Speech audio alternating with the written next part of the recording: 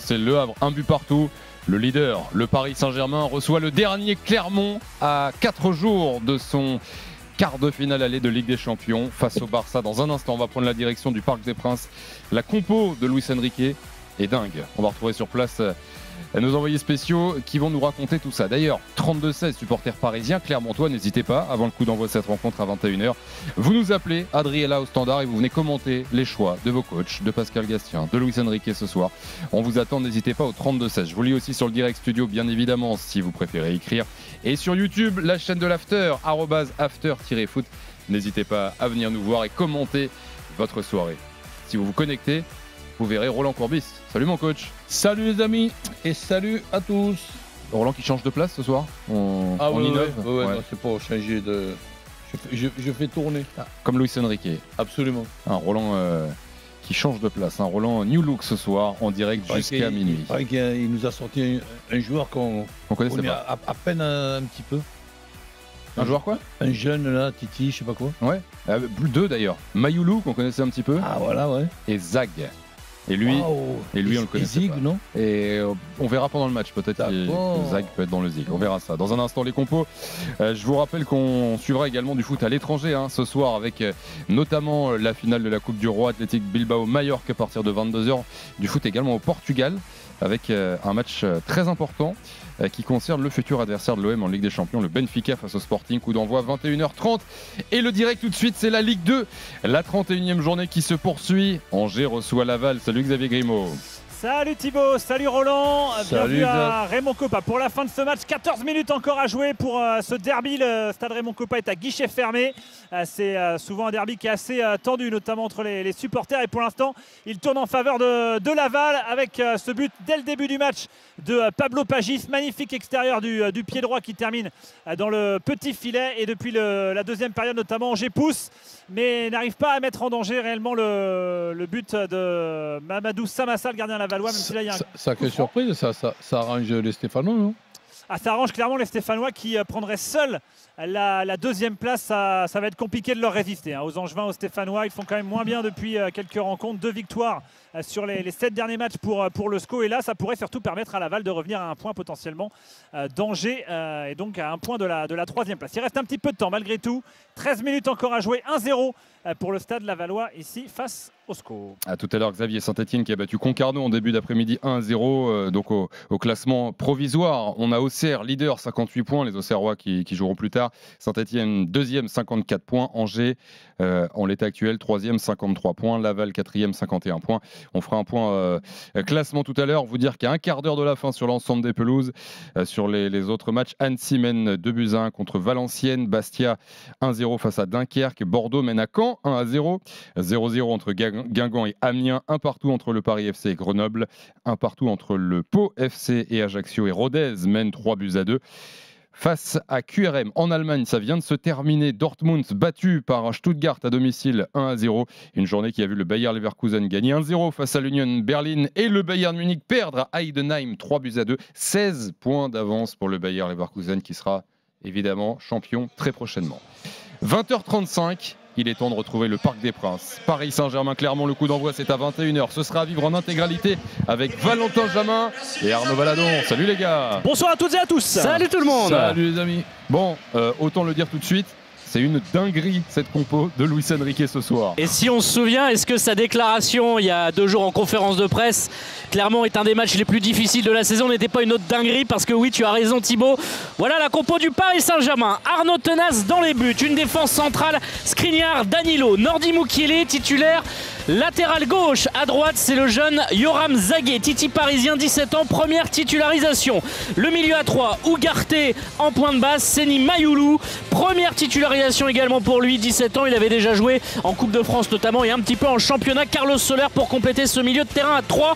Et les trois attaquants, Gonzalo Ramos en pointe, Colomwani et Asensio sur un côté. Ça veut donc dire que sur le banc de touche, il y a Gianluigi Donnarumma, Ashraf Hakimi qui est suspendu dans 4 jours affronter le Barça en Ligue des Champions, Marquinhos, Fabian Ruiz, Vitinha, Kangin Lee, Ethan Mbappé, Kylian Mbappé et Ousmane Dembélé. On rappelle qu'un peu plus tôt, Lucas Hernandez, Nuno Mendes, Warren Zaire et Barcola étaient hors groupe ménagés avant évidemment ce match important de Ligue des Champions. Beraldo, lui, est suspendu. Pour les Clermontois, Massamba Ndiaye est dans la cage puisque euh, Moridio, l'habituel titulaire, est malade. Défense avec trois centraux, Matsima, Coffrier, Pelmar. Pas de surprise. À gauche, retour de suspension de Neto Borges. À droite, c'est Jim Alvina qui prendra le couloir milieu de terrain avec Johan Magnin, capitaine, Johan Gastien et Habib Keita. Et l'attaque animée par Mohamed Cham et pour, euh, par Alan Virginius. Nicholson est sur le banc. Et puis vous dire que Konaté est toujours blessé un joueur important de Clermont. Gonalon en commotion et puis euh, Elbassan Rachani lui est suspendu pour le dernier de Ligue 1.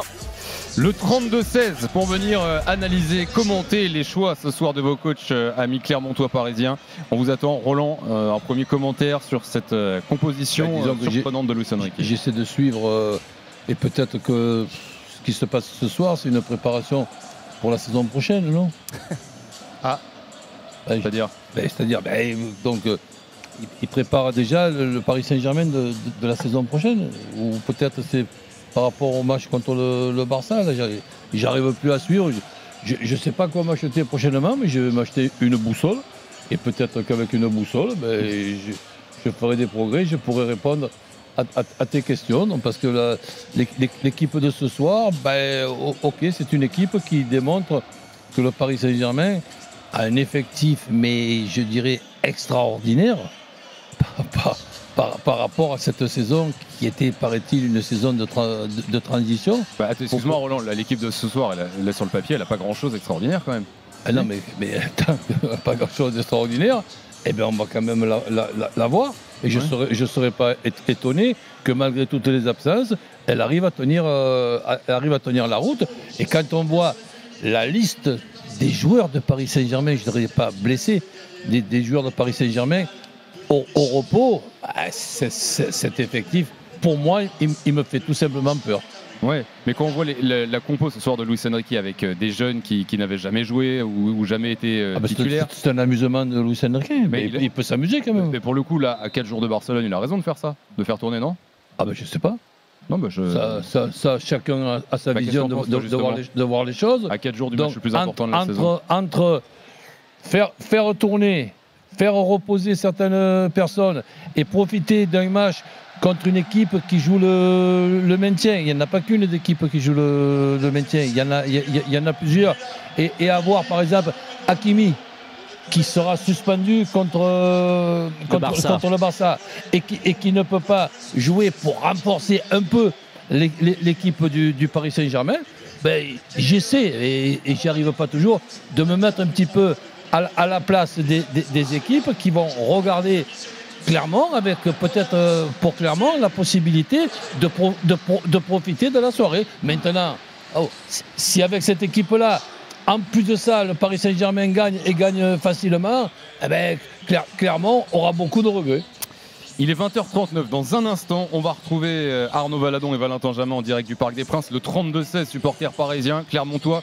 N'hésitez pas, on continue de commenter les choix de, des coachs et notamment de Luis Enrique avant le coup d'envoi de cette rencontre à 21h. Cette musique, c'est pour vous dire que nous vous proposons à nouveau de gagner l'expérience RMC Barcelone-Paris Saint-Germain le 16 avril. On vous offre le voyage et votre nuit d'hôtel la rencontre avec les équipes d'RMC Sport avant le match et bien sûr votre place pour le match.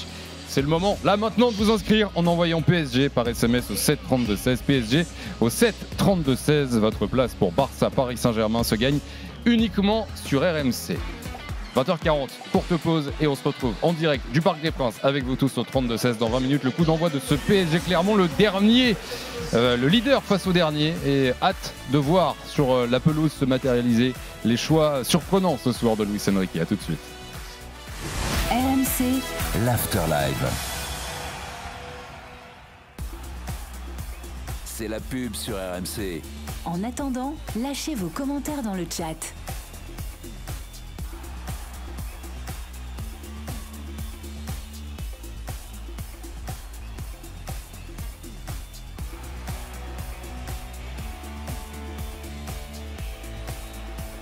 C'est la pub sur RMC. En attendant, lâchez vos commentaires dans le chat.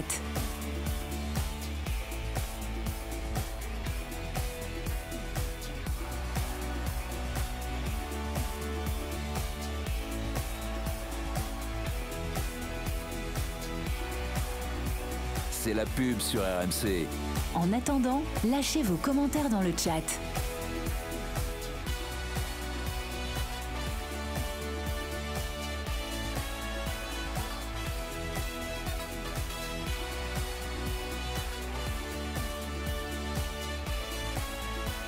C'est la pub sur RMC. En attendant, lâchez vos commentaires dans le chat.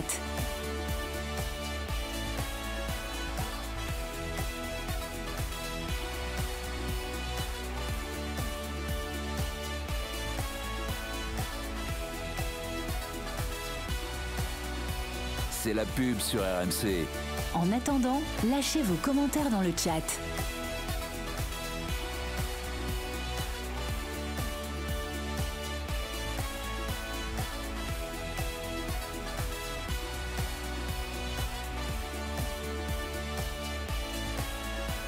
C'est la pub sur RMC.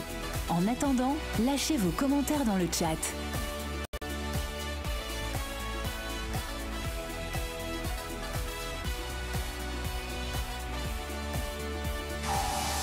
RMC, l'Afterlive. Thibaut Giangrande. Avec coach Courbis, ça un peu moins de 20 minutes du coup d'envoi de ce match euh, qu'on attend impatiemment de cette 28e journée de Ligue 1. Paris Saint-Germain, Clermont. Euh, Dans un instant, retour au Parc des Princes pour analyser les choix de Luis Enrique avec vous tous au 32-16. N'hésitez pas à, nous appeler. Et vous êtes en direct sur RMC, parce que si vous appelez, ça sert à rien. Vous allez tomber sur votre messagerie. Et puis on a de la Ligue 2 avec la 31e journée qui se poursuit ce soir. Et ça bouge entre Angers et Laval, Xavier Grimaud. Ça va peut-être bouger puisqu'il y a un penalty qui va être tiré dans un instant pour le SCO d'Angers avec un ballon en profondeur. Loïs Diony qui crochette. Et Mamadou Samassa, le gardien qui accroche l'attaquant angevin. C'est clair et net et il n'y a pas besoin de, de VAR. De toute façon, il n'y en a pas, mais le penalty il est clair et net. Ce sera Imad Abdelli qui va le tirer pour permettre au SCO peut-être d'égaliser. Pagiste avait permis aux Lavallois d'ouvrir le score dès la quatrième minute. Il est important, notamment pour le SCO, pour laisser à distance Laval et pour rejoindre en nombre de points la Saint-Etienne. Abdelli, le contre-pied Le contre-pied, petit chambrage au passage de Abdelli pour euh, Samassa et on va encourager le COP derrière. Allez, dernière minute vont être brûlantes, très certainement. A tout de suite euh, Xavier, ça n'a pas bougé sur les autres pelouses, hein. je vous rappellerai tous les résultats euh, au coup de sifflet final. Il est 20h44, retour à la Ligue 1, cette 28e journée, ce Paris Saint-Germain-Clermont et les choix euh, forts, très forts de Luis Enrique ce soir qui aligne un 11 avec probablement aucun titulaire de Barcelone mercredi prochain au parc Valentin Jamin. Arnaud Baladon, juste avant de prendre l'Assana au 32-16 les gars, euh, comment ça a réagi euh, à l'annonce de la compo euh, ce soir de Luis Enrique au parc Les Titi ont été plutôt chaleureusement salués, à savoir Zague et Mayoulou. Après, te dire qu'il y a de la surprise, c'est compliqué, mais écoute, on, a, on attend de voir. et- mais c'est aussi un signal fort parce que c'est des jeunes, notamment Mayoulou, qui est convoité par Dortmund, qui a d'ailleurs, euh, avec les, les informations de, de Fabrice Hawkins, qui a fait un point sur euh, tous ces jeunes, puisque Warren Zahir Emery, la prolongation, qui est certes quand même dans les tuyaux, bah, n'est pas encore euh, officielle. hein. Euh, ça n'a pas non plus euh, avancé de manière déterminante. Et donc ce jeune Mayoulou, Seni Mayoulou, euh, 17 ans, lui a une proposition de Dortmund qui lui fait déjà les yeux doux. Donc il y a quelque part aussi, voilà, peut-être un message fort envoyé par Luis Enrique sur ces jeunes. Je compte un petit peu sur vous, notamment l'année prochaine. Donc voilà, il y a aussi peut-être ce petit jeu de séduction en même temps que de leur donner leur première titularisation. Lassana nous appelle au 32-16 supporter du Paris Saint-Germain. Salut Lassana, Salut les gars. sois le bienvenu dans l'After Live Lassana. Lassana. Tu vas dans un quart d'heure te poser devant ce, ce match et quand tu vois cette compo, qu'est-ce que tu te dis? Tu te dis euh, euh, merci Luis Enrique de, de- de laisser au repos les titulaires ou tu te dis euh, c'est trop là pour ce soir? Non, je me dis exactement ce que tu as dit en premier lieu. Merci à Luis Enrique de laisser les titulaires au repos. Déjà, à Mm. Paris, on est une équipe un peu maudite. On a toujours des catastrophes avant les, gros matchs se couperaient. Là, pour une fois, on a quasiment tout l'effectif. Et en championnat, on a 12 points d'avance, on joue le dernier. À quel moment tu vas faire jouer les remplaçants et les jeunes si tu les fais pas ce soir? Franchement, moi, je me dis, pour moi, il a raison sur toute la ligne. Les petits Mayoulou, je l'avais vu en coupe, j'avais bien aimé. Là, tu le mets sur un match encore de compétition, c'est intéressant de le voir en situation. il y, a des, y, a des, gars qui n'ont pas beaucoup de temps de jeu qui reviennent, comme Solaire, tout ça. Moi, je trouve que c'est intéressant. Le seul point noir que je dirais, c'est que j'aurais aimé voir Moukele latéral droit. Vu qu'Akimi ne joue pas, tu pourrais avoir besoin de Moukele en latéral droit et je sais pas pourquoi il ne compte pas du tout sur lui à son poste de prédilection. Ben, je pense que national gauche, il n'y a plus de solution hmm dans, dans l'effectif. Latéral gauche. il peut s'est bricoler, Luis Enrique. Hein. Il a mis le hein petit jeune, là, Zague, en latéral gauche. C'est peut-être encore moins lui rendre service si tu mets le jeune pas à son poste. Et le jeune, c'est pas un latéral gauche de, de formation Non, c'est droitier. Ouais. Ah, latéral, ouais, mais ouais, franchement. Le jeune dont tu parles, c'est Yoram Zagué. Est-ce que tu le connaissais, toi, la Sana supporter J'avais entendu, mais je l'ai pas vu jouer, non. J'ai entendu, mais j'avais pas, pas jamais ouais. vu jouer. Parce que c'est vrai que Valentin et Arnaud, lui, pour le coup, on l'a jamais vu. Euh, avec, parce que Mayoulou, on en avait un petit peu parlé, il avait fait quelques bons matchs, notamment en Coupe, vous l'avez rappelé. Mais euh, Zagué, ce sera vraiment une grande première. C'est un joueur qu'on connaît, euh, bah, qu'on connaît pas. Hein. Un zéro minute euh, en Ligue 1. Ouais, ouais. La Sana, une, une question, s'il te plaît. Je suis tout à fait d'accord avec toi dans le, le, fait que, bon, prends pas de risque, tu vois pas une, une, une blessure d'un joueur important euh, avec tous le, les points que le Paris Saint-Germain a en avance, euh, ok. Mais on est, on est bien d'accord que quand Luis Enrique nous explique que je veux surtout pas que mes joueurs pensent au Barça, que surtout qu'ils pensent à, à, à, Clermont, euh, là, évidemment, c'est une phase. Ah non, non, c'est pas une, euh, pour moi de la communication. Là, c'est prendre des gens pour des cons ou pour plus, ou, ou pour plus cons que ce qu'on est. Mais je, je te dis, on va pas s'amuser à perdre du temps avec ça. Oui. Ce qui fait ce soir, c'est tout à fait logique. On est d'accord. Non, mmh. c'est vrai que c'est une communication. Après, chacun il le reçoit comme il veut, mais ouais, on savait tous que le match de ce soir, on n'allait pas y accorder une grande importance. Moi, voir les petits ici, ça me fait plaisir pour les voir sur des matchs qui comptent. Et en plus, comme vous avez dit, Mouyoulou, il est, il, est, il est suivi par pas mal d'écuries. Le voir en situation, on va voir ce qu'il qu est capable de montrer. C'est intéressant. Mmh. Et on verra, également, je ne sais pas ce que tu en penses, la, la, la, Sada, mais cette charnière euh, Skriniar-Danilo, Ouais. Euh, on va guetter les, les, ballons dans le dos quand même. Hein. Ouais, je, je, me fais, je me fais pas de, je, me fais, je, me, je, sais déjà que dans le dos ça va aller à 200 à l'heure, ouais. qu'on va être pris. Après, si on perd ce soir, franchement, c'est vraiment pas. Ouais. Voilà, ça me fera pas grand chose moi personnellement. Merci Lassana d'avoir été là. C'est cool. Merci à bon vous. match, à bientôt, bye bye. Euh, c'est dans 12 minutes hein, le coup d'envoi de ce Paris Saint-Germain. Clermont, le dernier match avant le quart de finale aller euh, du Paris Saint-Germain face à Barcelone euh, de Ligue des Champions mercredi prochain. On le suit en intégralité, on est en direct jusqu'à minuit, une grande soirée foot tous ensemble à la radio sur RMC en vidéo sur YouTube, la chaîne de l'After. Au coup de sifflet final, ce match ce sera l'After avec Coach Courbis et euh, Kevin Diaz ce soir. Euh, un mot juste de Clermont avant de, de parier, euh, les gars. Bon, euh, là ce soir, pas vraiment de surprise. Je parlais de la défense centrale du Paris Saint-Germain. Virginius, joueur assez rapide. Mohamed Chan, bon, il y a il y a peut-être quelque chose à faire. C'est peut-être le soir ou jamais pour les Clermont ben voilà, hein, ce soir. C'est exactement ça que je vais te dire. S'il y a une chance pour euh, Clermont, ben, c'est d'exploiter un petit peu cette, euh, cette situation. Ben, c'est ce soir. Donc normalement, quand tu es Clermont, et c'est pas seulement pour Clermont, et que tu vas au, parc, normalement tu, essaies de regarder un petit peu le calendrier et le, et le match d'après pour prendre des points. Là, ben, tu es Clermont, tu peux avoir peut-être un petit espoir. Avec le souvenir du match aller. Ouais, hein. C'est ça, Clermont avait gagné l'année dernière, alors dernière journée de championnat, mais victoire 3-2 au Parc des Princes. Et au match aller, ça avait fait 0-0. Donc Clermont a récemment quand même euh, embêté le Paris Saint-Germain. Et effectivement, Alain Virginius, jeune joueur de 21 ans prêté par Lille, euh, qui est pas mal utilisé par, par Pascal Gassien. C'est son septième match, c'est son huitième match, pardon. Et donc c'est un garçon qui est effectivement, voilà, euh, genre de profil avec centre de gravité un petit peu bas, un joueur rapide qui peut prendre la profondeur. Mohamed Cham avec lui, c'est très fort techniquement. Peut-être le meilleur joueur Paris, Clermont toi techniquement. Et puis sur le côté droit aussi, il faudra suivre Jimal Vina, qui sont des joueurs qui peuvent effectivement jouer en contre et prendre à défaut des euh, garçons comme Skriniar, comme Danilo, qui sont pas très rapides, ou encore comme Mukele, qui est pas forcément euh, habitué à jouer ces derniers temps. Donc ça va être le seul salut peut-être pour cette équipe clermontoise qui a 6 points de retard sur le barragiste et qui n'a gagné qu'une fois hein, sur ses 8 derniers matchs. Donc euh, Clermont est mal en point, mais Clermont peut aller espérer jouer en contre et, et gratter un petit quelque chose. C'est peut-être ça que tu insinuais, coach, mettre des longs ballons dans le dos de Skriniar et Danilo. Entre autres, donc je, je, pense que clairement, c'est tout à fait logique, elle va faire le maximum pour profiter de cette euh, situation. Et si par exemple ils arrivent à, à faire un résultat, ben, ils remercieront euh, Luis Enrique, le Paris Saint-Germain, d'avoir mis cette équipe-là. Mmh. Avec en plus euh, au milieu de terrain un Carlos Soler, tu peux même, euh, tu vois, même pas mal sur le milieu de terrain. Un mot des conditions ce soir, les gars. Il a fait bon, chaud, enfin pas mal aujourd'hui à Paris. Bonnes conditions pour, pour cette rencontre. Est-ce que le parc sera plein?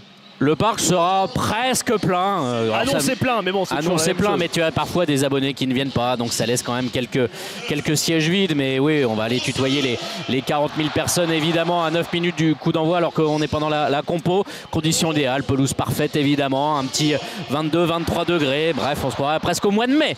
Le soleil, euh, le jour en moins, quelque part. Oui, c'est ça. Euh, on se retrouve dans un instant en direct du Parc des Princes. Arnaud Valadon, Valentin, Jamin, coach Courbis pour suivre en intégralité ce Paris Saint-Germain-Clermont. Dans un instant, les euh, résultats finaux de cette 31e journée de Ligue 2. Mais d'abord, on parie autour de ce match de Ligue 1. Winamax, le plus important, c'est de gagner. C'est le moment de parier sur RMC avec Winamax. Et avec Johan Bredov, notre expert en paris sportif. Salut Johan. Salut Thibaut, salut coach, salut à tous. Est-ce que la cote a changé entre euh, le moment où on n'avait pas la compo et le moment où on a eu la compo? Elle a augmenté, ouais. Elle était à 1,18, elle est passée à 1,28. Mais euh, voilà, quand même, elle a augmenté. 5,75 le match nul, 10 la victoire de, Clermont. Là, pour trouver de, belles cotes, il faut aller soit sur les buteurs. Gonzalo euh, Ramos, côté 1,90. Colomoni à, 2,20. Ou alors, euh, pourquoi pas sur les deux équipes qui marquent 1,90 coach, je sais pas si ça, t'intéresse. Ben oui, s'ils ne marquent pas ce soir, Clermont, ils vont, ils vont marquer quand? Contre Paris, ouais, c'est sûr. 1,90 euh, donc les deux équipes qui marquent. Sinon, sur un écart, faut aller sur 3 buts d'écart, au moins 3 buts d'écart en faveur du PSG, ça c'est 2,70. Mais moi je vous conseille tout simplement le, le 2-0, le 2-1 ou le 3-0 en faveur des Parisiens, et ça c'est 2,60. Merci beaucoup Johan, à tout à l'heure. Winamax, le plus important, c'est de gagner. C'est le moment de parier sur RMC avec Winamax.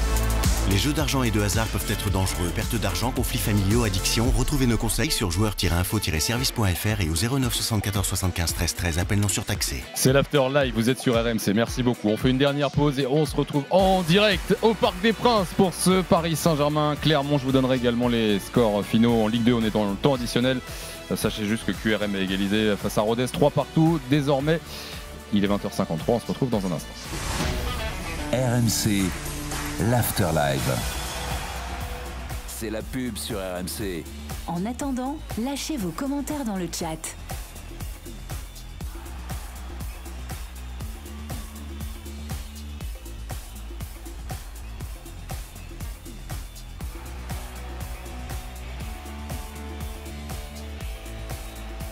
C'est la pub sur RMC.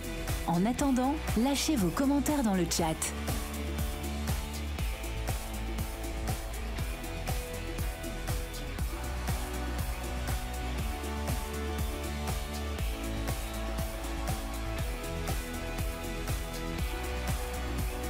C'est la pub sur RMC.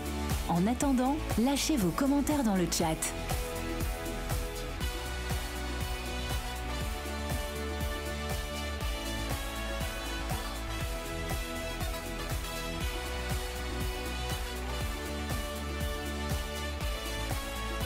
C'est la pub sur RMC.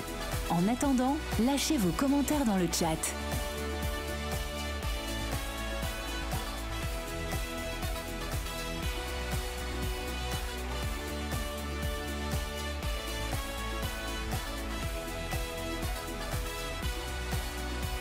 C'est la pub sur RMC.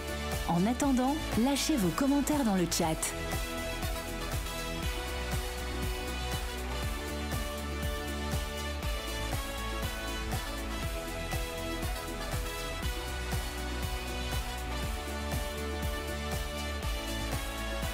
C'est la pub sur RMC. En attendant, lâchez vos commentaires dans le chat.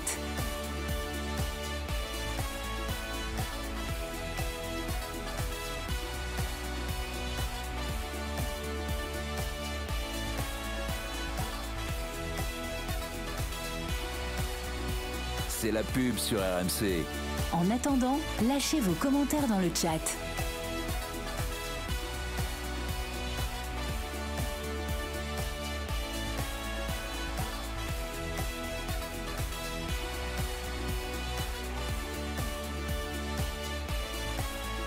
C'est la pub sur RMC.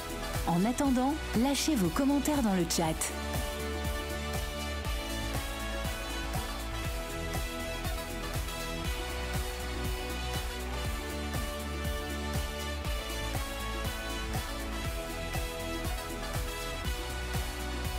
c'est la pub sur RMC. En attendant, lâchez vos commentaires dans le chat.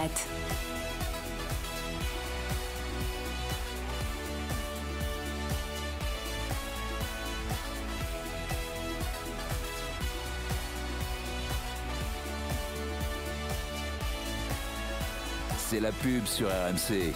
En attendant, lâchez vos commentaires dans le chat. RMC, l'Afterlive. Thibaut Giangrande.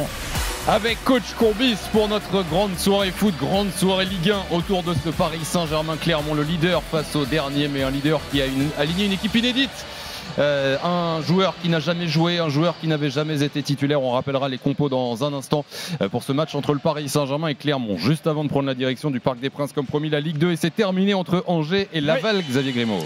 Oui, c'est terminé. Score final, un but partout entre Angers et Laval dans le derby. Le but de Pagis dès la quatrième. Angers qui a dû s'arracher pour euh, prendre ce point du match nul. Abdelli en toute fin de match sur pénalty. Ils étaient pas loin d'aller chercher le deuxième, hein, les Angevins. Malgré tout, ils vont perdre leur deuxième place. Saint-Etienne leur passe devant à la différence de but. Angers qui va laisser à distance. En revanche, Laval à 5 points. Ça va être euh, une grosse bataille entre saint et Angers notamment pour la deuxième place qualificative pour la Ligue 1. Un partout ce soir. C'est sur Phil Collins que je salue Xavier Grimaud. Bonne soirée à toi Xavier et à très vite. Le Parc des Princes dans un instant, on a juste le temps, voilà, sur Phil Collins, agréable de rappeler les autres résultats de cette soirée. Annecy a battu Valenciennes 2-1, un partout entre Bastia et Dunkerque, 0-0 euh, entre Guingamp et Amiens. Le Paris FC a battu Grenoble 2 buts 1, un partout entre Pau et Ajaccio, 3 partout entre Rodez et QRM. Et c'est fini à l'instant victoire de Bordeaux à Caen 1 à 0. On y va, mon Roland Le Parc des Princes Il y a quand même pas mal de surprises dans tout ce que tu viens de nous dire. Et la journée n'est pas finie, mon coach. Surprise ou pas ce soir au Parc des Princes Arnaud Valadon, Valentin Jamin. Les équipes sont entrées sur la pelouse et ça vaut le coup de rappeler les compos de départ ce soir. Avec côté parisien, Arnaud Tenas dans les buts, Skriniar, Danilo en défense centrale, Moukile, Zagué sur les côtés, a priori Yoram Zagué, le jeune Titi parisien, première minute avec le PSG. Sur le côté droit, on va avoir la réponse dans un instant. Milieu à 3 avec Ougarté, Solaire et Seni Mayoulou, première titularisation également pour l'autre Titi, 17 ans, deux jours d'écart seulement avec Yoram Zagué, tous les deux nés en, tous les deux nés en mai 2006. Asensio, Ramos et Colomwani pour les défenses, pour les attaquants devant. Ça veut donc dire Kylian Mbappé et Ousmane Dembélé, notamment sur le banc en compagnie de Donnarumma, Vitinha, Kangingli ou encore Ashraf Hakimi. Pour Clermont, Massamba India, il garde la cage puisque Moridio, l'habituel titulaire, euh, est malade. Matsima, Kofri et Pelmar pour euh, les trois défenseurs centraux. Couloir gauche, retour du Brésilien euh, Neto Borges qui était suspendu contre Toulouse. Couloir droit, animé par Jim Alvina, un milieu de terrain avec Johan Magnin, Johan Gastien et Habib Keita. Et puis en attaque, on aura Mohamed Cham en soutien d'Alan Virginus qui va avoir la tâche d'embêter la défense parisienne. Un match arbitré par Monsieur Gaël Angoula. Les 22 joueurs sont sur la pelouse. Le stade s'est plutôt bien rempli. Tout est réuni quand même pour qu'on voit, on l'espère, un beau spectacle ce soir. La dernière étape avant Barcelone pour le Paris Saint-Germain. Ce sera mercredi soir, une grande soirée sur RMC autour de ce quart de finale aller de Ligue des Champions. La DER, c'est donc ce soir. Le banc parisien fait peur. Le 11 de départ un petit peu aussi finalement, dans une autre mesure. Paris Saint-Germain, Clermont c'est maintenant sur RMC. Coach Courbis, Arnaud Valadon et Valentin Jamin. Et les deux équipes donc qui sont en place, les Clermontois, maillot blanc euh, extérieur, les Parisiens évidemment dans leurs euh, couleurs habituelles bleu marine et euh, rouge. Et on va s'habituer à certains visages hein, presque enfantins, notamment de évidemment Mayoulou et de Zaguet qu'on n'a jamais vu en tout cas pour le grand public. Et on voit bien qu'ils ont 17 ans, le verra-t-on sur le terrain? Et Zaguet à gauche. C'est Zaguet ouais, qui, prend le couloir à gauche Arnaud. Zaguet à gauche et donc Mukele à droite dans cette défense à 4. Pas son poste habituel, on l'a dit, il est formé euh, latéral droit normalement. Euh, Yoram euh, Zaguet donc pour sa première avec le Paris Saint-Germain. On verra si les conditions vont lui être favorables. Et juste devant lui, c'est Seni Mayoulou. Donc ça veut dire qu'on a un côté gauche 100% Titi parisien. Ce sont les supporters qui vont être contents. Ils ont 34 ans, Danilo a 33 ans. 34 ans à eux deux, 17 hein. ans, 17 ans. À suivre, effectivement, le ballon est donné par Gaël Angoula aux Parisiens qui vont donner le coup d'envoi de cette partie avec Marco Asensio, lui un peu plus expérimenté. C'est d'ailleurs Carlos Soler qui est plutôt dans le rond central avec à gauche du rond central Randall Colomoni, à sa droite justement Asensio. Le coup d'envoi est donné avec le passe en retrait de Carlos Soler vers Milan Skriniar. Le défenseur central passe par Danilo et immédiatement un long ballon de l'international portugais aux abords de la surface de réparation. L'éviation de Colomoni directement dans les bras de Massamba Ndiaye, le gardien qui relance sur sa gauche pour Neto Borges. Première situation de conservation pour les Clermontois. Peut-être le relais avec Virginius qui a mis à Mohamed Cham. On est toujours dans le camp Clermontois. Harcelé par Ougarté. Il n'y a pas de faute d'Ougarté. On a réussi à avancer. On passe le milieu de terrain pour Clermont avec Virginius derrière lui. Le milieu de terrain qui a perdu la balle, en l'occurrence Mohamed Cham. Mais il se bat bien dans le rond central. Et finalement, Gatien peut ressortir sur sa gauche. Et donc, ce sont les Clermontois qui, pour le moment, ont la première possession. D'ailleurs, ça se poursuit avec l'avancée sur le terrain de Coffrier qui est dans le camp parisien sur le côté gauche. On va passer maintenant complètement en retrait et même par le gardien Ndiaye. Avec, euh, on voit sur l'animation, c'est presque, on a deux pointes hein, avec Colomboigny et Ramos. On n'a pas Colomboigny un peu plus euh, sur un côté, on a Mayoulou sur un, côté gauche. Je me demande si, alors on n'est pas sur un, fondamentalement euh, coach et Thibaut sur un 4-4-2 à plat, mais voir l'animation un peu concoctée par Luis Enrique avec un Asensio plus couloir droit et, un solaire axial. Asensio, je pense qu'il va être plutôt axe côté droit pour, pour entrer sur son pied gauche vers l'intérieur. Et un Ougarté solaire un peu plus dans le cœur du jeu. Ouais, un, duo de deux, milieux moyens mais solides. Et c'est Moukielé qui est quand même euh, assez haut dans son rôle de, latéral droit. Hein. Euh, là peut-être il y a aussi une volonté de se dire on sécurise à gauche, euh, Yoram Zagué est un droitier, il évolue au poste de latéral gauche et peut-être que voilà, les circuits préférentiels vont aller sur le côté droit avec des joueurs avec les bons pieds. Et peut-être aussi de se dire que bon la solution euh, pour remplacer Hakimi euh, contre le Barça, ben Moukielé a peut-être son mot à dire. Et oui, la question se pose puisqu'Hakimi sera suspendu contre le Barça. D'ailleurs, c'est pour ça qu'on l'attendait notamment titulaire ce soir. Est-ce ben que ce sera Moukielé pour le remplacer Sachant que Warren Zaire l'a déjà fait, que Luis Enrique a dit en conférence de presse que Marquinhos pouvait le faire?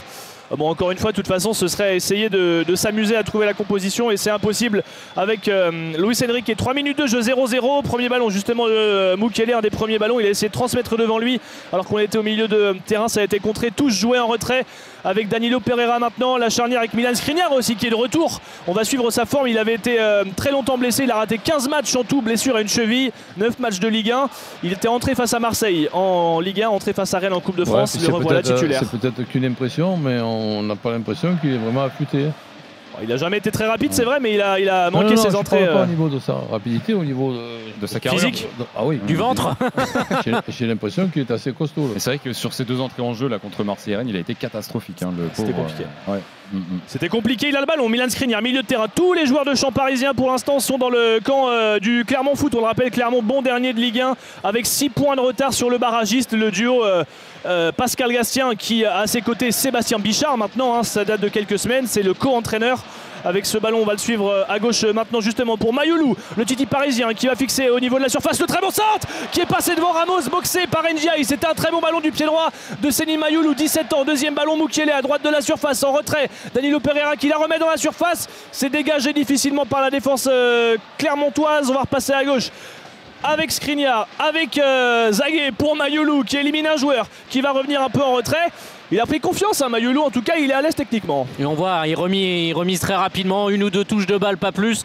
Euh, à l'image là de ce que vient faire Colomboigny en, déviation, on veut tout de suite donner de la vitesse et euh, marquer ce premier but pour éviter, euh, coach et Thibaut, d'avoir ce match un peu traquenard avec des, des Clermontois accrocheurs. C'était le cas au match aller à Gabriel Montpied. Certes, c'était à l'extérieur dans un autre contexte, mais Clermont avait tenu un 0-0 score final. Mais les Parisiens veulent justement s'éviter peut-être ce piège d'une équipe qui va venir contrer et mettre le doute dans cette équipe.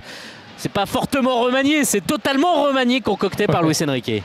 Le ballon dans les pieds parisiens. On a la physionomie de notre match a priori. Ça tourne, ça tourne. Le joueur le plus euh, bas, on va dire, parisien, c'est Skriniar. Il est au-delà du rond central dans le camp clermontois, donc il est vraiment très haut. Euh, la faute ou pas Non, Gaël Angoula a laissé jouer puisque Ugarte était au sol. Danilo Pereira, on a du mal quand même à trouver les attaquants, à créer des décalages. Pereira va aller fixer à sa droite euh, maintenant. Il a le soutien de Solaire qui va mettre un ballon dans la surface trop long pour Colomoni. Capté par Massamba Ndiaye. Voilà pour les 5 premières minutes, quasiment 0-0 et un schéma où Paris a une possession outrageuse mais a du mal pour le moment à faire des différences et des décalages. C'est l'Afterlife, vous êtes sur RMC, c'est la 28e journée de Ligue 1. Coach Courbis au parc Arnaud Valadon, Valentin Jamin. Je vous lis également sur euh, la chaîne de l'After, la chaîne YouTube after-foot. 0-0, on retourne au parc. Et il a, pas l'air mal ce Mayoulou. Ouais, Tisseni Mayoulou, bah effectivement, hein, euh, il a l'air euh, assez technique. Les, fans du PSG l'ont vu jouer euh, en Youth League, l'ont vu jouer également au Gambardella, un petit peu avec les pros. D'ailleurs, il a le ballon, il a mis en retrait à Zagué, puisqu'il a joué deux matchs de Coupe de France contre Orléans et contre Revel, entré à chaque fois, et puis une vingtaine de minutes en Ligue 1 contre Paris. Il est arrivé en 2019 au club du, Paris FC, mais il y a pas mal d'attentes. Arnaud, on sait que les Titi à Paris, c'est quand même quelque chose. C'est toujours sacré, évidemment. Et Mayoulou qui est décrit comme un milieu offensif assez polyvalent. Hein, plutôt de préférence dans l'axe, mais capable, voilà, plutôt relayeur droit, plutôt relayeur gauche. Là, aujourd'hui, ce sera côté gauche. Donc voilà, mais on voit beaucoup de justesse, même si cette passe pour Danilo est un petit peu trop à gauche. Voilà, les Parisiens qui essayent de jouer, mais ça manque peut-être un petit peu de percussion pour le moment d'un joueur. Je pense évidemment, parce qu'il est sur le banc, euh, coach à Ousmane Dembélé, mais on voit c'est beaucoup de passes et ça manque peut-être d'aller percuter, notamment sur à côté, parce que pour l'instant, on alterne, on va à droite, on va à gauche, mais on n'arrive pas à vraiment rentrer dans ces 30 derniers mètres, clairement toi. Ah, bah, attends, là on est en train de regarder avec c'est une revue d'effectifs. Oui. Euh, voilà, donc c'est. On, on peut pas, même nous, faire les, les, précisions qu'on a l'habitude de faire. tout de suite exigeant, mais voilà, tu vois peut-être qu'il y a ce petit détonateur pour l'instant qui manque sur un PSG assez scolaire, on va dire, sur cette possession de balle bah, qui doit tutoyer les 90%. Hein. Le petit jeune, là, Zagué, ouais. Ben, on, vient de s'apercevoir qu'il va très vite. Première ovation pour Zagué, on fait, il faut le dire, au Paris des Princes, puisque à la course, alors que Mohamed Cham avait été lancé en profondeur sur un contre, eh bien, il a réussi à résister, le jeune joueur de 17 euh, ans. Pardon, je vous ai dit qu'il est arrivé du PFC. Mayoulou, c'est Zagué hein, qui est arrivé du PFC, autant pour moi. Euh, qui donc là a réussi à battre à la course euh, Mohamed Cham et à mettre en retrait à son gardien ovationné par le Parc des Princes qui attend beaucoup de ces, de jeunes joueurs. Le ballon encore dans les pieds de Danilo Pereira. On fait tourner avec la défense centrale Milan Skriniar dans le rond central. Le Slovaque à sa gauche avec Yoram Zagué, peut-être devant lui vers Mayoulou. Non, passe par l'axe avec Ugarte, l'Uruguayen. Encore Danilo Pereira qui a touché beaucoup de ballons et qui va pénétrer dans le camp clermontois. On voit très bien les lignes clermontoises. Là, ils sont 5 en défense. il y a quasiment 4 milieux de terrain aussi. Le ballon par-dessus. Il est sorti à l'envers. NGA le centre. Il n'y a plus de gardien, mais c'est pas pour un Parisien, c'est pour un Il y a eu un choc. Hein.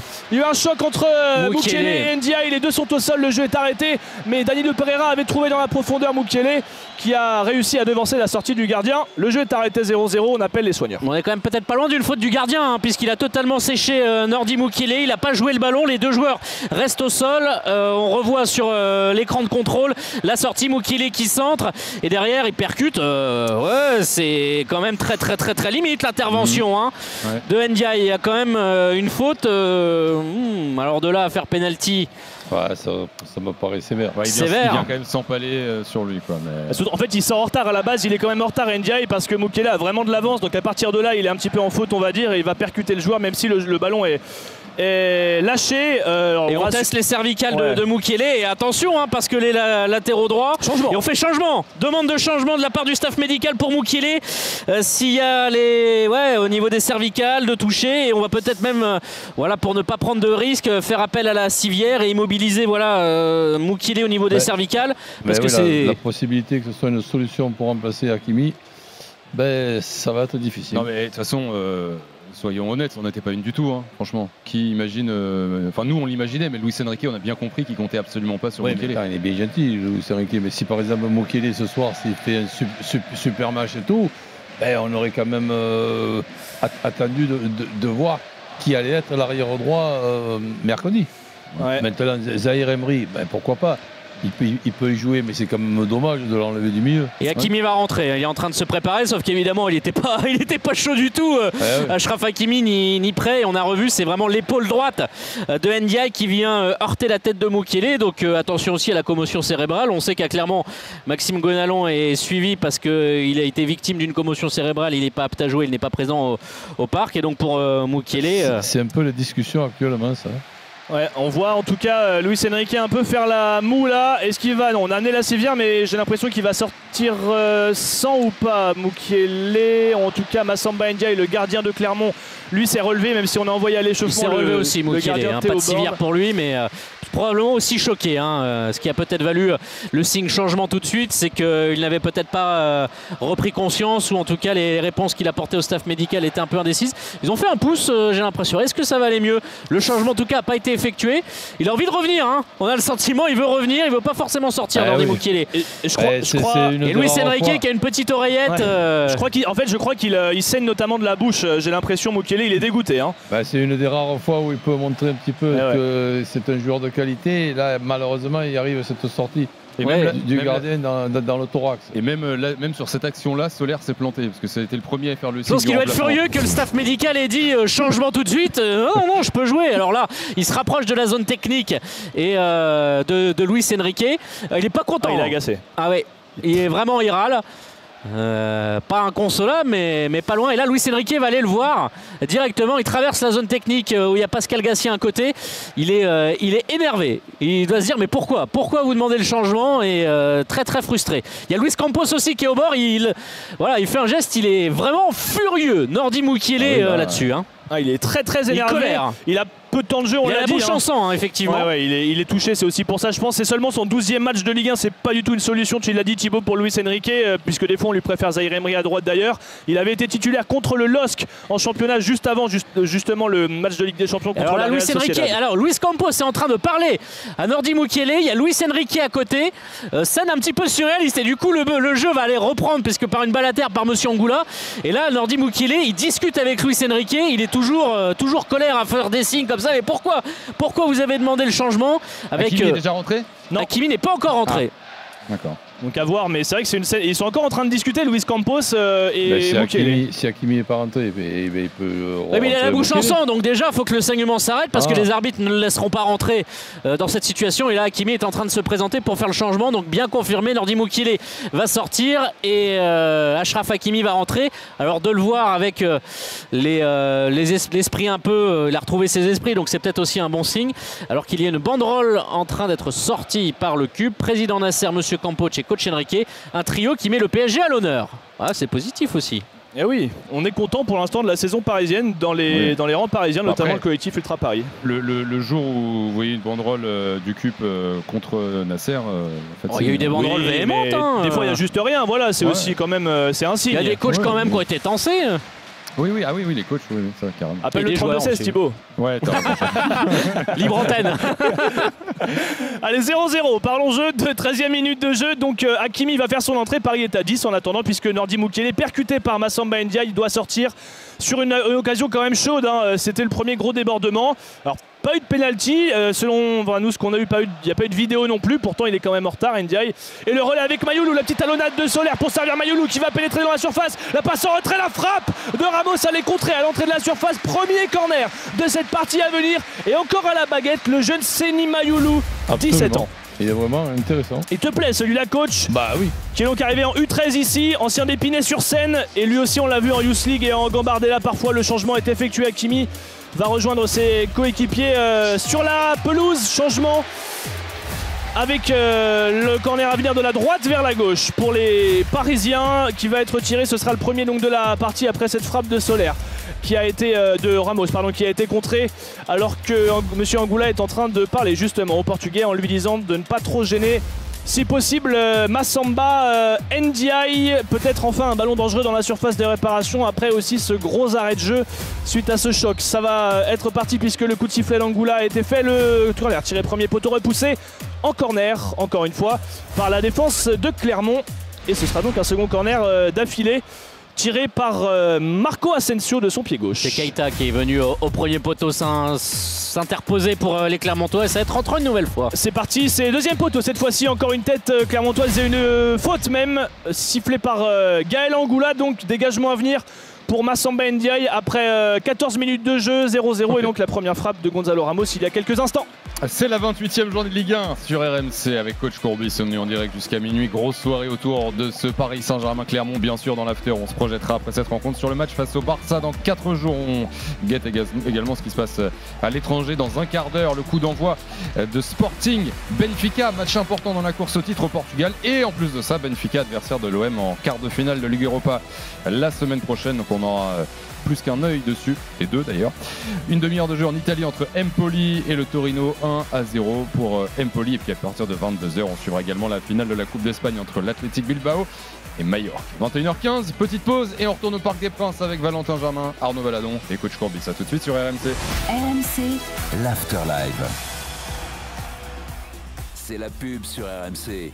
En attendant, lâchez vos commentaires dans le chat.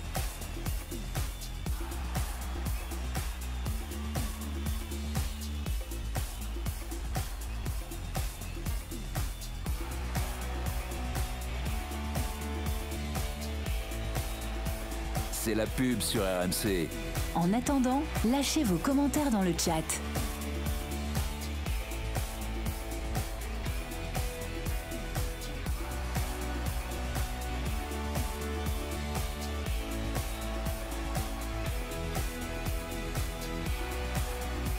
C'est la pub sur RMC.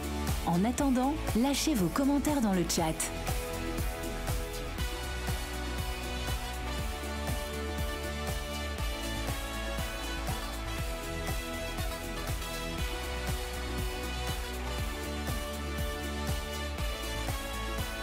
C'est la pub sur RMC.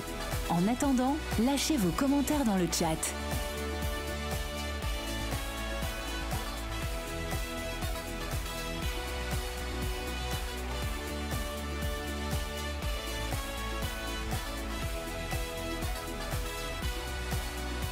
C'est la pub sur RMC. En attendant, lâchez vos commentaires dans le chat.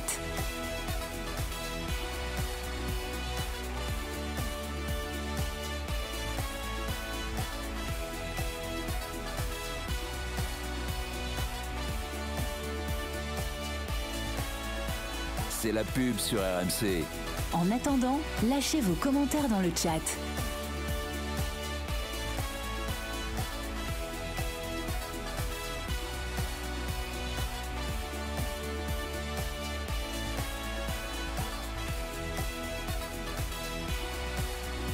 C'est la pub sur RMC.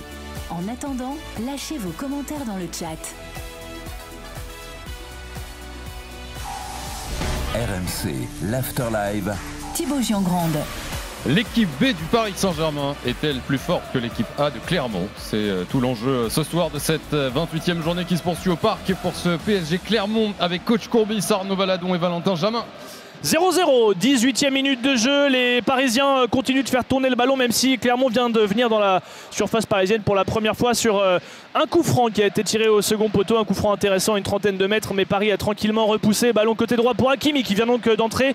Il a remplacé euh, il vient de perdre d'ailleurs le ballon. Mohamed Cham, on est toujours dans le camp Clermontois. On repasse par la défense centrale avec Pelmar, avec Coffrier qui passe par l'axe, avec Keita, la bonne ressortie de balle. d'Hakimi pour le moment. Ouais, c'est très compliqué. alors il, il s'était pas échauffé, ça n'explique évidemment pas tout, mais c'est vrai qu'il a été un petit peu surpris lui aussi de rentrer.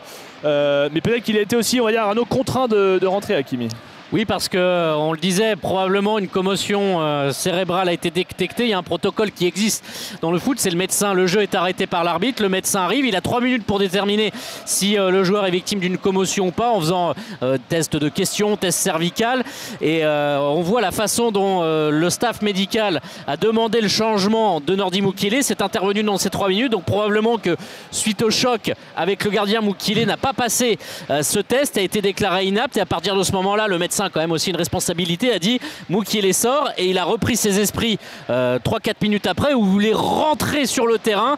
Sauf que bah, c'est trop tard, le médecin a dit euh, qu'il devait sortir parce que victime d'une commotion, donc on prend pas de risque. Ce qui a valu évidemment cet imbroglio avec Moukielé qui voulait absolument revenir sur la pelouse alors que Hakimi n'était pas encore entré en jeu. on va évidemment demander confirmation d'un protocole commotion ou pas, mais ça peut être une explication des choix assez rapides euh, des médecins. Donc Hakimi sur ce couloir droit. T'as raison, Roland, il fait pas une entrée très convaincante pour le moment. Il a perdu quelques ballons, lui qui sera suspendu, on le disait pour euh, les, trois, ballons qu'il a eu. Et ça a cassé le rythme aussi cette interruption de jeu hein, où le Parisien, le PSG et l'est toujours en contrôle, mais euh, se rapprochait clairement, en tout cas mettait du danger devant la cage de Ndiaye. Et on sent voilà, que ça a aussi peut-être remis les, les, Clermontois dedans, puisque à quasiment la moitié de cette première mi-temps, eh ben, ils sont toujours au contact et une faute parisienne justement dans le camp clermontois alors qu'on essayait un petit peu d'aller de l'avant de Gonzalo Ramos. On est au niveau de la surface complètement côté euh, gauche et c'est joué court d'ailleurs par Matsima qui a peut-être un peu mis en difficulté d'ailleurs Andy Pelmar non ils sont bien sortis les clermontois au final avec Keita qui est vu dans l'intervalle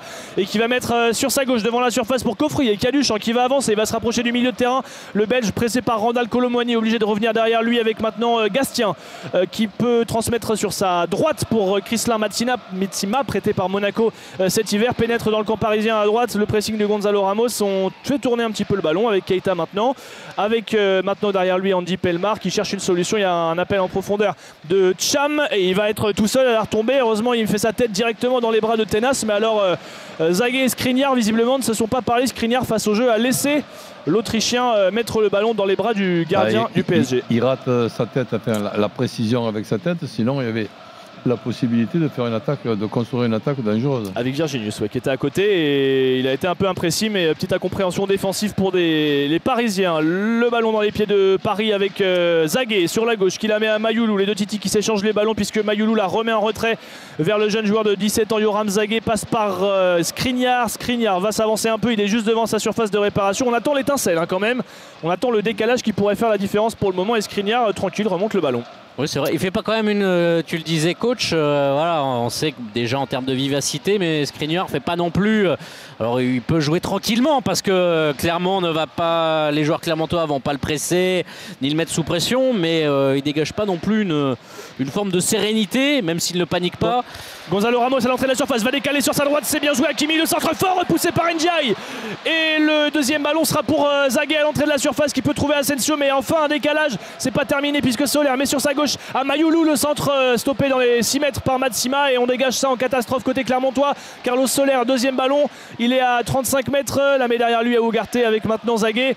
Et Clermont s'est replacé. Mais la première euh, incursion d'Akimi, cette fois-ci, toujours d'ailleurs sur ce même côté droit, on a quand même un Zaguet qui est euh, moins offensif qu'Akimi alors qu'il est à gauche. On rappelle que c'est un latéral droit. Et Akimi encore qui perd un ballon là sur son côté. C'est une mauvaise entrée. Ah, c'est même impressionnant et les Clermontois vont essayer de construire enfin avec euh, Mania maintenant dans le milieu de terrain on est toujours dans le camp de Clermont côté euh, gauche cette fois-ci Neto Borges qui essaie de trouver une solution. Johan Gastien, on est obligé de repasser par la euh, défense euh, centrale maintenant avec euh, Pelmar, des joueurs clermontois en quête de confiance. Ils viennent d'encaisser à domicile un 3-0 face à Toulouse. C'est très difficile la saison clermontoise évidemment. Ils avaient surperformé en passé en terminant la première moitié de tableau du championnat de Ligue 1. Mais là, c'est quand, même, c'est quand même bien plus compliqué pour les hommes de Pascal Gastien et de Sébastien Bichard qui ont perdu contre Metz aussi qui aurait pris 5-1 face à l'OM avant. La seule petite éclaircie, c'est une victoire face au Havre. Mais derrière, ça s'est pas confirmé donc contre, contre Toulouse et on donne assez euh, euh, peu cher malheureusement pour les Clermontois de, leur avenir en Ligue 1.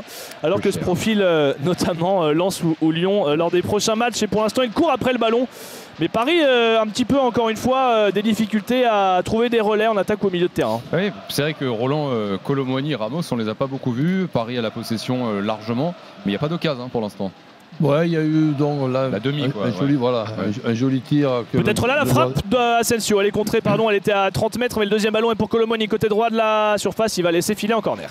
Mais c'est vrai que bon, pour en sortie de but. À sortie de but. Bon, il n'y a bah. pas beaucoup, beaucoup d'occasions. Incompréhension, il pensait que ce serait. Euh... Ah, c'est un corner. Non, non, c'est il donne quand même, Monsieur Angoulaf signe, ah ouais, y a pas la même signale sortie de but. Il monte sortie de but et Danilo est pas content, il est furax. Bon bah ce sera, ce sera 6 mètres. Euh, en fait l'arbitre assistant dit pas la même chose que, que l'arbitre central et l'arbitre central. c'est Gaël C'est l'ancien joueur. Après c'est aussi compliqué dans ce schéma de match pour euh, Colomani, pour Ramos. Il y a très peu d'espace, euh, c'est très compact. Ils sont aussi dépendants un petit peu de l'animation sur les côtés des joueurs euh, de leurs coéquipiers. Bon, est-ce qu'on peut leur en tirer vraiment rigueur pour l'instant? Non, non, ce que, moi, ce que je, ce que je soulignais, c'est qu'on a du mal à les toucher, effectivement, hein, tout simplement. C'est vrai que. il ne voit pas beaucoup le ballon. Euh, Ramos un peu plus à la limite, mais Colomwani, je crois que je vous ai pas entendu euh, prononcer son nom. alors je vais te dire ça sur le nombre de ballons touchés. Ouais. 7 et Ramos. tu peux plus peut-être. Ah non, moins. Ah 4 seulement, ah ouais. Eh ben, c'est lui qui a vu tout à l'heure une frappe à l'entrée de la surface, mais on a du mal à toucher les attaquants. En fait, peut-être que aussi le, milieu de terrain euh, manque un poil de créativité euh, avec euh, Ougarté, même si Solaire est un joueur un peu plus créatif pas toujours très juste là le tacle de Danilo Pereira. D'ailleurs, quel brassard, hein, puisqu'il n'y a pas de Marquinhos, pas de Mbappé, donc c'est Danilo Pereira qui est capitaine. Et les Clermontois ont un peu plus le ballon quand même en ces dernières minutes. On est complètement côté gauche le long de la ligne. On pénètre dans le camp parisien. La bonne déviation euh, pour trouver Mohamed Cham qui a essayé de lancer euh, sur sa droite Alvina, mais la mauvaise, le mauvais dégagement de Mayoulou. on va pouvoir euh, continuer d'appuyer sur la gauche avec Borges qui est quasiment collé à la ligne de 6 mètres. Il va trouver en retrait Cham. Cham derrière lui avec Mania. Le relais. Est-ce qu'on va pouvoir aller percuter un petit peu Cham qui est côté gauche de la surface? En retrait vers Gatien il peut peut-être frapper, non. La met sur sa droite à Keita, la frappe du gauche. Trop enlevé de l'ancien lyonnais, malheureusement. Il y avait peut-être un peu mieux à faire. Il avait un peu plus de temps, mais c'est vrai que le contre avait été bien négocié. Ah bah ça, pouvait être beaucoup mieux. La frappe trop enlevée. L'action, elle est pas mal. Pour terminer par ce, semblant de frappe au-dessus du, du but, bon, me ça ça c'est sûr que c'est pas terrible. Mais après 25 minutes de jeu, coach euh, et Thibaut, ça va aussi entretenir un peu la confiance des Clermontois qui se disent bah, il y a peut-être quelque chose de possible à faire. Tant que le PSG n'arrive pas à marquer ce premier but et même à faire un potentiel break. Tu as raison de ce que tu dis, mais déjà à la lecture de l'équipe, il pouvait, il pouvait y réfléchir. oui, puisqu'on rappelle que, comme tu le disais Thibaut, c'est vrai que c'était plutôt bien résumé. On n'est on pas du tout sûr de voir un de ces garçons parisiens titulaires face au Barça. Hein. Peut-être qu'on aura 11 changements euh, par rapport à l'équipe qui sera euh, alignée, même si on n'est pas non plus sûr que Barcola, par exemple, puisse tenir sa place euh, face au Barça mercredi. On aura l'occasion d'en reparler, mais en tout cas, ce sont des joueurs qui doivent essayer de gagner un peu de temps de jeu. Avec la Hakimi sur le côté droit, le relais avec Asensio. On est à 30 mètres, on passe par l'axe avec Ugarte qui la met sur sa droite maintenant à Asensio. Il a un peu d'espace avec son pied gauche, mais repasse par Ugarte. Ça manque de combinaison là. On dort un petit peu avec Asensio qui se réaxe avec son pied gauche, mais tous les Clermontois sont derrière le ballon. Skriniar maintenant. Asensio, ça serait peut-être le seul que tu peux penser qu'il ait le, talent pour construire une dernière passe intelligente ou une avant-dernière passe. Les autres joueurs dans la construction sont très moyens. Zaguet a trouvé euh, Danilo Pereira, est à droite avec Hakimi, mais c'est le même schéma. Il y a toujours un joueur face à lui, en l'occurrence Borges. Il l'a éliminé, se réaxe un petit peu. Hakimi, il y a quand même du monde face à lui. Il a tenté de faire un relais avec Ramos. La passe, elle est perdue et le contre à venir. Clermont qui explose assez vite, mais euh, il y a quand même les retours parisiens pour gêner Habib Keita, contraint de conserver. La met à Chrislin Matsima. Ouais, bien joué, la bonne passe dans l'axe. On va peut-être passer le milieu de terrain avec le bon dribble de euh, Cham. Il y a l'excellent retour de Mayoulou, très bien joué, applaudi par le Parc des Princes. Il est venu tacler. Il est parti de son côté pour tacler Mohamed Cham et euh, venir récupérer le ballon pour les Parisiens qui repartent sur une phase de possession. ça va encore un petit peu faire grimper la cote de Selim Mayoulou contrairement à Hakimi qui a encore perdu un ballon. Ouais, le Marocain, euh, effectivement, pas vraiment dans son match pour le moment. Il va encore peut-être être sollicité parce que euh, Danilo euh, touche son millième ballon du match là probablement. Repasse par Skriniar maintenant. Sur sa gauche, il y a Zaguet. Est-ce qu'il va sauter un petit peu pour aller chercher Carlos Soler? Non, on passe par Yoram Zaguet. lui aussi, pour l'instant, c'est propre hein, et c'est bien joué d'ailleurs ce qu'il fait là pour trouver Danilo un petit peu à l'opposé au niveau du rond central. On va écarter encore long de la ligne. Il y a un peu plus d'espace pour Hakimi devant lui, Asensio, mais toujours deux joueurs clermontois pour les gêner. On va approcher de la demi-heure de jeu, 27 minutes de jeu 0-0. Euh, Ougarté trouvé en retrait. Il y a toujours euh, des Clermontois pour le gêner. À droite, Hakimi, Hakimi, Ougarté. Colomboigny a décroché, mais elle est mauvaise. La passe de l'Uruguayen. Et Clermont va essayer encore de partir en contre. Une 2-3-4, c'est bien joué. La combinaison avec Mohamed Cham qui va lancer en profondeur. Virginius, la bonne couverture de Danilo et c'est pas mal Cham est au sol. Il y a Cham qui reste au sol. Euh, il aurait pu mettre un peu plus fort hein, ce ballon parce que à la course, il allait très vite Alan Virginius. Hein. Un point de temps et score, messieurs, s'il vous plaît. 0-0, 28 minutes de jeu entre Paris et Clermont. On va faire une dernière pause dans cette première période pour vivre euh, ce dernier quart d'heure, ces 20 dernières minutes, plutôt en intégralité sur RMC avec Coach Courbis. C'est la 28e journée de Ligue 1, ce Paris Saint-Germain-Clermont, la dernière marche avant le Barça. C'est dans un instant sur RMC. RMC, l'Afterlive. C'est la pub sur RMC. En attendant, lâchez vos commentaires dans le chat.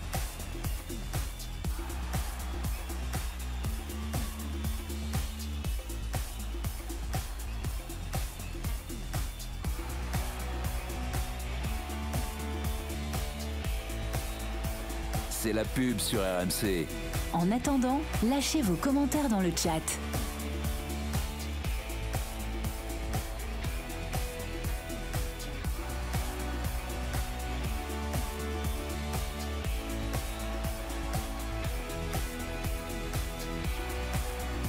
C'est la pub sur RMC. En attendant, lâchez vos commentaires dans le chat.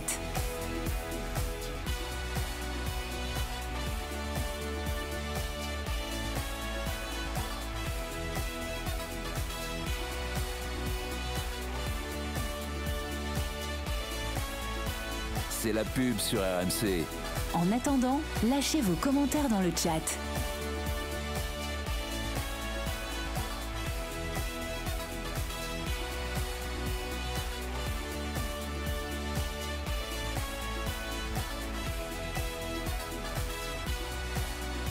C'est la pub sur RMC. En attendant, lâchez vos commentaires dans le chat.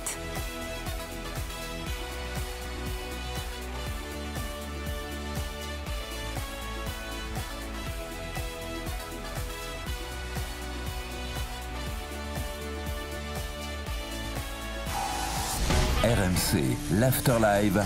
Thibaut Giangrande. Le dernier soir avant le grand soir pour le Paris Saint-Germain qui affrontera Barcelone mercredi en quart de finale de Ligue des Champions. Avant ça, c'est la Ligue 1, la 28e journée contre Clermont et cette équipe B parisienne. Coach Courbis, Valentin Jamin, Arnaud Valadon. 30e minute de jeu 0-0 et ce mauvais ballon de Marco Asensio en profondeur euh, dans le dos de la défense clermontoise directement dans les bras de Massamba Ndia et le gardien sénégalais qui dispute son, son quatrième match de Ligue 1 pour Clermont puisqu'il remplace euh, Moridio, l'habituel titulaire malade. Il avait été très bon quand Moridio était à la canne, hein, notamment contre, euh, contre Nantes et une victoire à Nantes de la part de, de Clermont et pour l'instant fait un match solide. Il a d'ailleurs percuté Moukielé qui a dû sortir. On l'a vu retourner un peu sur le banc. Et on voit aussi Louis Enrique avec une petite nouveauté. Alors est-ce qu'il écoute de la, de la musique Il écoute RMC. Il écoute RMC Il y a une oreillette d'une marque à la, à la pomme. euh, et visiblement, il est connecté avec euh, du, du staff euh, qui sont actuellement en tribune de presse, pas très loin de nous. Voilà, euh, pour être. Voilà, d'habitude, c'est toujours un adjoint qui est en liaison avec euh, des membres du staff euh, analyse vidéo qui sont vraiment en hauteur.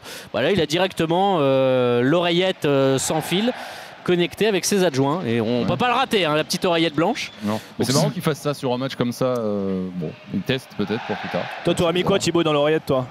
Moi j'aurais mis. euh, non, je peux pas le dire. sinon. Sinon les gens vont changer. il écoute coach peut-être hein. Oui, c'est ça, coach les il tient à analystes. signer un- une consigne pour Luis Enrique euh. Ah, je, réf- je réfléchis, mais je, je pense qu'il il pense à tout, donc c'est difficile pour nous. En tout cas, Luis Enrique, si jamais tu écoutes RMC, euh, lève la main droite. Euh, Ah, il le fait, c'est il incroyable. le fait, c'est énorme. C'est énorme.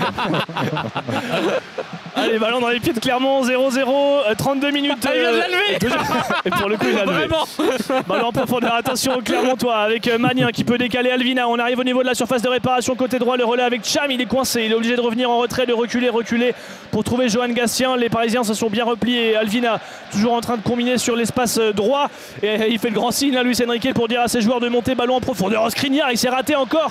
Euh, Johan Magnin peut centrer un peu difficilement au second poteau. Euh, la remise du Virginius dans l'axe, c'est bien fait. Ils sont à terre le but. Oh le but Oh le but de Clermont sur cette succession d'erreurs. Et est-ce que c'est euh, Keita ou Keita C'est Keita qui vient reprendre cette remise de Virginius et lober Arnaud Tenas sur cette série d'incompréhensions, que ce soit Skriniar, que ce soit Ugarte, que ce soit Tenas. Paris s'est raté et Clermont mène 1-0 au parc. Et surtout, comment laisser contrôler Alan Virginius seul dans la surface de réparation À 7 mètres, il a pu orienter son contrôle qui s'est finalement terminé en passe décisive pour Keita qui arrivait seul. La passivité de la défense parisienne. Alors, est-ce que Keita, euh, son tir qui est contré, allait quand même prendre le chemin des buts? Auquel cas, ce but lui sera bien accordé. Mais on revoit euh, Skriniar qui fait une intervention catastrophique, un contrôle porte-manteau, mais euh, euh, qui était complètement fait, mauvais. Il, il fait, il fait, il fait, il fait Skriniar.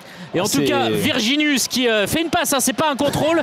Et derrière, Keita arrive, il y a le tacle euh, d'Ugarte. Et euh, je pense que ça va quand même peut-être être donné à, à Keita, hein, puisque c'est Keita, puis Ah ouais. le tacle d'Ugarte qui euh, voilà, s'est jeté. Et Arnaud Tenas Qui s'était ouais, avancé. Positionnement un peu étrange aussi. Et ben voilà. Clermont qui mène un but à zéro au parc. C'est vidéo gag un peu ce but quand même. hein. Ouais. Euh, Bah, je t'avoue qu'on en a rigolé un peu avec Roland. Aussi, c'est- assez euh, catastrophique là, côté parisien. Bah alors Milan Skriniar qui était quand même un indéboulonnable du début de saison, c'est, il a plongé. hein. Alors il s'est blessé à la cheville, on l'a dit, il a manqué 15 matchs euh, en tout, mais euh, techniquement, euh, enfin en fait tout quoi. Le placement, physiquement, il rassure plus du tout. Euh, peut-être que certains diront qu'il n'était déjà pas rassurant, mais là il a vraiment fait la remise pour Magnin. Centre au second poteau en cloche en plus, donc c'est quand même pas un centre exceptionnel. Et derrière, Non, euh, Virginius peut remettre. C'est une histoire, si on se rappelle bien de Skriniar. Il avait même failli venir à, À l'hiver dernier à- à l'hiver dernier. Ce, ce qui aurait quand même été une bonne chose. Attention Hakimi côté droit dans la surface de réparation, il peut centrer, second poteau, Mayoulou le contrôle, Mayoulou peut-être, ah il a voulu crocheter, pourquoi il tire pas Mayoulou Il est peut-être pas sur son bon pied alors ouais. qu'il avait été touché au second poteau, ballon récupéré par les Clermontois, vas-y coach.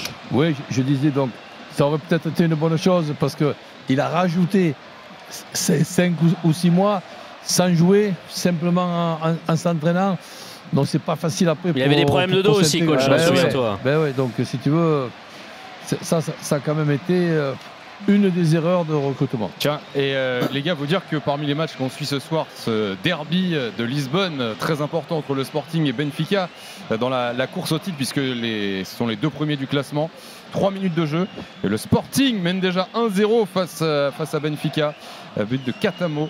Euh, le Sporting qui était devant en plus euh, au classement, euh, petite actualisation en direct, et qui prendrait provisoirement 4 points d'avance sur le Benfica. Il y a un point d'avance pour le Sporting avant le début de, de ce match. Porto est troisième à, à 9 points et semble décrocher dans cette course au titre. Benfica, l'adversaire de l'OM en Ligue Europa en quart de finale la semaine prochaine. 21h35, vous êtes sur RMC, c'est l'after live. Les 10 dernières minutes de la première période de ce PSG Clermont en intégralité. D'ailleurs à la pause, 32-16, hein, parisien Clermontois. Adriella au standard, vous pouvez nous appeler dès maintenant si vous voulez venir sur RMC analyser ce premier acte pour le moment, dominé au score, en tout cas par les Clermontois, Arnaud et Valentin. Dans le jeu plutôt par Paris, mais c'est Clermont qui mène 1-0 grâce à ce but euh, casquette de Habib Keita. Mais euh, Asensio a trouvé à l'entrée de la surface, il a voulu un petit peu se l'emmener. Le bon retour de deux Clermontois face à lui, il avait été trouvé depuis la droite par euh, Ashraf Hakimi. c'est le premier but cette saison. Je regardais d'Habib Keita, le joueur arrivé de Lyon euh, l'été dernier, il se projette vite, on en parlait dans l'avant-match, hein, et c'est vrai que Alvina notamment sur le côté droit essaie d'aller vite, Cham, Virginius, tout ça, ce sont des joueurs techniques, rapides, qui arrivent à quand même euh, bien embêter la défense parisienne euh, assez expérimentale, et les Clermontois en plus gardent certaines fois le ballon comme là, avec par exemple Andy Pelmar, et ce serait un énorme coup quand même que de prendre 3 points dans la lutte pour le maintien au Parc des Princes, on n'en est pas là. Mais euh, avec l'échéance parisienne qui arrive, euh, ça va être difficile à gérer pour Luis Enrique peut-être. On monte là le ballon pour euh, Clermont justement avec Magnin qui élimine facilement sur le côté gauche. On va se rapprocher de la surface. Il va gagner à la course face à Hakimi. Magnin qui entre dans la surface complètement côté gauche. Il va gagner le corner contré par Ashraf Hakimi. Ça se parle en défense, ça s'agace. Ouais, bien joué de la part là, c'est Coffrier, qui, est monté, est monté aux avant-postes et tu vois autant le premier quart d'heure était plutôt scolaire, studio des Parisiens, mais il n'était pas mis en difficulté. Et bien là, les Clermontois sont ressortis juste après aussi la sortie de Mukele qui a quand même cassé vraiment le rythme de, cette partie. Et ils arrivent à faire mal par des courses, par des prises d'initiative. Là, l'image de, de Coffrier.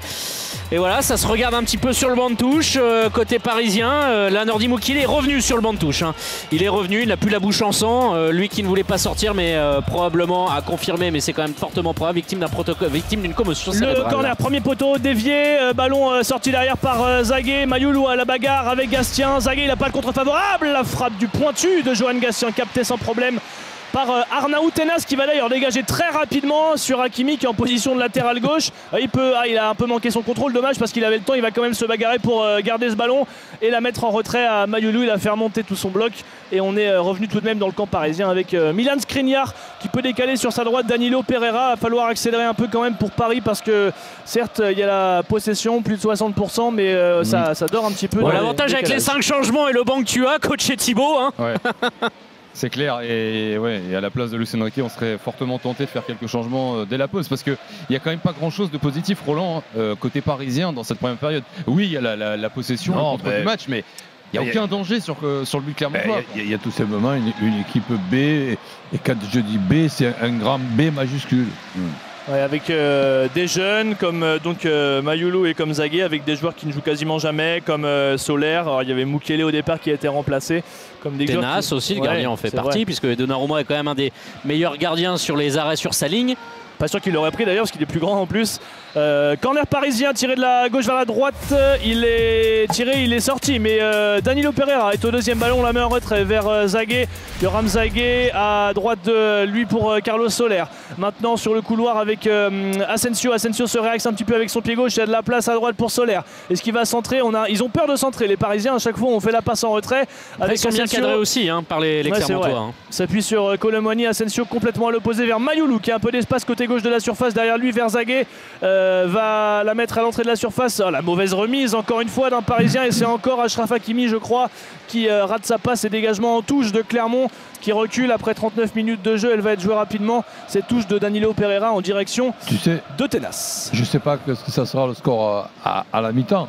Mais une équipe comme Clermont là qui peut vérifier et voir le niveau de cet adversaire très moyen ce soir, ben, peut se dire que bon, c'est pas seulement un but, mais on, peut peut-être en marquer un deuxième.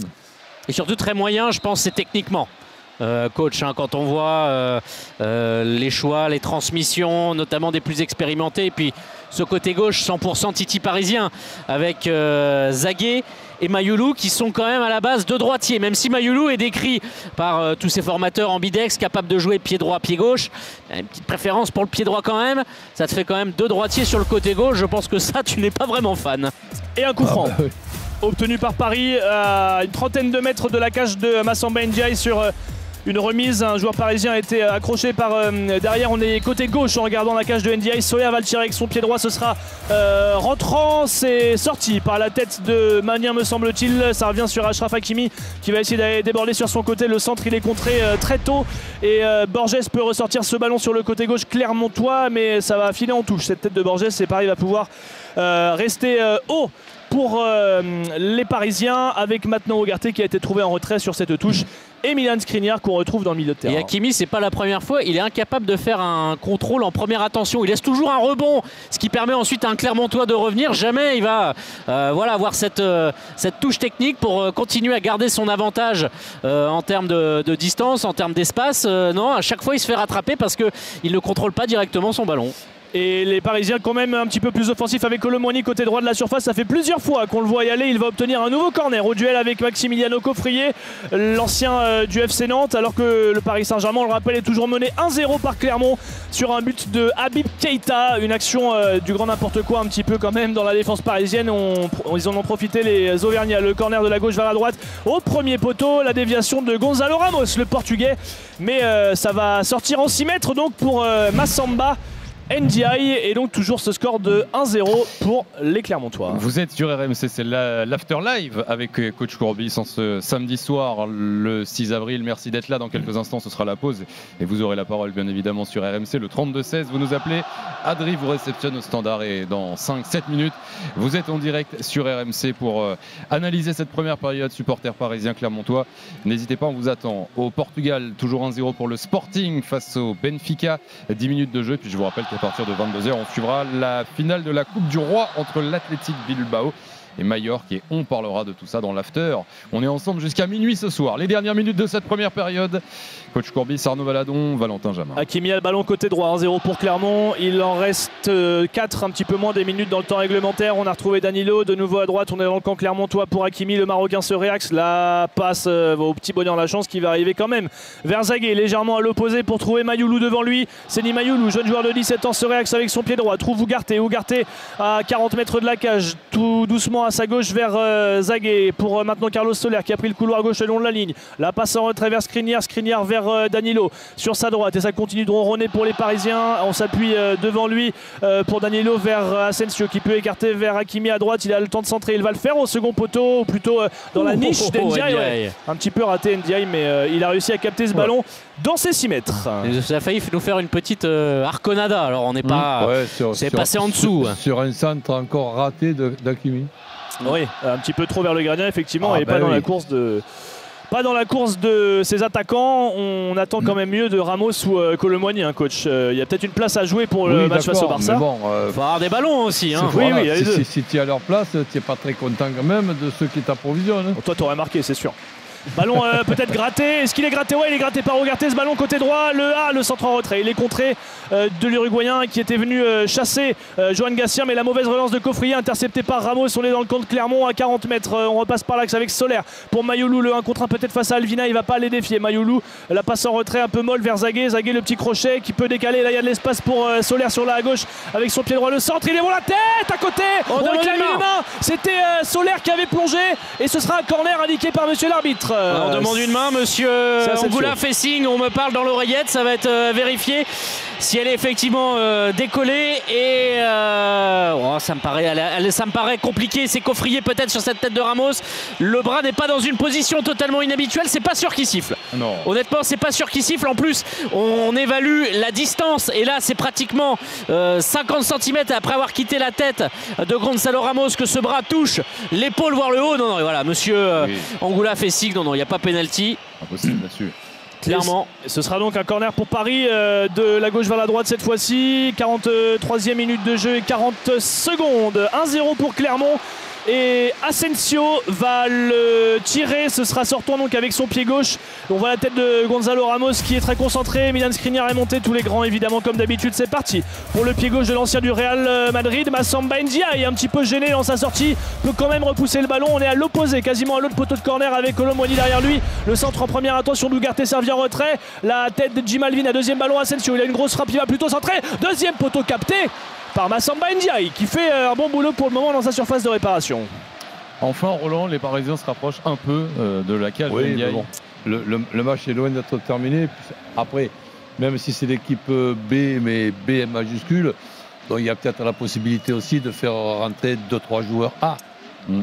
Oui, après, euh, qu'est-ce que tu fais si tu as 12 points d'avance euh, en Ligue 1 mais que tu as le Barça à jouer dans 4 jours? Est-ce que tu fais quand même jouer des Mbappé ou des Dembélé ou ah, tu, non, tu comptes sur cette. Non, mais il est dans la logique de, je veux dire, de pas prendre de risques, j'imagine, Luis Enrique. Après, ah, écoute, euh, toute, la semaine, j'ai entendu que bon, il, fallait pas penser, au Barça. Au, Barça, penser à Clermont. Donc laisse-les tranquillement penser à Clermont.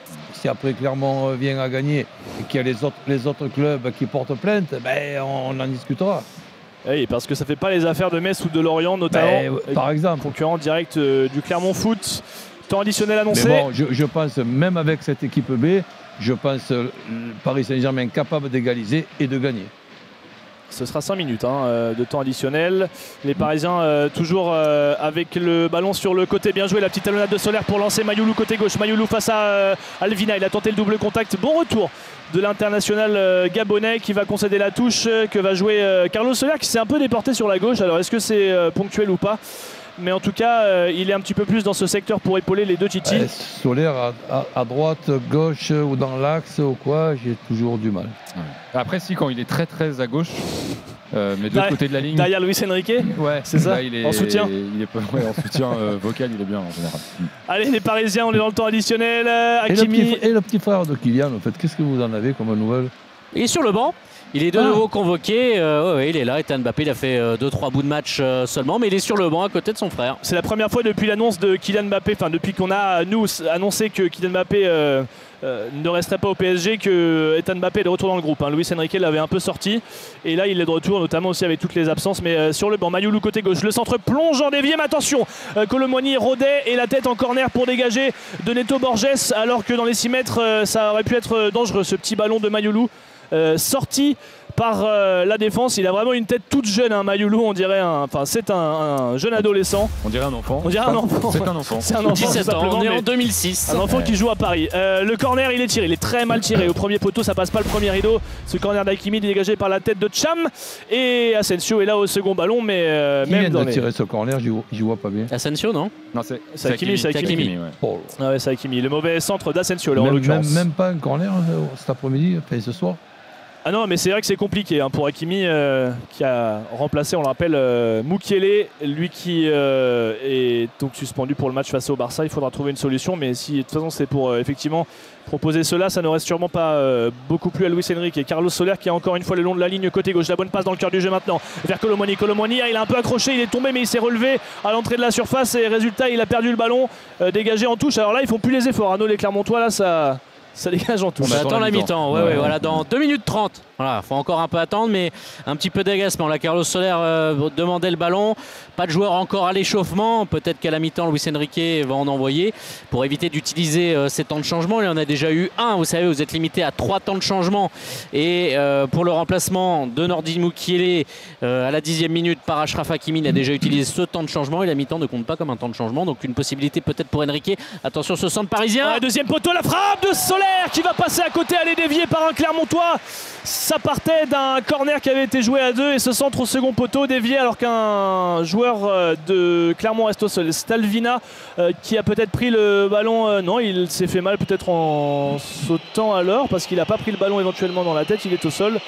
En attendant le corner parisien qui sera sûrement la dernière occasion. on appelle les soigneurs pour l'international gabonais. Et gagne déjà du temps. Non, mais c'est vrai que c'est étonnant. Il n'a pas, euh, pas été touché sur l'action. Alors peut-être que c'est musculaire euh, pour euh, Jim Alvina qui joue piston droit, comme on dit, et qui va être soigné. Donc toujours 1-0 pour Clermont. Il reste 1 minute 30 dans le temps additionnel de cette première période. Le but de Keita. Et on va suivre cette dernière minute en direct sur RMC, bien évidemment. À la pause, on vous attend au 32-16. Parisien Clermontois, vous nous appelez, vous venez analyser, débriefer, commenter cette première période en direct dans l'After Live avec coach Courbis un petit coup d'œil sur ce qui se passe à l'étranger. 18 minutes de jeu entre le Sporting et Benfica. Toujours 1-0 pour le Sporting. On joue également en Italie. Empoli mène face à Torino 1 à 0, face au Torino euh, un but à 0. À la pause, je vous rappellerai les principaux résultats à l'étranger. Il y a eu beaucoup de résultats et d'importance aujourd'hui qui concernent également des adversaires des clubs français. Donc soyez là, euh, soyez là à la mi-temps en attendant les drôles de dames dans l'after. Arnaud, Valentin, est-ce que le Clermontois est debout? Il, est, debout, il euh, va sortir du terrain, c'est le protocole. On n'a pas fait signe de demander de changement hein, côté Clermontois, donc euh, peut-être que ça va aller pour Jim Alevina qui se teste. Corner à venir et que va frapper Ashraf Hakimi. Oui, dont Roland est fan depuis son entrée. Tu vois ça va faire passe décisive. De la droite ben, vers la gauche. Pourquoi pas, ça, lui ferait du bien. Allez, c'est parti pour Hakimi. Cette fois, c'est euh, troisième poteau avec la remise de Carlos Soler du pied gauche en retrait vers Zague qui a manqué son contrôle et qui va faire une très grosse faute. Et non euh, Ah non, alors là, pourtant, il coupe le contre. On va jouer du coup, ballon récupéré par Paris. Asensio ah, sur son pied hein. gauche à 30 mètres à l'entrée de la surface. Magnoulou, la frappe, le but de Seni Mayoulou, le titi parisien de 17 ans qui glisse sur les genoux pour célébrer comme un grand. Et bien voilà, deuxième match de Ligue 1, premier but pour euh, Mayoulou, acclamé par le Parc des Princes. Un partout, mais clairement on n'est pas content. Avec, euh, parce qu'on réclame une faute. Ben ouais, il y avait faute quand même. Mais par contre, magnifique pour le genou. Avec une frappe pleine de conviction. Et voilà pour sa première titularisation. C'est Mayoulou, buteur après une combinaison euh, sur corner très hasardeuse, une faute probable ah parisienne de Zaguet ah ben s'il n'y a pas faute là, il n'y a, plus jamais de faute. Et ballon récupéré tout seul à l'entrée de la surface de réparation. Il est un peu plus droitier que gaucher, vous l'avez vu. Attention vidéo Monsieur Angoula va voir. Ah, mais s'il va voir, il est obligé de, s'y faire faute. Il va voir, appelé par le VAR. Ouais, ça va être annulé. Hein. C'est vrai que Pascal Gassien, Furax. Ah ouais, il est énervé. Hein. Ah, énervé, il y a son co-entraîneur, Sébastien Bichard, pour revoir s'il y avait faute ou pas. Mais Zaguet, contrôle manqué, ballon touché. Est-ce que c'est Virginius ou euh, qui est le premier sur le, sur le ballon euh, Oui, je vois pas comment Monsieur Angoula, euh, surtout après avoir été appelé. va pas, on va avoir la bah, décision. S'il a été appelé, c'est justement pour, pour éviter la bêtise. Alors, que va dire Monsieur Angoula? Il y a faute. Pas, de but. Pas de but. Et donc on en reste à 1-0 pour Clermont. Bon messieurs, logique hein. Enfin, euh, Oui, oui. bon dur pour le petit Mayoulou qui C'est ça, c'est dur. C'est dommage. Ben, voilà, c'est dommage pour, pour le petit parce que la frappe elle est magnifique. Elle était pure du pied droit mais euh, ce but est hum, logiquement donc euh, annulé et on s'énerve parce que je crois qu'il y a un, quoi, il y a un Clermontois qui a lancé le ballon bien loin pour gagner un petit peu de temps et pour ne pas jouer le coup franc. Il y a de la tension quand même. Il y avait deux ballons en fait. Coffrier a euh, enlevé le ballon du terrain et euh, Ndiaye en a un dans ses mains. C'est fini pour Alvina, j'ai l'impression. c'est hein. fini pour Jim Alevina. Euh, voilà, on n'a pas encore procédé à le changement, on a mis un peu de temps. Faut dire que voilà, Pascal Gassiel Mantouche était plus remonté contre le quatrième arbitre. suite à cette séquence, c'est Monsieur Angoula qui va procéder au changement. Alors, Alors, qu'est-ce qu'il fait Est-ce qu'on envoie tout le monde au vestiaire Les gens, je crois que les joueurs, les joueurs ont pensé que c'était la c'est bien, c'est bien le changement. c'est Mehdi Zéphane qui va entrer. Certains joueurs sur le côté droit, voilà en piston, Zéphane qui a l'habitude de, son rôle. Fin de mi-temps très étrange. Euh, ça fait depuis 7 minutes qu'on est rentré dans ce temps additionnel. Pas de but pour Paris, pour Mayoulou. Coup franc à suivre pour les Clermontois et coach, euh, ça change tout forcément. Hein. De se retrouver euh, à 1-0, on mène à la mi-temps, partout face au PSG. Ouais, mais je ne sais pas vous, mais moi je suis vraiment euh, très déçu de, de ce que fait Clermont contre, cette équipe B majuscule de, Paris Saint-Germain, après avoir ouvert le score, que, tu n'arrives pas à mieux faire sincèrement, je ne suis pas étonné qu'il puisse être dans les deux derniers. C'est vrai qu'on a évidemment euh, beaucoup loué euh, le Clermont Foot de Pascal Gastien pour sa qualité de jeu ces dernières années. Il y a une faute là sur Mayoulou sifflée par Monsieur Angoula. Ah c'est la mi-temps même. Et c'est vrai qu'ils proposent pas grand chose. Ils ont mis un but casquette ah les Clermontois, mais ça suffit. le but David Keita pour mener un 0 à la mi-temps. Ce, but là qui tombe du ciel, mais profitez-en et dis-toi que bon, s'il y a une chance de d'avoir encore l'espoir de se sauver, c'est en faisant un petit peu mieux que, ça. Bon, ben là, il a été refusé le but, mais enfin, je, serais étonné que le Paris Saint-Germain n'égalise pas et ne marque pas après un deuxième but. Mais clairement, de ne pas profiter de cette ouverture du score et de, l'équipe, euh, le niveau de l'équipe de Paris Saint-Germain d'en face, sincèrement, c'est même pas une erreur pour moi, c'est une faute professionnelle. en même temps, on peut pas être étonné, Roland. Ils sont venus, ils ont mis le bus, ils marquent, il n'y a pas de raison qu'ils sortent le bus du parking. Quoi. Ah ouais, mais t'as vu, as vu ce bus là? Ah oui, bah, bien sûr. Ah, c'est pas un bus luxueux. Ah non, c'est sûr.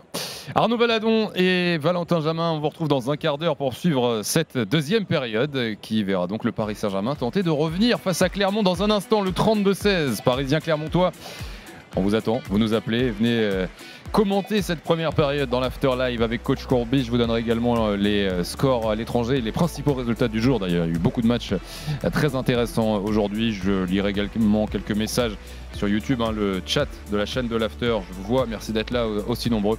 C'est l'After Live sur RMC. A tout de suite. RMC. L'After Live. C'est la pub sur RMC. En attendant, lâchez vos commentaires dans le chat.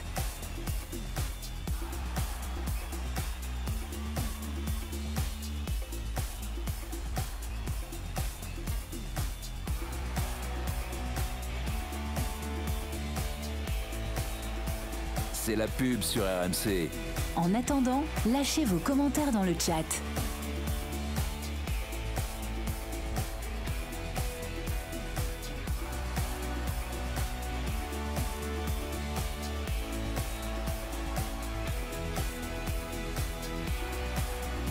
C'est la pub sur RMC.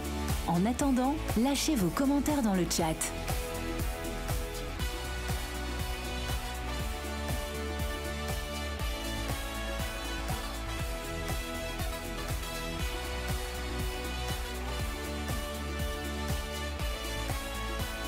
C'est la pub sur RMC. En attendant, lâchez vos commentaires dans le chat.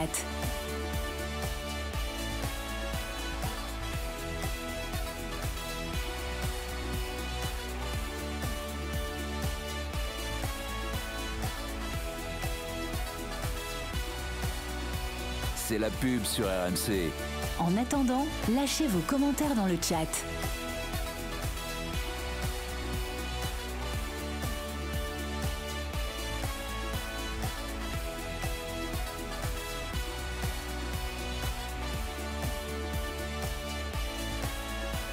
C'est la pub sur RMC. En attendant, lâchez vos commentaires dans le chat.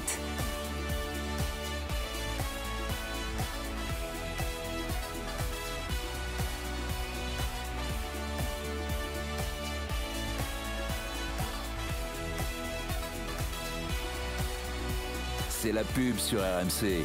En attendant, lâchez vos commentaires dans le chat.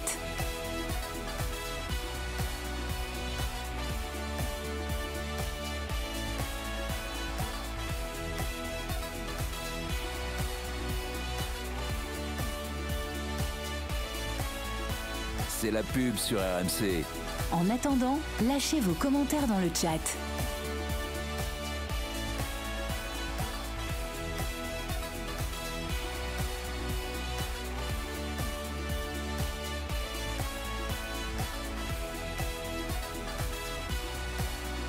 C'est la pub sur RMC. En attendant, lâchez vos commentaires dans le chat.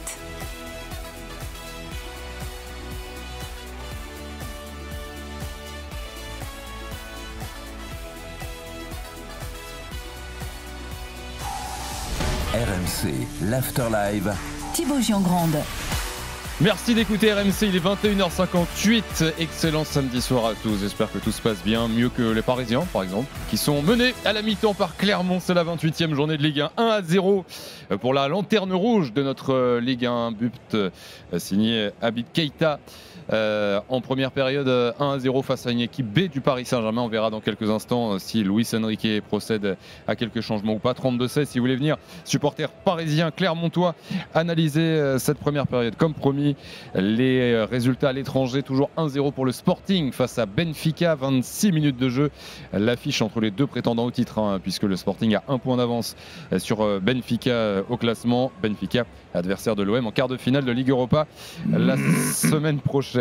En Italie, 56 minutes de jeu entre Empoli et le Torino, 1-0 pour Empoli.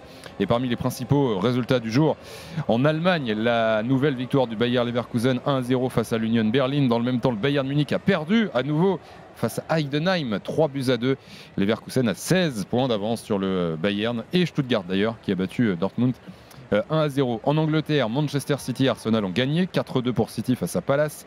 3-0 pour Arsenal contre Brighton. Donc Arsenal reprend la tête en, attendant le match de Liverpool demain.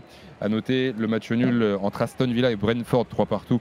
Aston Villa, adversaire de Lille, jeudi prochain en quart de finale de Ligue Europa. Et puis en Italie, Euh, vous dire que l'AS Rome a remporté le derby de Rome face à la Lazio de Tudor 1 à 0 euh, cet après-midi. L'AC Milan a battu Lecce 3 à 0 et dans quelques secondes, début de la finale de la Coupe d'Espagne entre l'Athletic Bilbao et Mallorca. On va suivre ça également en fil rouge sur RMC. À quasiment 22h, accueillons Mickaël, supporter du Paris Saint-Germain au 32-16 sur RMC. Salut Mickaël Oui, salut l'équipe Salut Michael. Bon Michael, qu'est-ce que tu as pensé de cette première période? Bah, Nous ça va. Et toi alors euh, et bah, Cette compo notamment de Luis Enrique, cette équipe euh, B?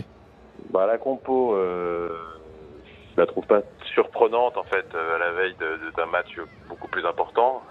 Bon, on est, on est quand même largement devant en championnat, donc c'est le moment de faire jouer un peu les, on va dire les remplaçants et de faire des tests avec les jeunes. Bon, on a des indications déjà, on est, on est tranquille, on sait que Skriniar va pas jouer titulaire hein, contre Barcelone. Ouais. C'est le premier. premier bon, est Hakimi est suspendu, c'est pas mal non plus. Hakimi est suspendu, voilà, c'est pas mal non plus, on est d'accord. Moi, j'ai trouvé l'équipe un peu brouillonne, on est d'accord. C'est pas l'équipe auquel on s'attend, mais mais je pense qu'ils sont tous tournés vers Barcelone, donc c'est un match sur le ils jouent un petit peu Pourtant, là. ils doivent pas y penser. c'est ce qu'avait dit Luis Enrique en conférence de presse. Merde. Ils doivent pas y penser, on est d'accord. Ah mais, non, Roland, tu sais, tu sais mieux que moi. Que- je, je plaisante évidemment. Non mais sais, si- ouais, bien sûr. sans, sans, sans penser euh, à Barcelone, ce soir effectivement, bon, pour le Paris Saint-Germain, pour le club, c'est- clairement un match qui sert à rien. Mais pour quelques joueurs qui sont titulaires ce soir, c'est quand même le match important pour euh, se montrer, pour marquer des points. Euh, je pense euh, à des Solaire, des Colomwani, des Asensio. Bon bah autant de joueurs qui sont hyper décevants quoi. Ouais, alors Colomwani, il est décevant, mais ça, c'est chaque semaine, j'ai envie de vous dire. Ouais. Hmm. Ah, je crois qu'on a perdu Michael. Miti- Pardon, Asensio, je suis plus mitigé parce que je pense qu'Asensio, il, il est quand même euh, intéressant dans, dans, dans, dans cette équipe et dans la rotation. Et je pense qu'il va, il va pas être titulaire, mais il va rentrer, c'est sûr, contre Barcelone, j'imagine. Il apporte quelque chose. Je pense que l'équipe, elle est faite déjà dans l'esprit de Enrique, donc euh, là, c'est pas, il y a personne qui Et tu penses qu'il y a Asensio dans le 11 de départ contre le Barça? Non, non, non, mais je pense Ah qu'il va, il va être remplaçant comme il l'a toujours été, mais il va rentrer. Je pense qu'il apporte quelque Ah, chose oui, oui, euh, en plus. Mm. C'est pour ça que je vous dis, je pense qu'il n'y a pas forcément d'enjeu même pour les remplaçants ce soir. Même euh, Colomwani, euh, Non mais la- l'enjeu il, il- il est pour Clermont. Et, il est pour Clermont, et, ouais, bien et- sûr. et pour ceux et pour les clubs qui jouent la descente avec Clermont. Bon, en tout cas, euh, on va suivre les, les changements dans, dans quelques instants. Merci, Mickaël, d'avoir été Ouais, là, en tout cas. Avec plaisir, messieurs. Bonne soirée. Allez, Salut, Mickaël. bon match. ciao, Mickaël. Ciao, À bientôt euh, sur RMC. Il y a Shanks qui écrit euh, sur YouTube, euh, dans le chat de la chaîne de l'After euh, Mettez Bappé, il va débloquer le match. Voilà, on va voir. C'est vrai qu'il y a un banc de dingue. Hein. Bappé, euh, Dembélé, euh, Lee Kangin, euh, Donnarumma. Tu, mets Mbappé, il se blesse. euh, alors là, je te dire, là, ça serait complet. Voilà. Il y a Chauffe qui peut qui met le seul Bappé qu'on risque de voir, c'est Ethan.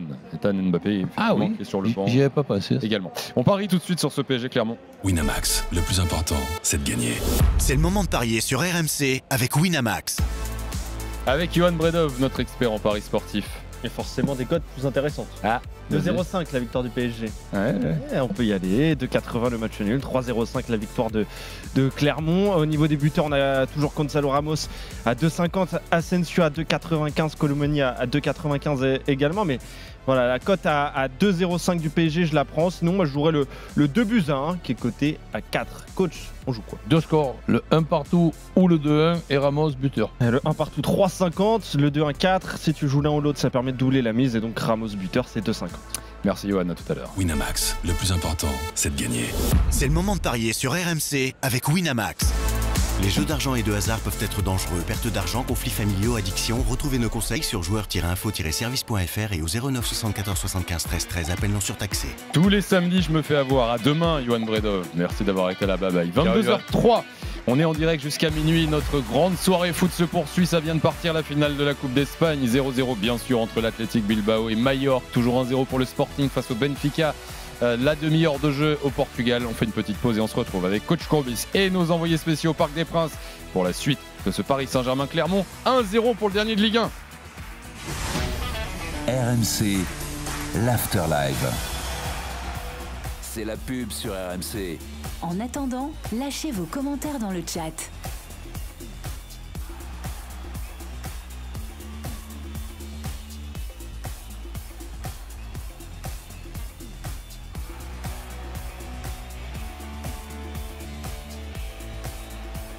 C'est la pub sur RMC. En attendant, lâchez vos commentaires dans le chat.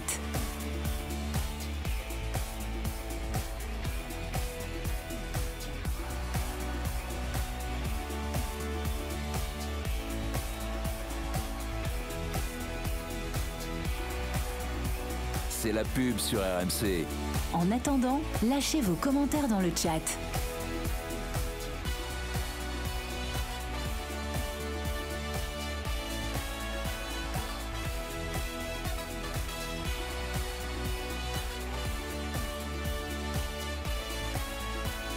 La pub sur RMC.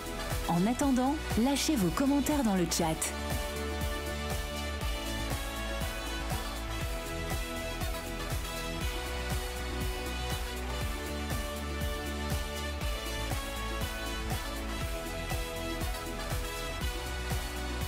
C'est la pub sur RMC.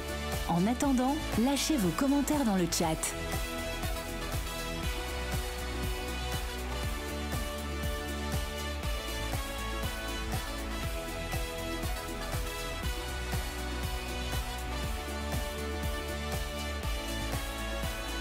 La pub sur RMC. En attendant, lâchez vos commentaires dans le chat.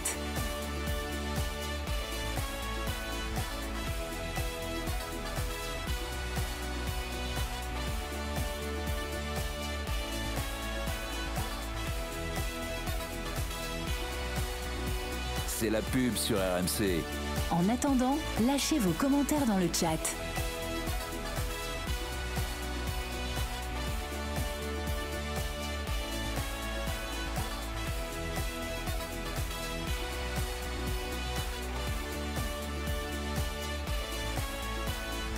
Pub sur RMC. En attendant, lâchez vos commentaires dans le chat.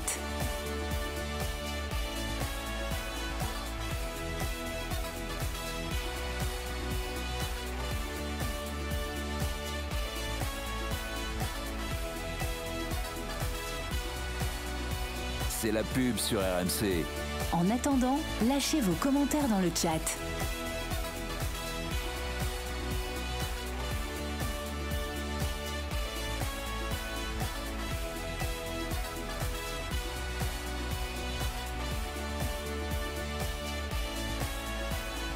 Pub sur RMC. En attendant, lâchez vos commentaires dans le chat.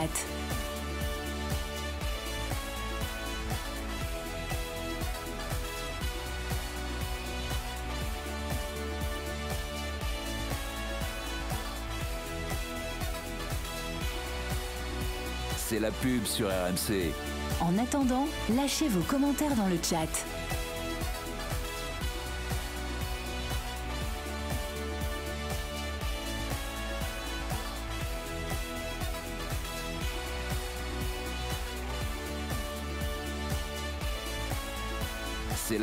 Sur RMC. L'Afterlive. Thibaut Giangrande. Avec Coach Courbis pour notre grande soirée foot en direct jusqu'à minuit, bien sûr, comme tous les soirs sur RMC. Merci de nous avoir choisi une fois de plus. C'est la Ligue 1 qui nous anime la 28e journée et stupeur au parc. Le leader est mené par le dernier. Clermont mène 1-0 grâce à un but d'Abib Keita, une équipe du Paris Saint-Germain B. D'ailleurs, on va voir dans quelques instants euh, s'il y a des changements. Je vous rappelle qu'on est toujours en direct sur YouTube, la chaîne de l'After, after-foot. Euh, je salue tous ceux qui sont là, notamment Frédéric qui me demande comment va le podcast Lyon. Évidemment, je vous rappelle les podcasts club. hein, si vous voulez écouter ça, une petite vingtaine de minutes au cours d'une deuxième période, peut-être moins intéressante. After Lyon, After Paris, After Marseille. Les podcasts de l'After sont bien évidemment toujours disponibles. Ils sont toujours tout frais. N'hésitez pas à les cliquer. Ça n'a pas bougé à l'étranger. 0-0 finale de Coupe d'Espagne entre l'Athletic Bilbao et Mallorca. 1-0 pour le Sporting face à Benfica. Il reste 10 minutes dans cette première période. On va retourner au Parc des Princes et je vous rappelle qu'au coup de sifflet final de ce PSG Clermont, ce sera l'after sur RMC avec Coach Courbis, avec Kevin Diaz et avec vous tous au 32-16. On reviendra bien sûr sur ce PSG Clermont, sur le match nul entre, Nantes, Lens et Le Havre cet après-midi. Et puis les drôles de dames seront là. Julien Laurence, Johan Crochet, Fred Hermel pour parler de, de toutes ces affiches aujourd'hui. Le Parc, Arnaud Baladon, Valentin Jamin, Paris est mené. Va-t-il y avoir du changement pour cette deuxième période Ça n'a pas l'air. En tout cas, on revoit les mêmes acteurs avec euh, le maillot du Paris Saint-Germain et surtout les remplaçants toujours Voilà, avec leur blouson, que ce soit Ousmane Dembélé ou encore euh, Kylian Mbappé pour l'instant, accompagné de, de son petit frère. Donc on risque de repartir sur les mêmes. Euh, pas tout à fait le 11 de départ, puisqu'on rappelle qu'au bout de 10 minutes, Nordi Moukile a cédé sa place à Ashraf Hakimi, victime d'une commotion. Possible simplement que, euh, par exemple, côté Clermontois, Nicholson entre euh, bientôt parce qu'il s'est échauffé un petit peu sur la pelouse pendant la pause. lui qui a un profil capable de garder les ballons pour l'attaque clermontoise, puisque coach parlait de la prestation, quand même, c'est vrai, décevante dans le jeu de Clermont, même si pour l'instant, ils sont très contents de ramener 3 points. Peut-être qu'un point d'appui pourrait éventuellement servir, mais, je vois ce que, ce, que je veux, ce que je veux te dire ou faire, ou faire comprendre, après c'est ma vision, c'est que le, plus dur a été fait pour Clermont, c'est d'ouvrir le score, marquer un deuxième but maintenant euh, au, Paris, Saint-Germain, le Paris Saint-Germain de ce soir, ça me paraît pas être très compliqué par rapport à, ce que je vois faire, ou plutôt pas faire de, de, de Clermont. C'est une chance extraordinaire qu'ils ont ce soir, Clermont. Et ils sont donc devant grâce à un but d'Abib Keita. La 32e minute, Bugag avec euh, qui, euh, qui, rate une relance. Derrière, ça fait un centre, une remise de Virginus et une frappe contrée de Keita qui lobe tenace. Le coup d'envoi est donné par les Clermontois dans cette seconde période, donc 1-0. Et euh, un premier ballon euh, mis un petit peu par-dessus par Gatien, mais tranquillement maîtrisé par le côté gauche de la défense parisienne, notamment le jeune Yoram Zaguet. On est repassé par Arnaud Tenas, le gardien, avec Pereira, Danilo, avec de nouveau Tenas. Pas de joueur à l'échauffement, si je regarde bien et que je ne me trompe pas. Donc euh, on va attendre pour d'éventuels changements. Paris, évidemment, doit gagner au moins pour euh, se mettre un petit peu plus en confiance quand même avant de jouer le Barça. Même si, vous l'avez dit, c'est une équipe complètement remaniée qui est ce soir sur le terrain. La relance ratée de Danilo était euh, face à trois joueurs, mais Ugarte peut un petit peu sauver ça à l'entrée de sa surface. Il faut sortir et écarter. Voilà qui est fait. Hmm. Avec Zaguet, toujours un 0 Oui, Roland, sur le fait que Luis Enrique ne fasse pas de changement là, maintenant, Bon, euh, on peut se dire pas, pas bien grave. L'important, ah, c'est mercredi. Il n'y a, pas d'urgence. Mais non, je, pense, hein. je pense surtout pas dangereux. Enfin, je veux dire, pas, ça, serait alors une catastrophe que maintenant il y ait, une, rentrée de 2-3 joueurs euh, importants hmm. et, qui, qui, puissent, qui puissent se blesser. Ça, ça serait hmm. tout le contraire de, du plan mis en place. Le plan mis en place, c'est une revue d'effectifs du, Paris Saint-Germain et de, et de, démontrer que, ce qui va peut-être être le cas, d'une victoire quand même contre Clermont qui fait une saison euh, très très moyenne, c'est le, le, moins qu'on puisse dire. 4 victoires seulement cette saison pour euh, les Clermontois, mais ils ont encore peut-être une euh, situation. Mauvais contrôle de Cham dans le rond central, alors qu'il y avait peut-être un bon coup à jouer en contre et très bien joué de la part du jeune Zaguet. Ah, mais tu te rends compte de le niveau de cette équipe là et ballon en profondeur vers Mayoulou. La tête pour sortir ça de Matsima. Est-ce que Carlos Soler va réussir à récupérer quand même? Oui, il va écarter vers Mayoulou. Euh, au niveau de la surface, complètement côté gauche en retrait vers Carlos Soler, l'Espagnol. Le petit extérieur du droit pour trouver Asensio. Est-ce que c'est trop profond le centre? En retrait Dans les 6 mètres. Le contrôle de Gatien devancé par euh, Ramos, mais il est deux au but. La passe en retrait, pas assez appuyé. Dégagement de Magnan. Et on est dans la surface, euh, c'est pourquoi pas intéressant ce genre de course qui plonge dans le dos de la défense. Ça a plu à Louis Henrique qui a applaudi vigoureusement ce mouvement offensif des joueurs euh, du Paris Saint-Germain avec notamment voilà, Asensio qui est allé récupérer ce, ballon. Maintenant, il demande notamment passer par les côtés. C'est chose faite à Kashraf Hakimi à hauteur de la surface de réparation. Qu'est-ce qu'il y a sur le banc comme joueur qui pourrait rentrer sans qu'il y ait euh, un, risque de, blessure qui serait catastrophique? Je te fais le banc complet du PSG. Alors j'enlève Hakimi qui est rentré. Tu as Donnarumma, Marquinhos, Fabien Ruiz, Vitinha, Kangin Lee, Ethan Mbappé, Kylian Mbappé, Ousmane Dembélé. Ça réduit quand même les choix, coach. Hein. Oui, mais Ethan Mbappé. Ou Lee peut-être, euh, pas sûr qu'il soit un titulaire en puissance, mais bon, c'est quand même un risque. Hmm.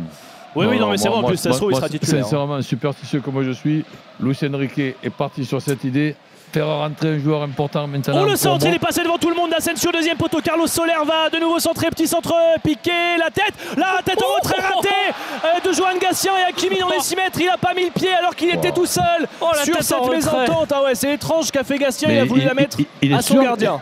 Hakimi, il est sûr qu'il joue ce soir Ah ouais, c'est dingue parce que là, il est tout seul. Oh là là, il, bah, il rate le ballon. il rate le ballon.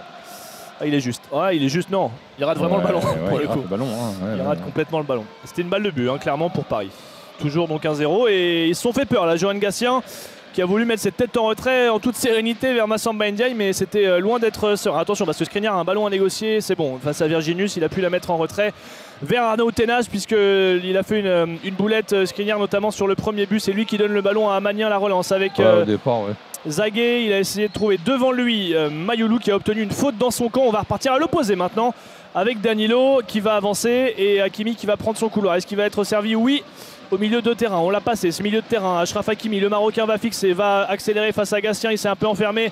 Devant lui, il y a tout de même Colomwani. Colomwani qui se perd un peu dans ses dribbles. La mauvaise passe interceptée par Coffrier et la relance de Magnin. Contré une première fois et le ballon revient inévitablement là dans les pieds des Parisiens qui sont à de plus en plus haut. Euh, plus le temps avance et plus c'est dur de ressortir. Avec un Kylian Mbappé bien enfoui hein, euh, sur le banc, dernière rangée avec euh, la capuche de, mise. Le centre, le contrôle de Colomoni, deuxième poteau, il est pas très bon, il a demandé une main, on demande une main côté parisien alors qu'il avait contrôlé de la poitrine. Il y avait face à lui un défenseur Paris encore la possession avec Hakimi qui a tenté de la mettre devant lui. c'est contré Farborges, ça manque un peu de conviction aussi pour le Marocain qui trouve derrière lui Danilo. Danilo s'appuie dans l'axe Ougarté sur sa droite Hakimi avec Soler, oh, très limite Hakimi.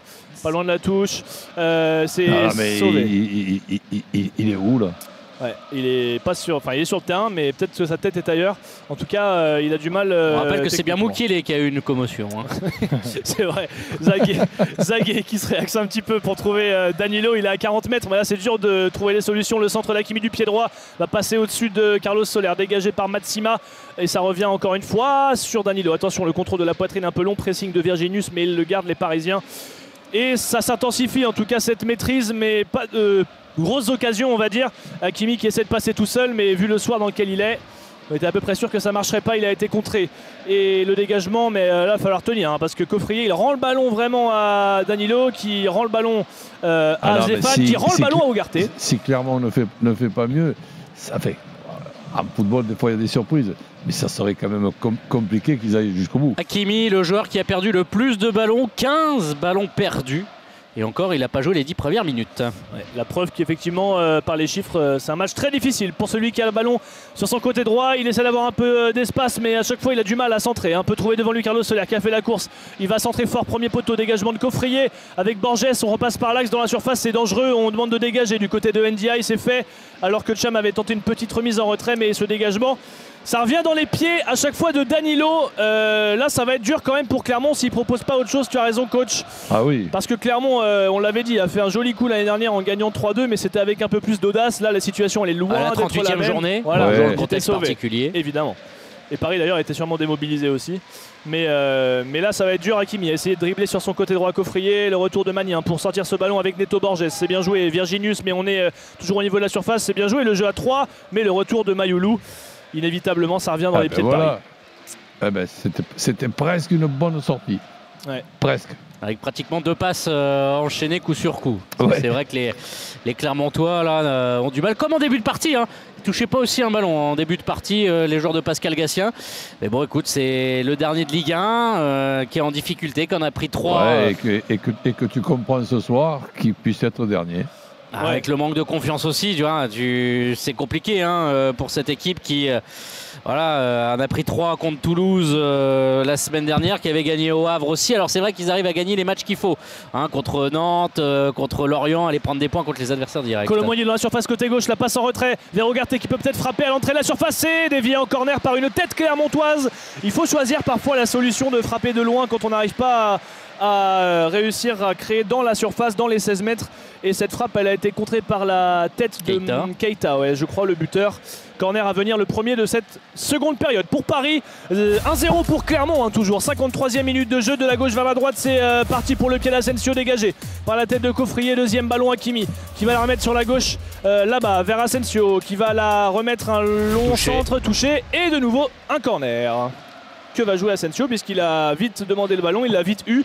On veut mettre un petit peu de rythme pour le PSG. Corner joué à deux avec Hakimi en retrait. Toujours de la gauche vers la droite. La met en retrait. Encore avec Zague à l'entrée de la surface. Le petit ballon second poteau. Pourquoi pas la tête de Coffrier pour sortir ce ballon. Mais il ne sort pas de la surface. Elle est sur la droite avec Skriniar. Ça vient en retrait. Le centre, la reprise. Euh, le ciseau, il l'a raté. Alors qu'il avait réussi pourtant à toucher ce ballon. Peut-être un peu du tibia.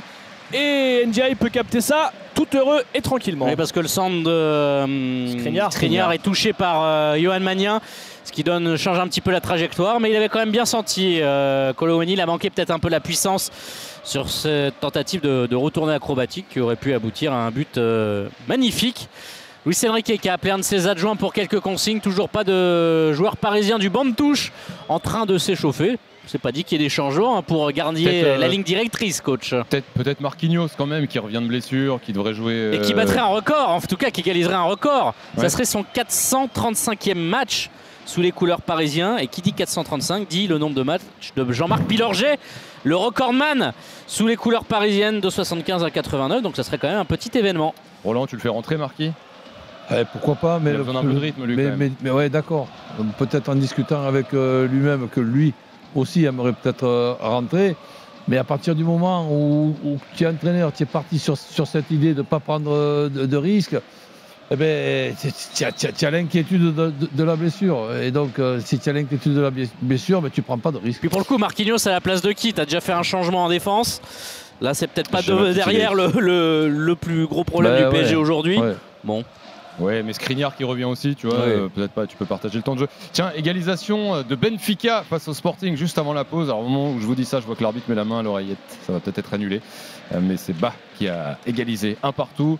Euh, entre les, deux équipes. Euh, bon, je vous dis si c'est annulé ou pas, mais on va partir sur pour l'instant euh, ce 1 partout. C'est l'afterlife sur RMC. Le centre de Solero dans les 6 mètres, alors que qui avait plongé là C'est Ramos. Ça a été sorti par un Clermontois. Deuxième ballon à Kimi. En retrait, Ugarte. Le pressing de Virginius. On repasse par Skriniar qui va vite aller voir de l'autre côté avec Zaguet qui peut maintenant servir Mayoulou. On est à 30 mètres. Il va essayer de se réaxer un peu. Ils ont reculé les Parisiens. Mais Solaire avait été bien servi à droite de la surface. Le centre fort et la défense clermontoise qui plonge pour empêcher Ramos en renard pour le coup, en vrai numéro 9 de sortir ce ballon. Le centre de Mayoulou, le ballon va passer devant tout le monde et revenir sur Danilo Pereira qui est à 35 mètres. Il a hésité à la remettre dans la surface et carte à droite vers Hakimi. 1-0 pour Clermont toujours. Approche doucement de l'heure de jeu. Le but de Keita à la 32e. Skriniar maintenant.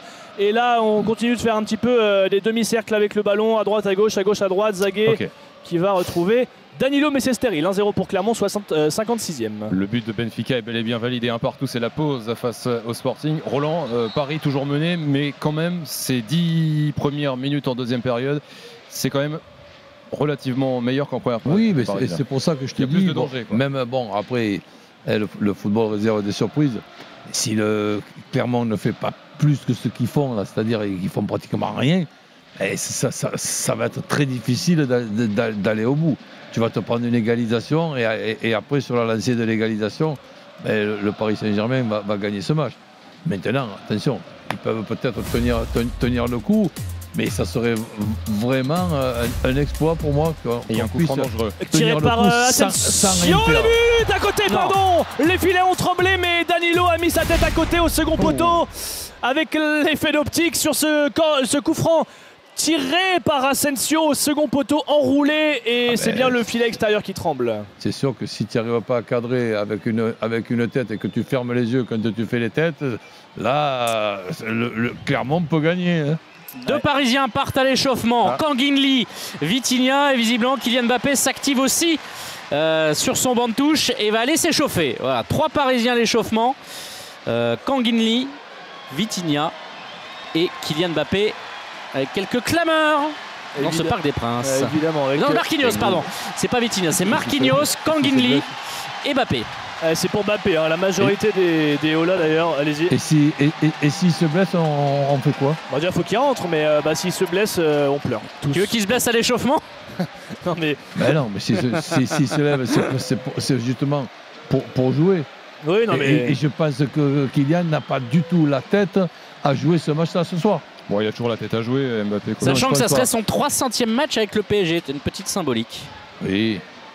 Mais c'est vrai que la question va se poser, on va voir s'il entre déjà. On sait que des fois certains vont s'échauffer pour faire un petit peu euh, tourner le, mécanisme sans forcément entrer. Euh, donc euh, effectivement, ah, c'est vrai que ça, ça, on l'a pas encore vécu. Hein. Un Mbappé qui s'échauffe qui rentre pas rentrer.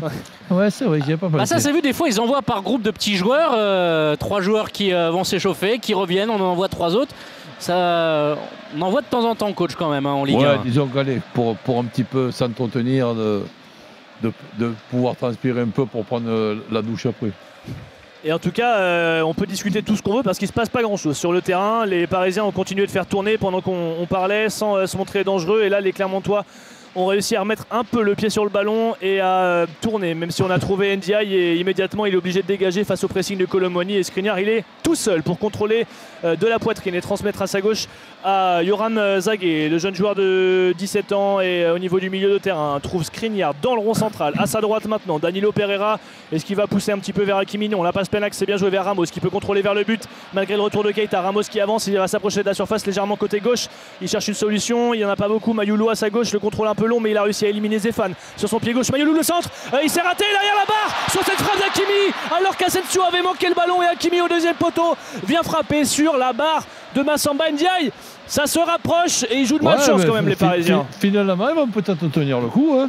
Ah, il joue de malchance parce que sur le but. Oh, le attention. Oh, qu'est-ce qu'il fait Mania? Il a mis en profondeur vers Virginius, mais il n'y a pas de hors-jeu. Ah, il est en retard euh, Skriniar, mais le contrôle de Virginius est pas bon. Il va filer en 6 mètres. C'était étonnant parce que Mania, il y avait un 2 contre 2 à jouer. Il était tout seul dans, le milieu. Il a mis une grande sacoche. il s'est dit non, mais à la vitesse parce que euh, Virginius est parti de son propre corps, donc pas de hors-jeu. Il s'est dit on va envoyer un long ballon devant et à la vitesse, il aura forcément Skriniar. Ce qui s'est passé, mais le contrôle a mal été assuré derrière. Et oui, euh, Hakimi vigilant là au deuxième poteau après que Ramos ait manqué le ballon et un petit peu de façon coup de pied a trouvé cette barre transversale, une grosse occasion parisienne donc. La, tête, de Danilo, la transversale d'Akimi. Bon, c'est vrai qu'ils peuvent tenir clairement, attention. Le but annulé avant la pause. Ouais, ouais.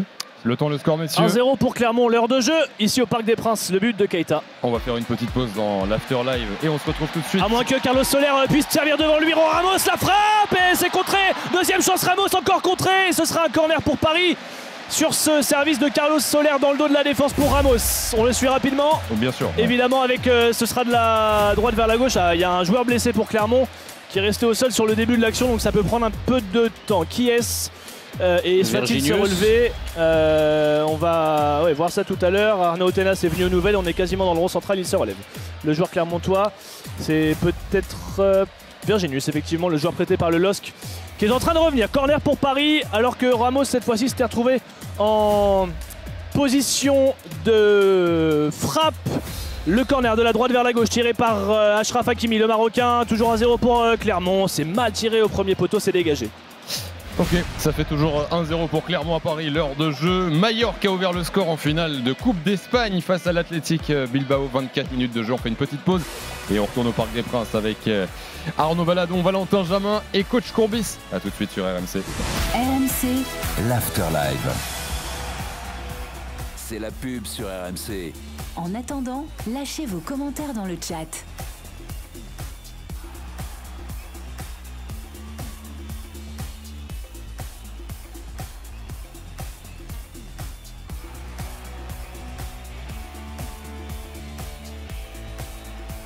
C'est la pub sur RMC.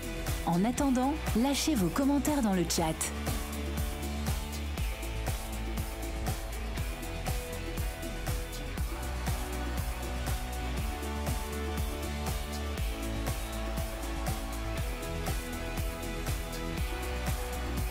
C'est la pub sur RMC.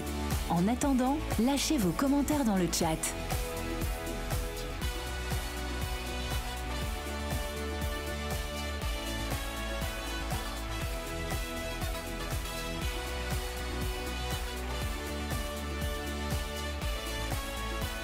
C'est la pub sur RMC.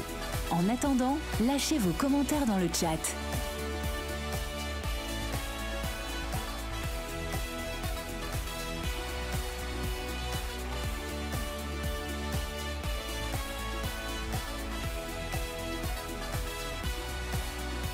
C'est la pub sur RMC. En attendant, lâchez vos commentaires dans le chat.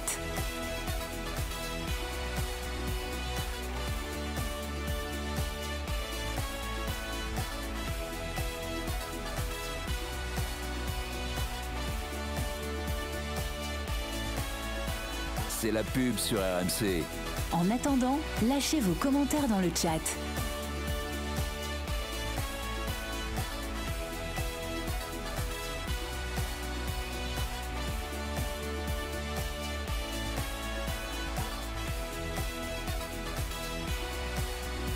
C'est la pub sur RMC.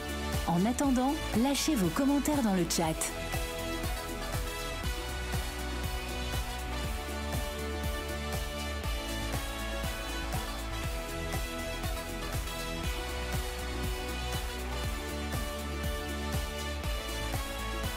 C'est la pub sur RMC. En attendant, lâchez vos commentaires dans le chat.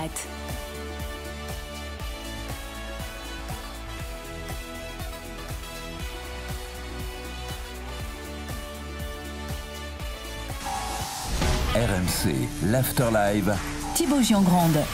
La dernière répétition avant la Ligue des Champions pour le Paris Saint-Germain qui reçoit le dernier de notre Ligue 1, Clermont, coach Courbis, Arnaud Valadon, Valentin Germain et pour l'instant ça se passe pas bien pour le PSG. 1-0 pour Clermont. Le but euh, sur un contre et une action euh, casquette de Habib Keita. Un peu après la demi-heure de jeu, et la Nicholson est entré pour euh, Clermont. Il vient d'obtenir un corner après avoir mangé Skriniar sur un crochet à gauche de la surface. Corner donc à venir pour les Clermontois, tiré par l'Autrichien Cham.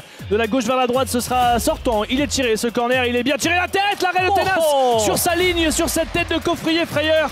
Frayeur au Parc des Princes, mais finalement sans incidence et ça va bouger. Trois changements à venir. Kangin Lee, Marquinhos et Kylian Mbappé vont rentrer dans un instant. Donc ces changements opérés par Luis Enrique à 25 minutes de la fin de cette partie. Euh, trois joueurs évidemment importants qui auront un rôle important dans quatre jours face au FC Barcelone sur cette même pelouse au Parc des Princes. Mais voilà pour... Euh, eh bien, permettre au PSG de revenir dans cette partie. Ces trois changements qui vont être opérés dans un instant. Mbappé, Marquinhos, Kangin Lee. Et T'es pas content de voir euh, Mbappé ah ben non, écoute, euh, non, non, C'est une erreur, tu penses? Non, non, mais je ne sais rien. Sincèrement. Là, on sent que tu as peur de lui porter la guigne, euh, Roland. Voilà, exactement. bah non, mais sans porter la guigne. Voilà, je, touche du bois et, sans porter la guigne, ben laisse-moi toucher du bois. Ouais, mais c'est de gagner le match et il voit que tu peux pas là. avec cette équipe. En termes de rythme, Roland, c'est pas intéressant de lui faire jouer une petite demi-heure à, 4 jours du Barça à Mbappé? Ah ben écoute, chacun a sa vision de voir les choses. Je, te, non, mais je te pose la question. Moi, je suis pas ancien coach comme toi, Roland, c'est pour ça. Ben, moi, je pense que je l'aurais pas fait, mais c'est pas mhm. parce que je l'aurais pas fait que c'est la bonne que c'est la bonne solution, mon coco. Ok. Donc, euh, tu, as, tu as quand même euh, un garçon comme Luis Enrique qui, est très intelligent. Donc, à partir du moment où il décide ça, ben, c'est que c'est la bonne solution. Et il donne des consignes à Kylian Mbappé qui lui a fait OK, OK. Voilà, ils vont rentrer au prochain arrêt de jeu. C'est juste qu'il n'en a pas eu depuis deux minutes. Donc Marquinhos, Kangin Mbappé, faites vos pronos pour euh, les joueurs qui sortent. Oh euh. désolé, hein, mais Skriniar, c'est inquiétant. Honnêtement, euh, tout à l'heure, il s'est fait manger sur le crochet et là, il fait une relance complètement hasardeuse. On sent qu'il y a un gros manque de confiance de sa part. Faute au milieu de terrain, les changements vont. Je mets une question sur lui. Skriniar pour Marquis. Et eh ben, on va voir. Le premier changement annoncé. Bravo. Oui, bravo. Ok. Et ta deuxième pièce La deuxième. Colomboigny pour Mbappé. Ok. Et là, il y a Kangin probablement va être annoncé avant. Et euh, Kangin Lee, euh, solaire, mais bon. Non, c'est Mayoulou. Petit Mayoulou. Et là, Bappé, tu as dit Colomwani. Donc on va voir si numéro 23 s'affiche peut-être Gonzalo Ramos. On serait peut-être plus sur Gonzalo Ramos. On va voir. Donc Kangin Lee qui rentre et Kylian Mbappé va remplacer. Ou Asensio, non? Va ah remplacer Colomwani. Bravo Thibaut. Qui avait eu une euh, grosse occasion juste avant hein, sur une percée d'Akimi. Il avait eu le contre favorable. Voilà, l'ovation pour Mbappé et euh, euh, Colomoni qui avait récupéré le ballon en angle fermé. Il avait frappé fort sur Massamba Ndiaye qui avait sorti en corner. On va regarder le positionnement hein, devant. Euh, notamment on peut demander à Thibaut Henrique, hein, il sait. oui, c'est vrai. eh bien, on va vérifier si Mbappé va sauver une énième fois son Paris Saint-Germain. c'est ça aussi, ouais. Et s'il va une énième fois faire trembler les filets, ça serait son 40e but cette saison, toute compétition confondue. En 40 matchs. Alors que euh, le speaker vient d'annoncer, Arnaud, le record dont tu parlais, un hein, de Marquinhos, qui donc égale euh, Jean-Marc Pilorget avec son 435e match sous le maillot du PSG. Il le battra peut-être contre Barcelone. C'est quand même énorme. C'est immense, effectivement. Pour euh, le jeune joueur arrivé de, enfin le jeune joueur à l'époque arrivé de la, de Roma, qui donc aujourd'hui est devenu un taulier et capitaine. Mbappé premier ballon, il a décroché, il est légèrement côté gauche. Il est applaudi d'ailleurs dès qu'il touche le ballon face à Matsima. C'est écarté avec Kanginli maintenant en retrait vers euh, Zague pour euh, repasser par l'axe avec euh, Ugarte, la transversale à droite dans la surface trop longue peut-être non? Hakimi peut la dévier de la tête. C'était dur. Au-dessus et 6 mètres à venir pour Massamba Ndiaye. Toujours un 0 pour Clermont et on va bientôt entrer dans les 20 dernières minutes de jeu. C'est l'Afterlife, vous êtes sur RMC. Merci beaucoup euh, d'être là pour euh, le dernier match du Paris Saint-Germain avant le quart de finale aller de Ligue des Champions face au Barça. Ce serait mercredi d'ailleurs, ça va être une semaine exceptionnelle hein, sur RMC, semaine de, Coupe d'Europe euh, avec nos matchs en direct des stades, l'after, les libres antennes jusqu'à 1h30 du matin. Ça va être une grande semaine, mais c'est déjà une grande soirée jusqu'à minuit ce soir puisque coup de sifflet final de ce Paris Saint-Germain. Clermont, ce sera l'after avec coach Courbis, avec Kevin Diaz, avec vous tous au 32-16 et le drôle de dame qui seront là ce soir parce qu'il y a notamment la finale de la Coupe d'Espagne, toujours 1-0 pour Mallorca face à l'Athletic Bilbao, 32 minutes de jeu. Euh, et puis avec Julien Laurence, des nouvelles d'Aston Villa, l'adversaire de Lille, la course au titre avec les, victoires aujourd'hui de City, Arsenal, ou encore le derby de Rome avec Johan Crochet. Le parc, Arnaud Valentin. De l'espace pour Mbappé, euh, côté gauche, il va entrer euh, presque dans la surface. Écarte à sa gauche avec Kangin Lee qui va aller fixer. Le soutien encore de Mbappé qui est en jambe, qui est trouvé. S'appuie juste devant lui vers Asensio dans les petits espaces. Le centre d'Asensio contré et Matsima va pouvoir relancer devant lui avec le buteur Keita sur sa droite avec Cham. Mais finalement, on est obligé de dégager évidemment du côté de euh, euh, Zéphane pardon et c'est conservé bien joué par Shamar Nicholson le Jamaïcain d'un mètre 91 sauf que ça passe en retrait elle est interceptée et derrière Ramos peut trouver Mbappé Mbappé pour Ramos à la course il va être battu dans la surface par Andy Pelmar qui concède le corner mais le changement quand même en tout cas l'entrée d'Mbappé change des choses ah, il, demande... peut pas, peut pas faire mieux le défenseur plutôt que dégager un corner il y a un peu la panique hein. tu sens depuis l'entrée de Mbappé sa, panique évidemment lui qui est présent désormais sur le côté gauche qui resserre Kanginli et le coréen retrouve Mbappé. Le tacle de Zéphane dans les pieds du Parisien. Encore un corner que va tirer euh, Lee. Mbappé, en tout cas, il a envie de le jouer ce match. On le sent. Il a déjà touché pas mal de ballons alors qu'il y a un peu d'espace qui se libère. Corner de la gauche vers la droite à venir euh, pour Kangin Lee. Le sud-coréen, ce sera euh, sortant. Euh, puisque c'est avec son pied gauche. Il va trouver en euh, retrait Zagué. On joue euh, court, on joue à terre avec maintenant Hakimi. La frappe de loin. Pourquoi pas repoussé par Ndiaye. Deuxième ballon. Ramos il la met sur la barre. Mbappé de la tête dans les gants de Ndiaye. Oh, c'est impossible de rater autant d'occasions oh dans un match après avoir touché la barre déjà tout à l'heure. Et là, c'est vraiment Ramos à bout portant qui touche la barre. Incroyable la frappe est lointaine. Il y a une première parade du gardien qui repousse euh, le ballon. Et oh euh, Ramos, euh, c'est dingue. Il, a, il met le plat du pied, sauf que le ballon prend une trajectoire qui s'élève et qui heurte la barre transversale. Et derrière, Mbappé peut pas suivre. Énorme occasion. Et le contre avec Cham maintenant à l'entrée de la surface. il va gagner une excellente faute juste à l'entrée de la surface parisienne. Faute de Ougarté. Ah ouais, c'est le meilleur joueur de cette équipe. Hein, Cham. Oh, c'est très léger, j'ai l'impression. Ah, il touche pas le ballon, il met sa cuisse en opposition. Bon. Ouais, ça le déséquilibre un peu. Ça agace Ougarté et ouais c'est une vraie cartouche hein, pour euh, les Clermontois qui viennent d'avoir très très chaud. Deux barres transversales touchées par Paris. Ça c'est les scénarios coach de 1 et que ça peut faire 2-0 derrière. On sait des fois que le football. C'est bizarre. Alors le coup franc, euh, qui va le tirer? Est-ce que c'est un gaucher ou est-ce que c'est plutôt un droitier? Parce que c'est légèrement. s'est retiré. Ouais, ouais, ce sera. Il y a Cham. Hein. Ouais, ce sera pour. Euh, le numéro 10 en tout cas c'est plutôt pour un droitier si on veut le tirer directement parce qu'il est légèrement décalé à droite à un peu plus de 20 mètres si on veut centrer effectivement c'est euh, plutôt bien d'avoir pourquoi pas euh, Cham même si ce sera pas on va dire rentrant ou fuyant tu n'as pas le gardien titulaire on rappelle c'est Ténas dans les buts pas Donnarumma pourquoi pas pourquoi pas ce serait un immense coup quand même de la part de Clermont de, Clermont de marquer un second but il mène 1-0 depuis la demi-heure de jeu et ce but euh, de Keita, cette frappe contrée par euh, Ougarté qui avait lobé Arnaout Tenas. Il y a un mur avec quatre joueurs parisiens que Gaël Angoula a placé. Un joueur devant, c'est Johan Gassien qui essaye un petit peu de gêner. On prend le temps évidemment pour l'international autrichien qui affrontera d'ailleurs peut-être les Bleus hein, à l'Euro puisque l'Autriche est dans la poule de l'équipe de France. Il y va avec son pied gauche, c'est tiré direct juste oh. au-dessus. Petite frayeur quand même. Tenas a plongé, il a fini dans son but et il va dégager. 1-0 il était plutôt dessus, mais euh, c'était bien fait. Changement côté euh, Clermontois avec Jérémy Jacquet, défenseur impressionnant. Il doit pas, doit tutoyer les deux mètres. Hein. Euh, qui remplace Johan Magnin. les Clermontois, 18 minutes de la fin de cette partie, tiennent. Ils mènent un but à zéro et le Paris Saint-Germain donc à 4 jours de Barcelone. Certes avec une équipe fortement remaniée, mais c'est jamais des signaux très positifs. Mais encore une fois avec une équipe remaniée à 100%. Hein. Quand tu prends le 11 de Rennes, 11 euh, changements effectués par Luis Enrique au coup d'envoi de cette partie. et probablement autant euh, par rapport à C'est sûr.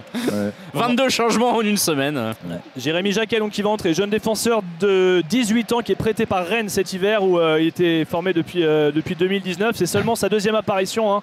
Il a joué un peu contre le Havre, mais c'est un garçon qu'on voit quasiment jamais. Mais on comprend avec le gabarit et la volonté de Pascal Gassien probablement de resserrer encore derrière. Et natif de Bondy, Jérémy Jacquet. La ville évidemment de Kylian Mbappé. Comme Kylian Mbappé, euh, effectivement. Il y a eu des consignes échangées notamment entre Enrique et Solaire. Il est en train d'en donner également à Ashraf Hakimi. Et le ballon euh, est dans les pieds de Paris, dans le camp parisien. Zagué à l'opposé euh, pour Marquinhos, qui va pouvoir peut-être avancer un peu. il a le brassard autour du bras et carte à droite vers Hakimi. On est toujours dans le camp. Alors à chaque fois qu'un joueur prend une consigne auprès des Winkey, et on fait ouais ouais coach, ok ok, je sais pas coach, et à chaque fois que tu donnes une consigne, le joueur disait oui oui pas de problème. Est-ce qu'il appliquait derrière sur Ouais, voilà. tu, tu, tu vas pas qu'ils te disent non, pas question. Non, mais bon, c'est. Tiens, à chaque fois. Ouais, ouais, ok, ouais, ouais, ouais. Après, de là à ce que c'est appliqué, mais toujours marrant de voir, ouais, c'est bon, j'ai compris, ok, là, Hakimi a fait le pouce. Mbappé a dit, ouais, ouais, il a fait acquiescer, bon. Est-ce que ça va changer quelque chose? On va voir parce que. Hakimi, il a dû lui dire Tu peux être un petit peu meilleur, s'il te plaît. tu peux. Ok, Ouais, pas de problème. Allez, Danilo dans le rond central. Tout- tous les Parisiens dans le camp de Clermont. Il a avancé Danilo.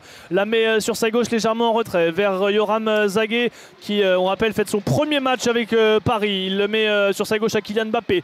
euh, a fixé un petit peu de cham. La longue transversale à l'opposé vers Carlos Soler qui cette fois s'est déplacé complètement côté droit alors que Hakimi s'est un peu réaxé. Soler le contrôle à 25 mètres. Il est maintenant plein axe puisqu'il s'est avancé. La Oh, mauvaise passe de. Soler. Oh. Complètement raté, intercepté par Zéphane et Cham va gagner un coup franc. Ah, Solaire, il Dans peut son avoir sa place à Clermont. Ah, ouais. Je suis pas sûr, Roland, c'est ça le pire.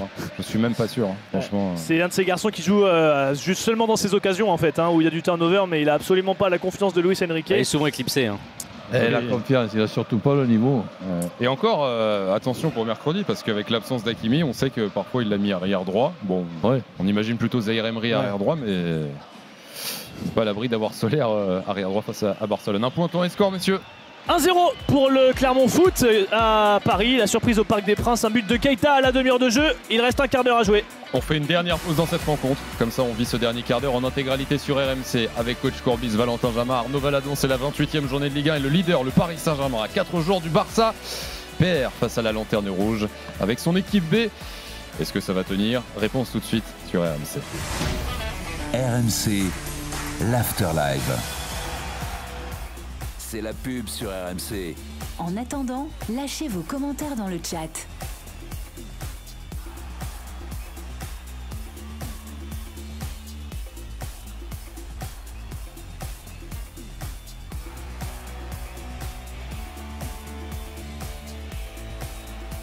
C'est la pub sur RMC. En attendant, lâchez vos commentaires dans le chat.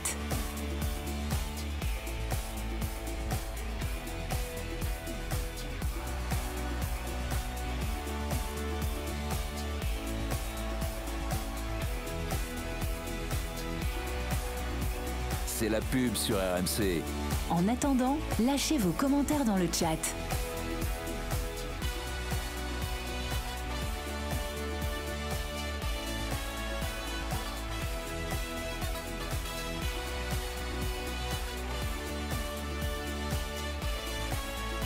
C'est la pub sur RMC. En attendant, lâchez vos commentaires dans le chat.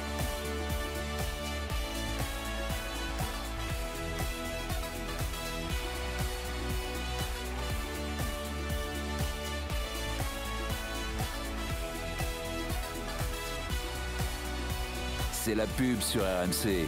En attendant, lâchez vos commentaires dans le chat.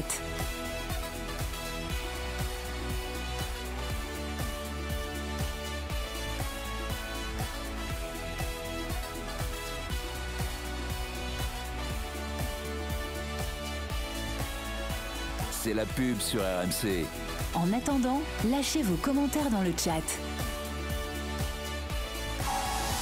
RMC, l'Afterlive. Avec coach Courbis pour la dernière étape avant Barcelone pour le Paris Saint-Germain. Ce match face euh, au dernier de Ligue 1, Paris toujours mené 1-0 contre Clermont. Dans un instant, la fin du match. Et je vous rappelle, et vous l'entendez, que cette semaine sur RMC, on vous propose de gagner l'expérience justement Barcelone-Paris Saint-Germain le 16 avril. On vous offre le voyage, la nuit d'hôtel, la rencontre avec les équipes d'RMC Sport avant le match et bien sûr votre place pour le match. C'est le moment de vous inscrire là tout de suite en envoyant PSG par SMS au 7 32 16. PSG au 7 32 16. L'after arrive au coup de sifflet final de ce Paris Saint-Germain-Clermont qui n'est peut-être pas encore terminé d'un point de vue du scénario. Coach Courbis, Valentin. Le centre de Solaire capté par Ndiaye, mais ça c'est un ballon gratuit pour le gardien clermontois qui euh, va gagner du temps parce que son équipe crée une très très grande surprise au Parc des Princes. 1-0 pour Clermont, tu l'as dit, but de euh, Keita à la 32e. Et Carlos Soler a d'ailleurs pris un. Non, c'est pas lui, c'est Ugarte qui a pris un carton jaune euh, tout à l'heure.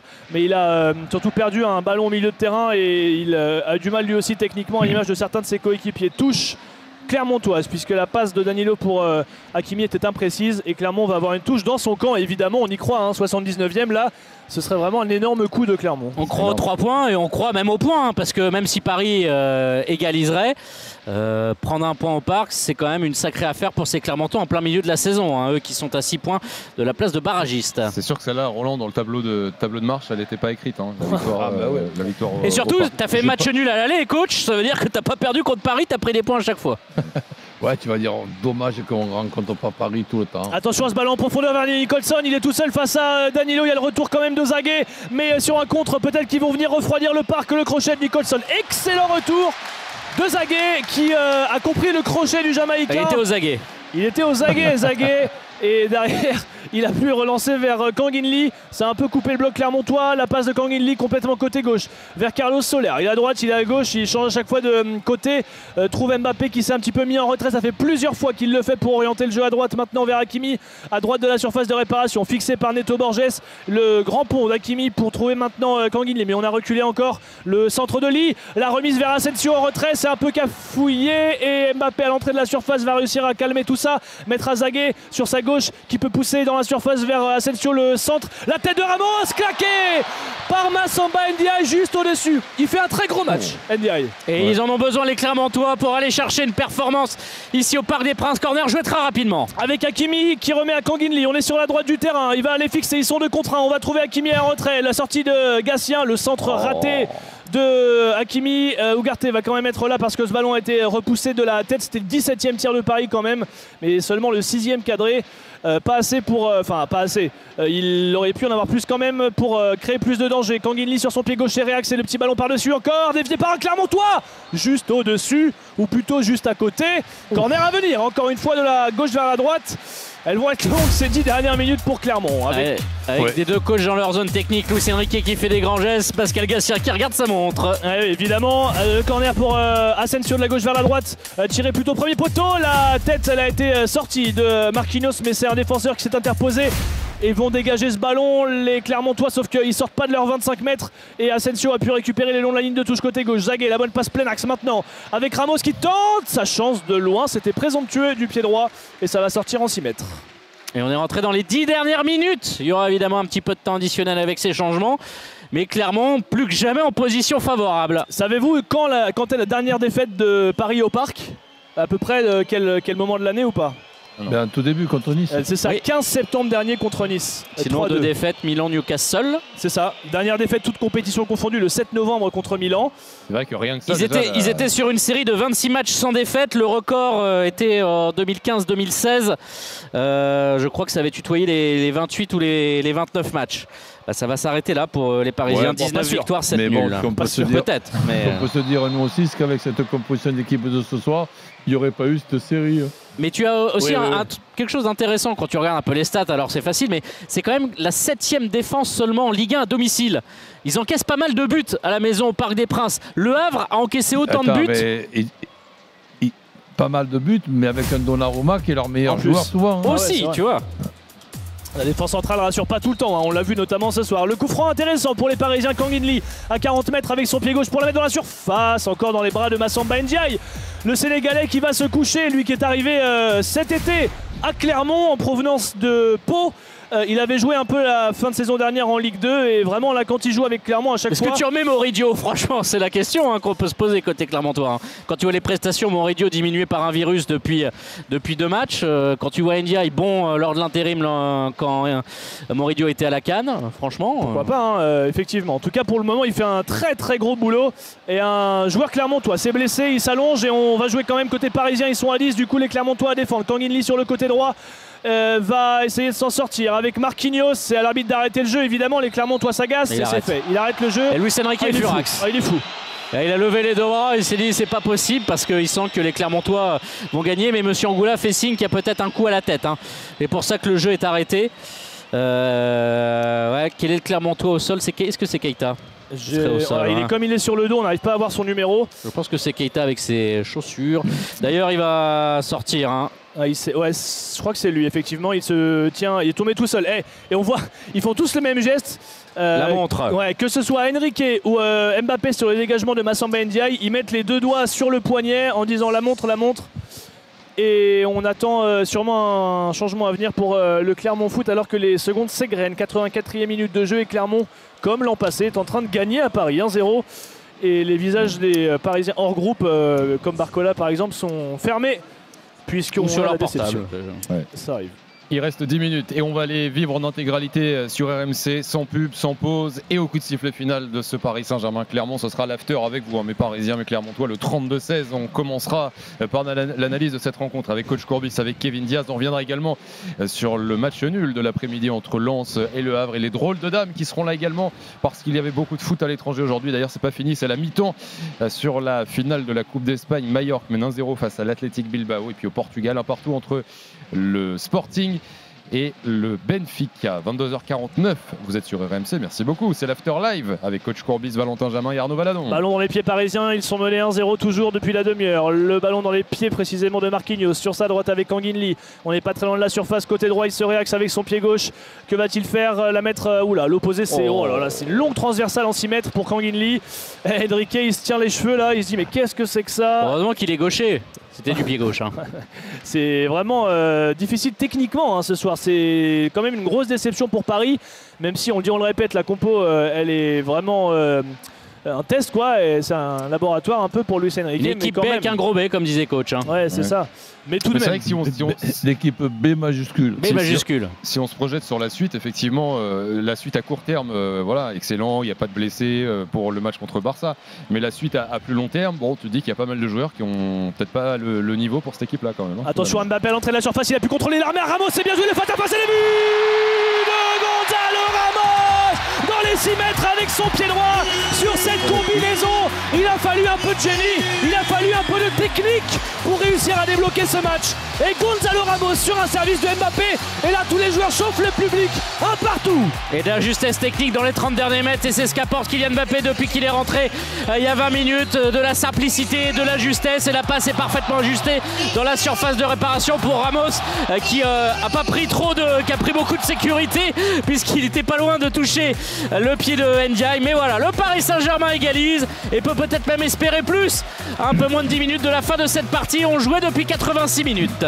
C'est plus la même évidemment, messieurs. 86 minutes de jeu. Un partout. Attention à Clermont qui attaque. Côté gauche maintenant le centre de Borges repoussé en touche par Zaguet.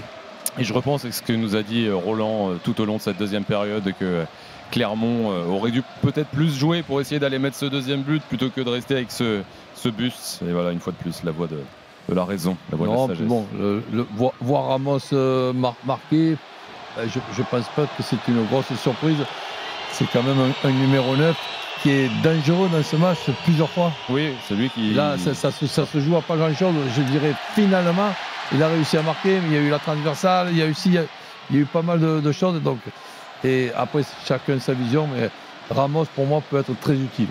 Il y a eu deux transversales, même Gonzalo Ramos 11e but, toute compétition confondue, le 8e en championnat. Et euh, c'est un garçon qui n'était pas forcément titulaire. On préférait plutôt Colomboigny du côté de Luis Enrique en début de saison. Il a même euh, pas mal été sur le banc. Et puis quand sont arrivées les échéances et les turnovers, il a pu jouer Mbappé. Côté gauche, il a pu centrer en retrait. Le ballon a été contré par un Clermontois. C'est euh, dégagé, enfin c'est sorti proprement. On va voir parce que c'est difficile. Ouais, bien joué de Cham. Il a réussi à gagner un coup franc près de sa surface de réparation. Mais les Parisiens aiment Gonzalo Ramos. Hein. Euh, il est beaucoup acclamé quand il y a les compositions. C'est un garçon qui euh, s'est accommodé d'un statut un peu de remplaçant, mais qui est déjà sur 4 buts en 7 matchs et qui vient un petit peu gonfler son bilan eh et marquer des points. Des, fois, c'est difficile à suivre, tu sais. Donc, euh, tu joues sans numéro 9 alors que tu as normalement l'embarras du choix entre Ramos et Colomboigny. C'est difficile à expliquer, mais bon, chacun sa vision. Chacun sa vision et la vision de tout le monde en tout cas ici c'est que Arnaud Massamba Ndiaye agace de plus en plus. Les Clermontois oui parce que voilà on grappille euh, quelques secondes, Luis Enrique et Kylian Mbappé font le signe à Monsieur Angoula, la montre, la montre parce que les minutes euh, s'écoulent vite. On est à la 88e, euh, probablement 3-4 minutes minimum de, temps additionnel pour permettre à Paris d'aller chercher les 3 points. Allez, on parlait de la dernière défaite, ce sera sûrement pas pour ce soir. En tout cas, Ça change les perspectives évidemment. Et les Parisiens vont évidemment essayer d'appuyer avec maintenant Marquinhos. Euh, ah ben là, compte tenu des minutes qui restent, tu envisages plutôt une victoire de Paris que de Clermont. Ah oui, oui, euh, si je devais parier quelque chose, effectivement, ce serait plutôt ça, notamment que d'autant que les Parisiens sont à l'attaque. Le centre dans la surface vers Ramos de euh, Solaire, il a été contré.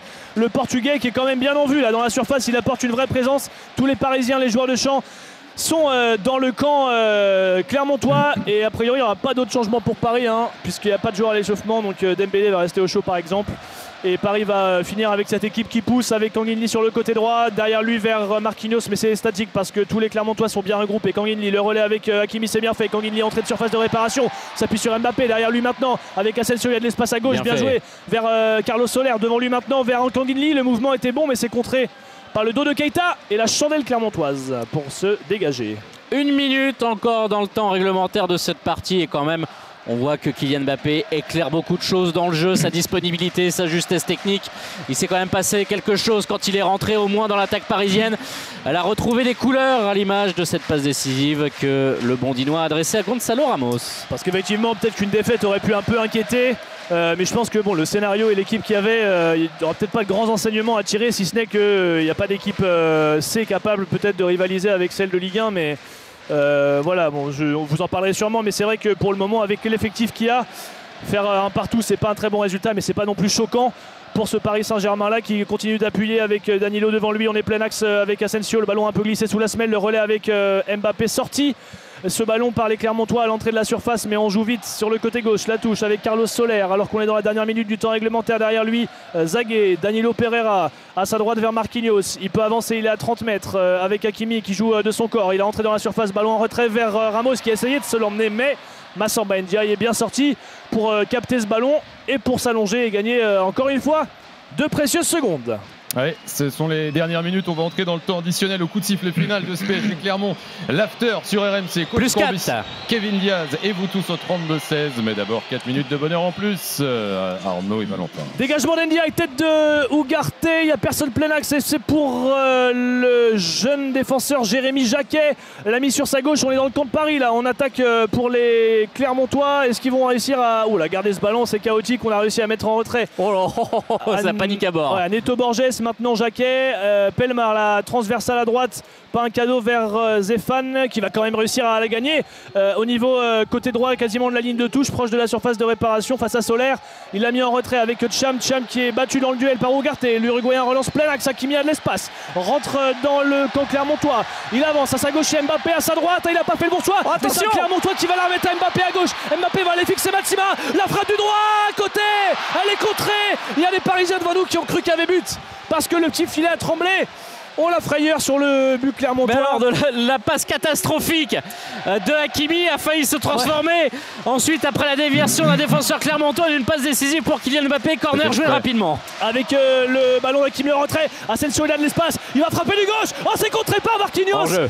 Alors que ça prenait le chemin du but. Peut-être qu'Ndiaye était dessus. Il y avait un jeu du coup de Marquinhos. Mais c'était une vraie occasion. Hein. Euh, et Marquinhos qui avait d'ailleurs un peu pesté sur le corner joué à deux, était le seul qui ne s'était pas replacé. Et on voit la frappe de Mbappé qui est déviée et qui va euh, de justesse passer à côté, mais c'est quand même lui qui fait les plus grosses différences évidemment. Mais il y a toujours un partout dans cette partie et Massamba il va encore une fois gagner du temps. Juste le temps pour moi de vous dire que Adriela au standard, hein, le 32-16, n'hésitez pas si vous voulez venir analyser ce match, le débriefer dans l'after, vous faites le 32-16, vous nous appelez et vous êtes dans quelques minutes en direct avec coach Courbis et Kevin Diaz. Mais il reste deux minutes peut-être pour faire basculer ce dernier match avant le Barça dans quatre jours. Arnaud Valentin. Il reste deux minutes dans le temps additionnel et le ballon dans les pieds de euh, Solaire. Il a passé le milieu de terrain, il est à gauche. Mbappé est venu tout proche de lui pour le réclamer. Il a remis à Solaire en profondeur. Côté gauche, près de la ligne de touche au niveau de la surface, pas loin du point de corner. On remet en retrait à Mbappé. Il a mis pour personne, si ce n'est Monsieur Angoula. Oh, le contrôle raté de Gatien qui permet à Ougarté de récupérer. Mbappé servi côté gauche par Asensio. Il a trouvé dans la surface peut-être Ougarté. Elle est trop profonde la passe de Mbappé. 6 mètres à venir pour Massamba Ndiaye et les Clermontois qui euh, eh bien, croient de plus en plus évidemment en ce petit point du match nul au Une minute des 30. Princes. Une minute 30 encore à jouer. Et ballon dans les pieds, euh, plutôt dans la main de euh, Ndiaye, la main droite, il va la poser pour euh, jouer le 6 mètres.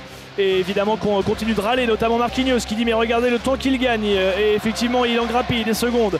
Le gardien sénégalais va pouvoir dégager bientôt son camp et peut-être s'appuyer par exemple sur euh, Nicholson, le grand attaquant euh, jamaïcain. Le dégagement du pied gauche euh, est fait par le portier clermontois directement sur la poitrine de Pereira qui la met dans l'axe en retrait à Marquinhos, entre de l'enroue central. Les Parisiens peut-être pour déployer une dernière attaque. On entre dans la dernière minute du temps additionnel annoncé. Kangin Lee trouvé sur le côté droit le long de la ligne de touche. Plein axe à Ugarte, il ne peut pas lui mettre. Il va la mettre à Danilo dans le rond central. Le Portugais avance. Il va gagner un petit peu de terrain, se mettre à chercher une solution alors qu'il est quasiment à l'arrêt. Oh, il va la mettre en 6 mètres. Complètement raté cette passe de Marquinhos. Et Mbappé n'est pas content d'ailleurs sur ce choix.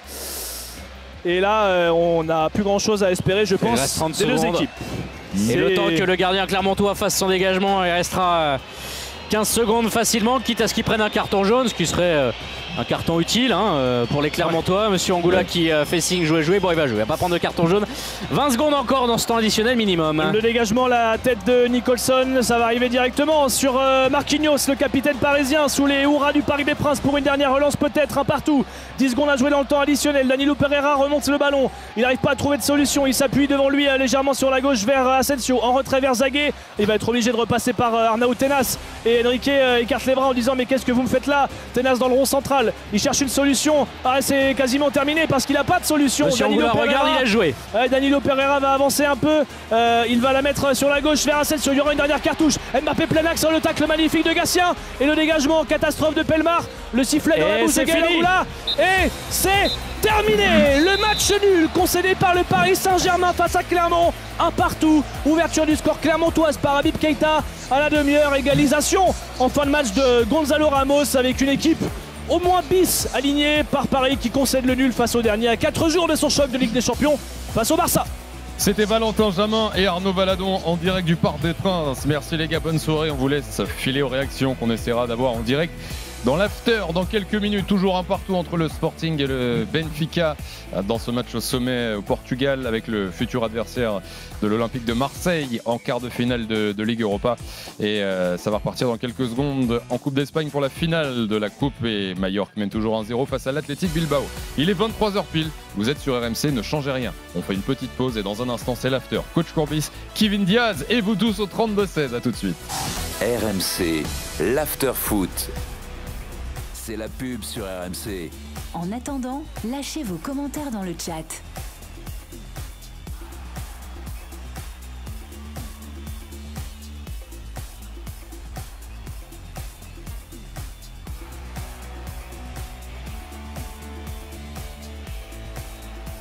C'est la pub sur RMC.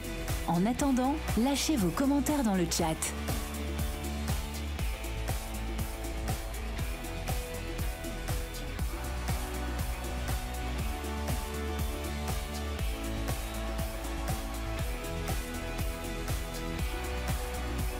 C'est la pub sur RMC.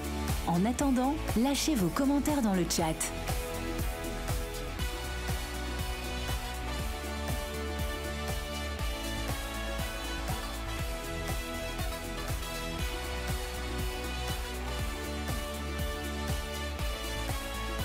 C'est la pub sur RMC. En attendant, lâchez vos commentaires dans le chat.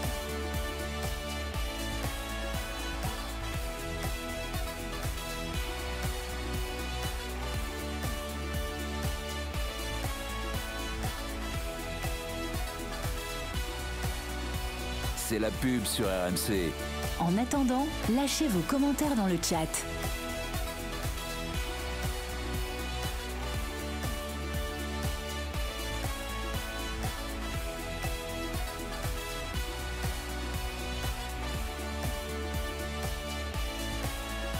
C'est la pub sur RMC. En attendant, lâchez vos commentaires dans le chat.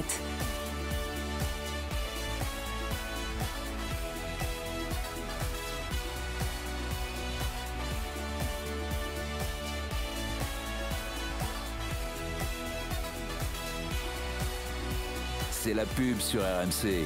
En attendant, lâchez vos commentaires dans le chat.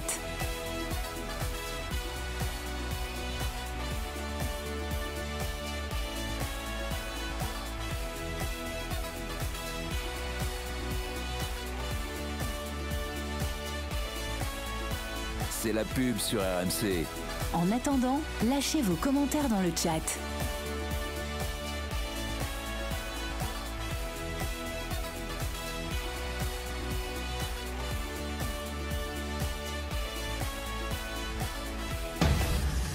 RMC. Première, je voudrais dire pardon à les supporters. Je demande pardon à nos supporters pour ces résultats. Je dis pardon à tous les supporters. Je dois juste dire à, notre supporter excuse. Jusqu'à minuit, l'after-foot. Thibaut Giangrande.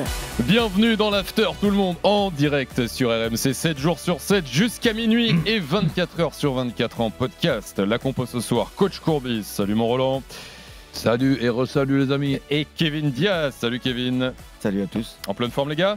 Ça va très bien. Pour débriefer le match nul ce soir entre le Paris Saint-Germain et Clermont, 28e journée de, Ligue 1.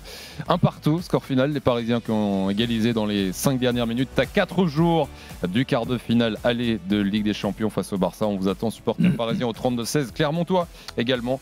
N'hésitez pas. On va revenir aussi bien évidemment sur le match nul cet après-midi entre Lens et Le Havre, un partout. Et puis en, en fin d'after, même un peu plus que la fin d'after. Les drôles de dames seront là, trois des quatre drôles de dames. Johan Crochet, Julien Laurence et Fred Hermel pour euh, cette grosse journée également à l'étranger qui continue en ce moment, puisque la deuxième période de la finale de la Coupe d'Espagne vient tout juste de débuter. Majorque mène 1-0 face à l'Athletic Bilbao. Et puis je vous signale également au Portugal euh, le match pour le titre, peut-être entre le Sporting et Benfica. Il reste 20 minutes, un partout. Benfica, futur adversaire de l'OM également euh, en quart de finale de Ligue Europa. La semaine prochaine, 23h05, vous êtes euh, avec nous au 32-16, vous nous appelez Adriela au standard et vous venez débattre avec Kevin, avec coach. Je vous lis sur le direct studio et bien évidemment sur YouTube la chaîne de l'After, after-foot. N'hésitez pas à liker, vous abonner et vous pouvez venir nous voir et surtout commenter votre soirée foot qui continue avec le plus important. L'important, c'est l'essentiel. Le plus important, c'est les trois points. souvent, l'essentiel, c'est le plus important. Kevin, quels sont tes, tes trois points ce soir de débat? Bah, Le premier point, je vais parler quand même de cette équipe de Clermont certes euh, n'a pas fait un match euh, resplendissant en termes footballistiques, en termes offensifs. Par contre, euh, ils ont bien failli faire le hold-up de l'année, pas forcément le hold-up d'ailleurs, parce qu'ils ont quand même mené une bonne partie du match, mais ils ont failli faire un gros coup. Finalement, ils repartent avec un bon point. En deux, bah, c'est bien sûr le, Paris Saint-Germain. Le Paris Saint-Germain qui a fait tourner aujourd'hui avec Luis Enrique, qui a fait des choix encore une fois forts. Bon, moi, je ne lui reproche pas. Hein. Bien sûr, le match le plus important, c'est celui contre, contre euh, cette équipe du Barça.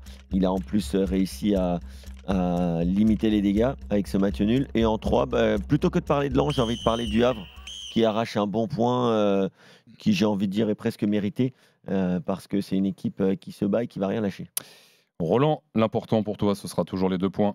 Ben, je vais parler du match de cet après-midi, que j'ai regardé avec beaucoup d'attention. Je pensais sincèrement que Lens allait profiter de ce, match-là pour euh, retrouver les trois points de la victoire contre une équipe du Havre qui est en difficulté depuis pas mal de, semaines. Et ensuite, euh, ce soir, ben, j'ai regardé un petit peu clairement, essayé de réfléchir euh, un peu à leur place. Et même s'il y a le résultat des matchs nus, je, trouve que clairement rate euh, l'occasion de faire un gros coup en, prenant trois points contre l'équipe B majuscule du Paris, du Paris Saint-Germain ce soir. Et, pour ce qui est du Paris Saint-Germain, la chose principale pour moi, à quatre jours d'un match aussi important, c'est pas de blessés, de joueurs importants, ça c'est le principal. Habib Keita avait ouvert le score égalisation de Gonzalo Ramos sur une passe de Bappé à la 85e. Paris, 63 points, 13 de plus que Brest. Clermont, 21 points, revient à 2 points du 17e euh, Metz et à 5 points de Lorient, barragiste. Ces deux clubs qui joueront demain. Le 32-16 pour venir débattre. Une fois n'est pas coutume, euh, pour commencer cet after, je vais vous donner une compo. La compo de départ du Paris Saint-Germain. Tenas dans les buts, Moukielé à droite, Pereira, Skriniar dans l'axe, Zaguet, le jeune Zaguet qui disputait ses premières minutes avec le Paris Saint-Germain arrière gauche. Au milieu de terrain, Ugarte, Solaire et le jeune Mayoulou qu'on avait un peu plus vu en, Coupe de France et devant Colomboigny, Asensio et Gonzalo Ramos. Au vu de cette compo, euh, du résultat finalement qui était un peu secondaire mais euh, Paris ne perd pas, est-ce que coach, est-ce que Kevin, Luis Enrique a parfaitement géré ce dernier match avant Barcelone? On va pas faire la fine bouche à partir du moment où euh, il n'y a pas de blessés, euh, il n'y a pas de défaite, même si attention, euh, quand tu ne bats pas forcément clairement, tu peux te dire que le Paris Saint-Germain peut, doit mieux faire. Maintenant, il y a quand même un match qui est ultra important, c'est celui de cette semaine, c'est celui de mercredi. Je pense que la meilleure nouvelle, c'est le fait qu'il n'y ait, pas de, blessés, qu'il n'y ait pas de, pépins physiques. on a vu quand même des choses intéressantes avec des jeunes qui, ont de la qualité, avec des moins jeunes qui par contre sont en difficulté. Mais ça, on le savait. On voit aussi un Gonzalo Ramos qui définitivement euh, c'est le joueur que j'ai connu à Benfica, c'est un buteur. C'est un buteur, c'est pas forcément le mec qui va te faire euh, des highlights, comme disent les jeunes. Par contre, euh, quand il s'agit de mettre la balle au fond, c'est quand même rarement à côté. Coach, soirée parfaite. Luis Enrique a bien géré son match du soir, le dernier. Ben oui, donc après avoir plaisanté dans, la semaine en expliquant que bon, ce qu'il fallait surtout, c'est penser à Clermont et ne pas penser au match du, Barça. Donc on s'est aperçu quand même que lui en premier pensait surtout au match du Barça, ce qui est tout à fait logique. Et donc euh, maintenant, on attend avec impatience ce match euh, aller contre cette équipe du Barça, qui elle aussi hein, n'a pas eu la possibilité de se fatiguer ce week-end, ni d'avoir des joueurs euh, blessés, puisque là, il y a une, coupure tranquille pour les, les, jours à venir. Et d'ailleurs, Fred Hermel nous donnera les nouvelles du Barça tout à l'heure. Euh, égalisation de l'Athletic Bilbao à l'instant contre Mallorca en finale de la Coupe d'Espagne. Loïc, supporter du Paris Saint-Germain, nous appelle au 32-16. Salut Loïc. Bonsoir, bonsoir à tous. Salut Loïc. Bienvenue euh, dans l'after. Merci. Euh, Déjà coach, je suis très très très content d'échanger avec vous. C'est gentil, pareillement. Merci. Euh, moi, j'intervenais ce soir parce que bon, je suis supporter parisien, je regarde les, les mm. matchs, euh, tous les matchs hein, de championnat, de coupe, de Ligue des Champions. Et en fait, j'avais un petit retour sur Luis Enrique parce que c'est vrai que depuis le début de, de l'année, euh, euh, les observateurs, voilà, ce qui nous anime, c'est sa communication, son coaching, ses remplacements, etc. Euh, voilà. Et en fait, en voyant le match de soir, j'ai eu une pensée. Je me suis dit, voilà, est-ce que finalement on n'avait pas sous-estimé un petit peu euh, l'ambition de Luis Enrique en Ligue des Champions avec le Paris Saint-Germain? Est-ce qu'il n'aurait pas entre guillemets acté en arrivant au Paris Saint-Germain que avec l'effectif qu'il avait, euh, je pense que voilà, il était capable d'obtenir le titre de champion de France. Et en fait, j'ai l'impression, alors je peux me tromper, mais c'est là où je veux en venir, que finalement, il, bâtit l'équipe. Euh, beaucoup en championnat sur des matchs qui peuvent nous paraître euh, charnières. Là, c'était le dernier du championnat. Et lui, il voit pas ça comme ça. J'ai l'impression qu'il modèle et qu'il module son équipe. Excusez-moi, tu, tu penses pas plutôt qu'il était en train de penser au match le plus important peut-être de la, de la saison, qui est, qui est le Barça dans quatre jours? Bah, où je veux en venir. J'ai l'impression qu'il module son équipe systématiquement en fonction des matchs de Ligue des Champions qui arrivent, entre guillemets, et que finalement le championnat pour lui n'est qu'un brouillon euh, sur lequel s'appuyer pour pouvoir essayer d'avoir la meilleure équipe et souvent l'équipe la plus euh, entre guillemets difficile à lire en Ligue des Champions. Alors voilà, je voulais avoir votre avis parce que ce soir, pour moi, en fait, j'ai l'impression qu'à la fin de l'année, peut-être qu'on dira que finalement, Luis Enrique, sa saison était cohérente sur l'ensemble du coaching parce qu'au début, ça nous a surpris nous en tant qu'observateurs par ses décisions. Euh, alors je passe outre le cas Mbappé. Hein, parce que ça, bon, voilà. Mais j'ai l'impression qu'en fait, il a, il a vraiment une vision totale de la saison sur toutes les compétitions et, peut-être que fin de saison, on, se dira que peu importe le résultat en Ligue des Champions, bah, après, c'est pas si mal que ça. Sur, sur le match de ce soir et, les précédents, euh, après, c'est peut-être plus facile à faire quand tu as 12 points d'avance aussi, euh, Loïc.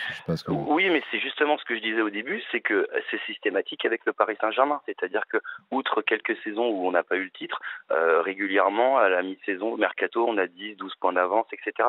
Je pense qu'il avait intégré ce. Peut-être, c'est mon opinion, je me mmh. pose la question, il avait intégré ce, cette chose-là avec le Paris Saint-Germain et finalement, pourquoi est-ce qu'en championnat on peut le trouver un peu fantasque dans ses déclarations? C'est parce qu'en fait je pense que euh, je dis pas qu'il prend pas au sérieux, c'est pas du tout le cas, hein, mais il est concentré sur un objectif qui pour lui est peut-être pour moi la Ligue des Champions avec le Paris Saint-Germain. Et quand on parle d'ego, je pense que ça lui ferait énormément plaisir d'apporter la première Ligue des Champions au Paris Saint-Germain. Ça, ça, ça c'est sûr que ça lui ferait plaisir. Personne avec personne, une équipe soi-disant sur le papier qui serait entre guillemets plus faible euh, puisque on a eu les départs. je t'avoue que, je t'avoue que, si tu me permets, euh, je comprends pas trop où tu vas en venir.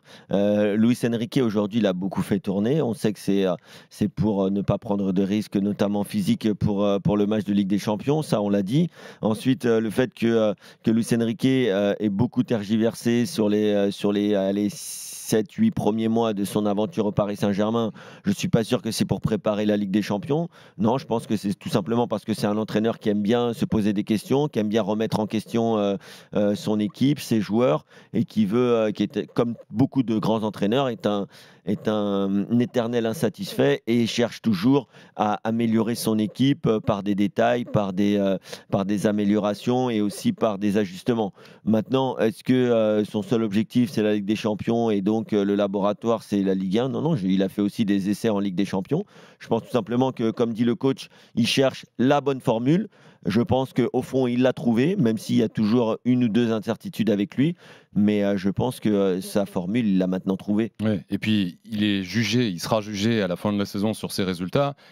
C'est vrai que les matchs passent, euh, son coaching, on commence à s'y habituer à, à, voir ce qu'il fait. Et bon, bah, difficile de lui donner tort finalement. Il va arriver avec tous ses joueurs en forme, ah, pas de blessés on, face au Barça. Il n'a pas perdu ce soir. on a quand même, on a quand même l'impression, moi qui suis superstitieux, que dans, dans, dans l'ensemble, c'est pas une saison où ça se passe mal. Des buts à la dernière minute, des, hmm. des, des, tirages au sort, tu, tu, te, tu te, débrouilles de pas terminer, terminer premier, tu, tu termines second, ben, tu es inquiet du tirage au sort, tu tires le Real, Real Sociedad hmm. en terminant euh, second. Donc je, je, je, pense que ça ressemble quand même à une saison où il y a les qualités, les compétences que ce soit du staff, du coach et, des joueurs, mais aussi ce petit brin de, mm. réussite qui a l'air un petit peu, comme je dis, de ressembler à ce que nous avons vu pour la Cannes avec la Côte d'Ivoire. Je remercie Loïc d'avoir été là. À bientôt Loïc sur RMC. Bonne soirée à toi. À très vite. À bientôt, merci. Bah il est 23h14, c'est l'after. Dans un instant, on continue d'analyser ce match nul entre Paris et Clermont ce soir avec coach Courbis, Kevin Diaz et vous tous au 32-16. Fabrice euh, nous appelle, il sera là euh, dans un instant, toujours en direct également euh, sur YouTube, la chaîne de l'after. Vous êtes de plus en plus nombreux là, vous connectez en ce samedi soir, ne changez pas. On revient dans un tout petit instant. RMC, l'after foot. C'est la pub sur RMC. En attendant, lâchez vos commentaires dans le chat.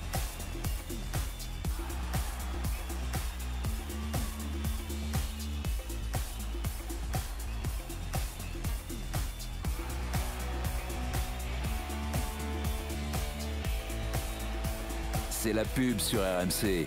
En attendant, lâchez vos commentaires dans le chat.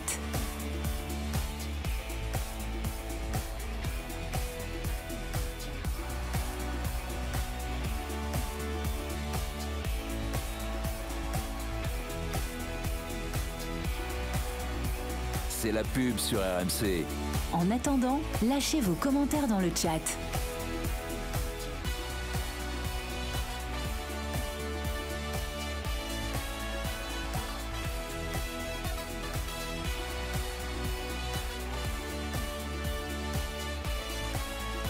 c'est la pub sur RMC.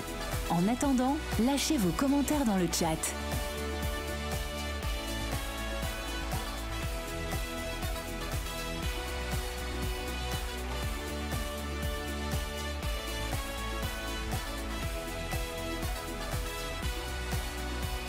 C'est la pub sur RMC. En attendant, lâchez vos commentaires dans le chat.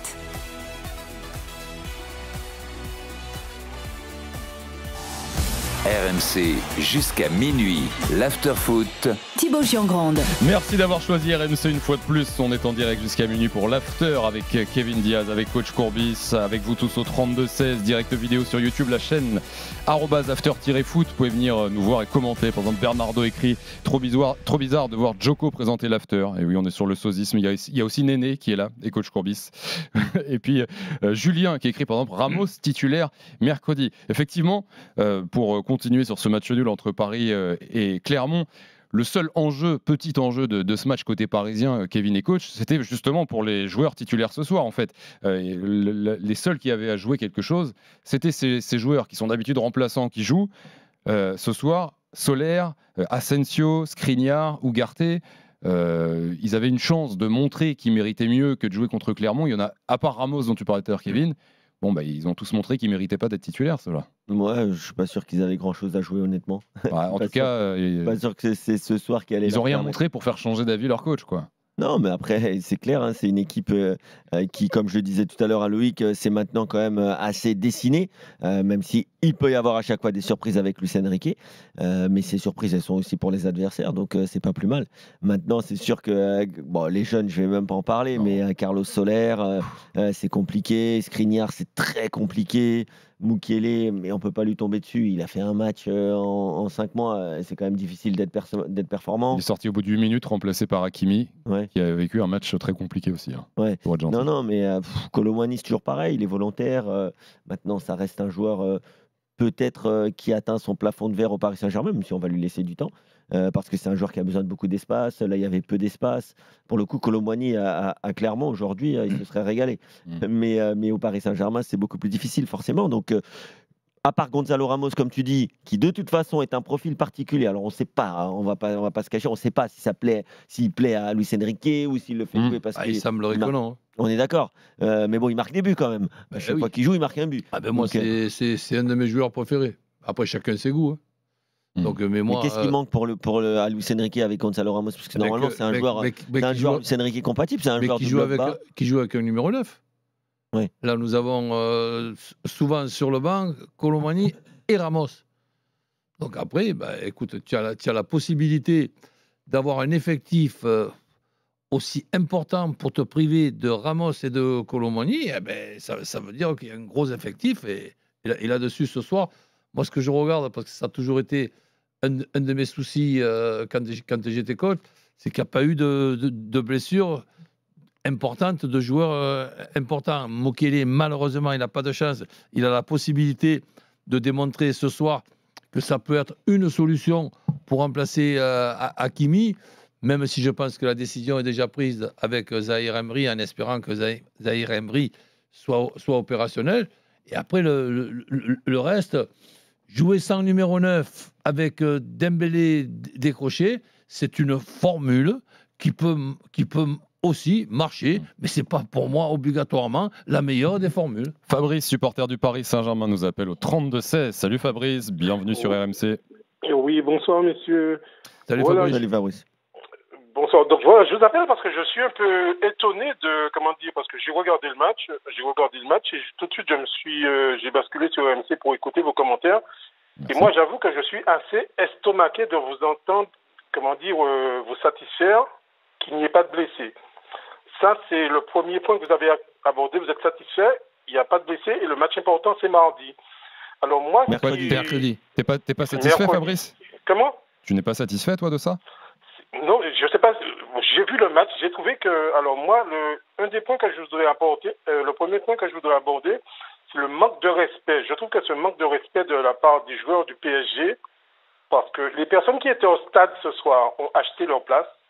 Elles se sont déplacées jusqu'au stade et vous avez vu le spectacle auquel euh, ces personnes ont assisté.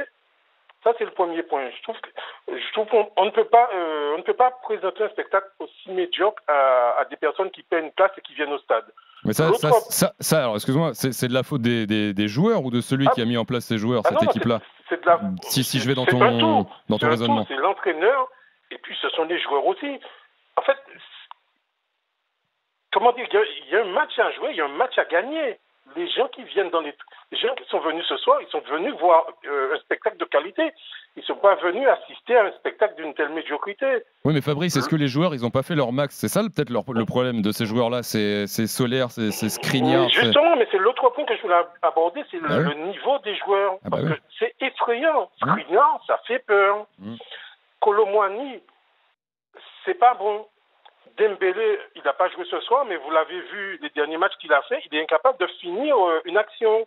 Solaire, je ne sais pas ce qu'il fait au PSG. Comment dire, Danilo, mais, mais, Danilo mais, il est sympa, Fabri il est Fabrice, tu peux pas, ne gagne pas une Ligue de Champions avec Danilo. D'accord, mais Fabrice, aujourd'hui c'est l'équipe des remplaçants. Aujourd'hui c'est l'équipe des remplaçants, on est d'accord Excusez-moi, les remplaçants du PSG doivent être en capacité de battre Clermont. Clermont est 18e. Oui, mais on peut, on peut pas nous reprocher euh, tout et son contraire. Alors là, je ne parle pas de toi personnellement. Mais là, ce soir, si tu critiques le, enfin, si je critique le Paris Saint-Germain, on va me dire, ouais, mais euh, c'est un match, ils ont, ils ont 12 points d'avance. On prépare, on verra, on verra, on verra. Attends, Fabrice, on arrive. Attends, je te, Laisse te Kevin te répondre et on revient, Fabrice. Je te- euh, J'entends ce que tu dis, mais là, aujourd'hui, on est obligé de juger le Paris Saint-Germain dans sa globalité avec les échéances qui arrivent. Avec les choix de Luis Enrique, je ne peux pas me permettre de juger le Paris Saint-Germain comme si c'était l'équipe type. Alors, euh, on- je l'ai dit aussi que les joueurs qui étaient sur le terrain étaient en difficulté. J'ai parlé de Skriniar. Ils sont euh, médiocres. On est d'accord. Euh, il, Skriniar, c'est ses grandes difficultés. Euh, Mukiele, le pauvre, il se, il se blesse. Euh, Solaire, euh, c'est euh, Fantomas. Euh, Colomani, j'ai dit que c'est pas un joueur euh, pour jouer au PSG quand c'est face à des blocs aussi bas. Euh, et, les petits jeunes, j'en ai pas parlé parce que pour le coup, ils font Ah non, plutôt, ils font une bonne prestation. été plutôt bons. Les, les- Oui, les ils ont fait une belle ils prestation.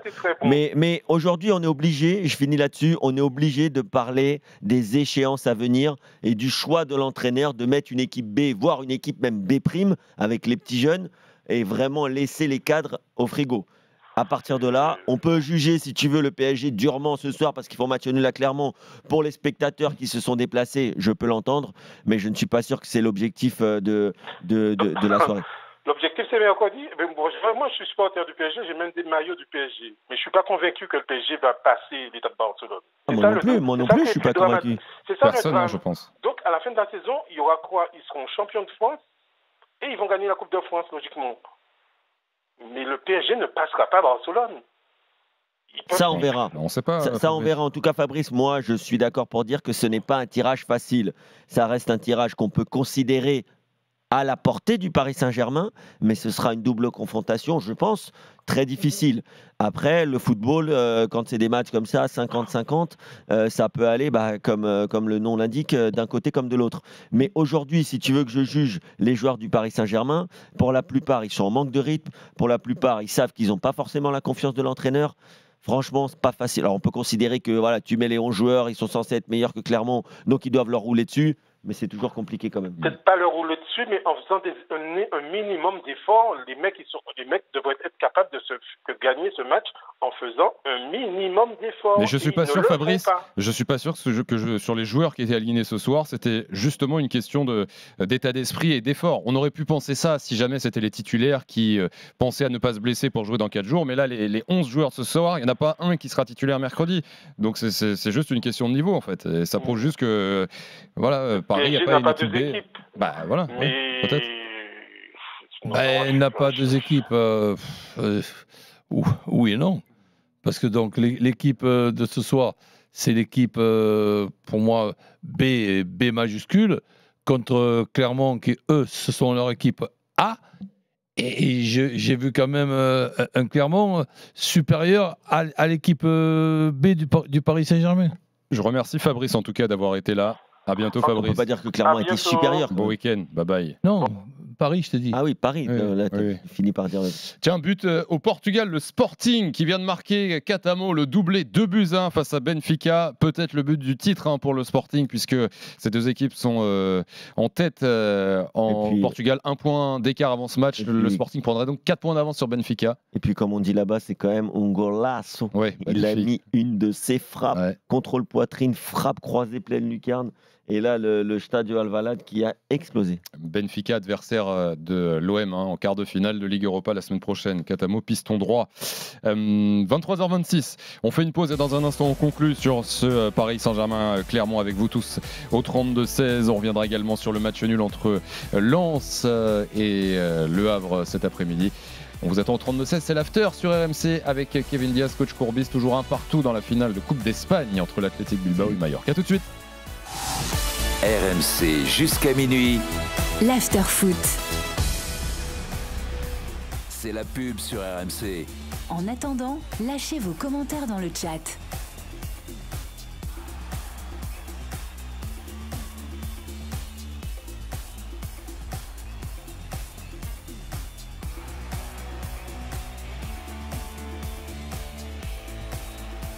C'est la pub sur RMC. En attendant, lâchez vos commentaires dans le chat.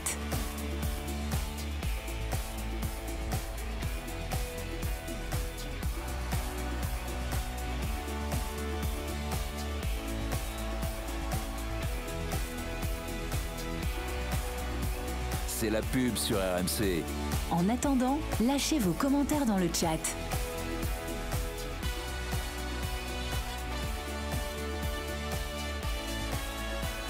Le club formateur.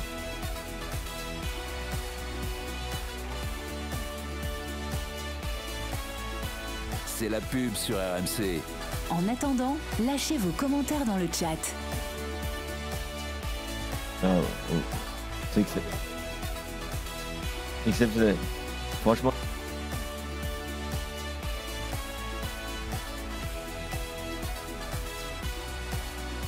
C'est la pub sur RMC. En attendant, lâchez vos commentaires dans le chat.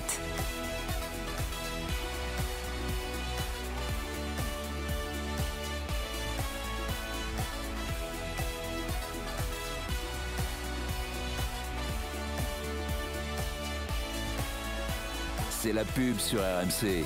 En attendant, lâchez vos commentaires dans le chat.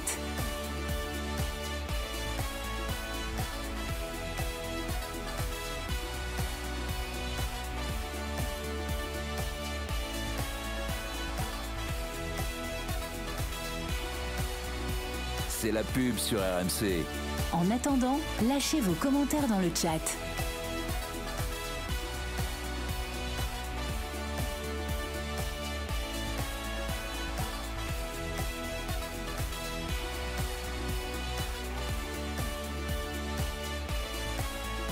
C'est la pub sur RMC.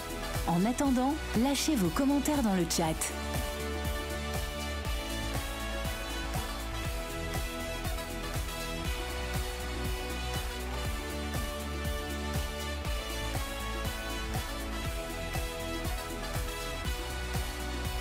C'est la pub sur RMC.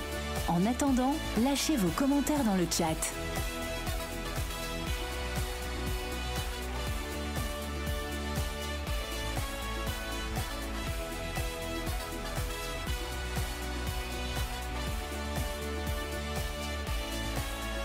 C'est la pub sur RMC.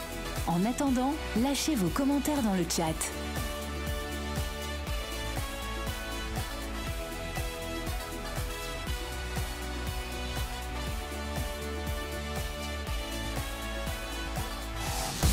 RMC jusqu'à minuit. L'afterfoot. Thibaut Giangrande. Il est 23h30, vous écoutez RMC, première radio de France le soir. Merci euh, à vous, quel plaisir d'être euh, là jusqu'à minuit avec Coach Courbis, avec Kevin Diaz, avec vous tous au 32-16 euh, sur le direct studio, sur YouTube, la chaîne vidéo de l'after, after-foot et d'ici une dizaine de minutes, les drôles de dames qui vont nous rejoindre pour cette grosse journée à l'étranger.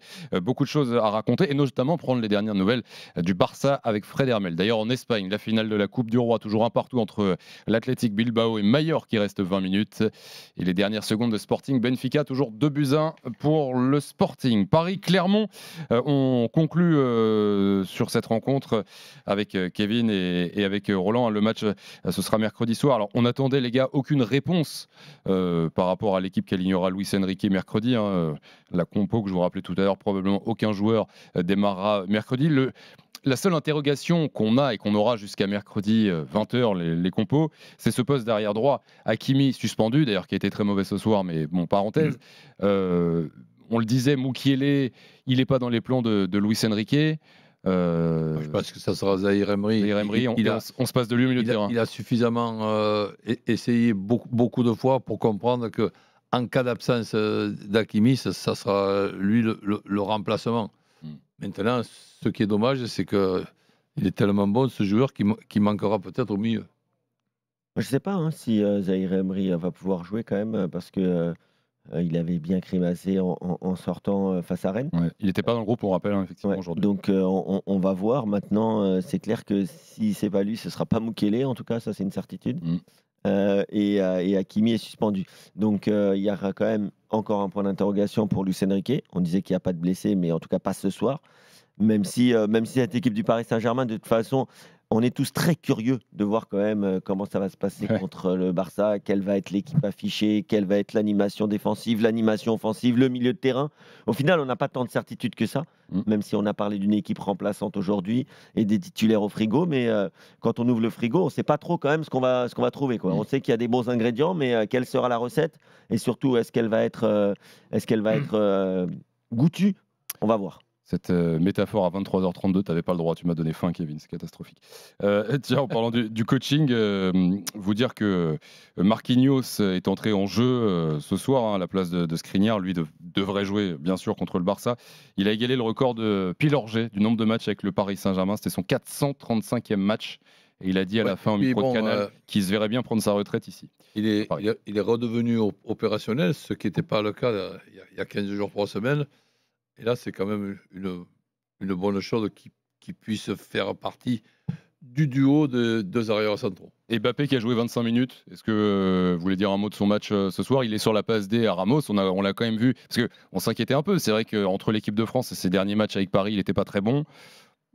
Il avait des jambes ce soir, il avait du gaz. Euh. bon ou pas très bon, tu as l'impression que, quand il est sur le, sur le terrain, ben, tu as dix fois plus de chances de marquer. Non, mais le souci, c'est toujours pareil. C'est que j'ai l'impression que les gens croient que Kylian Mbappé, c'est euh, Platini ou, ou c'est Zidane.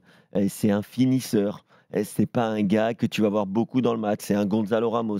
C'est un mec. Il y, a des périodes où on l'a plus vu. Là, ces trois quatre derniers matchs, vraiment, on l'a pas vu du tout. non, mais d'accord. Mais, mais c'est quand même un joueur qui est toujours euh, euh, décisif, qui te pose toujours des difficultés, que ce soit par ses appels, par ses, par ses prises de profondeur. Euh, il étire une défense, il fait peur. Tu peux pas jouer loin de ton but.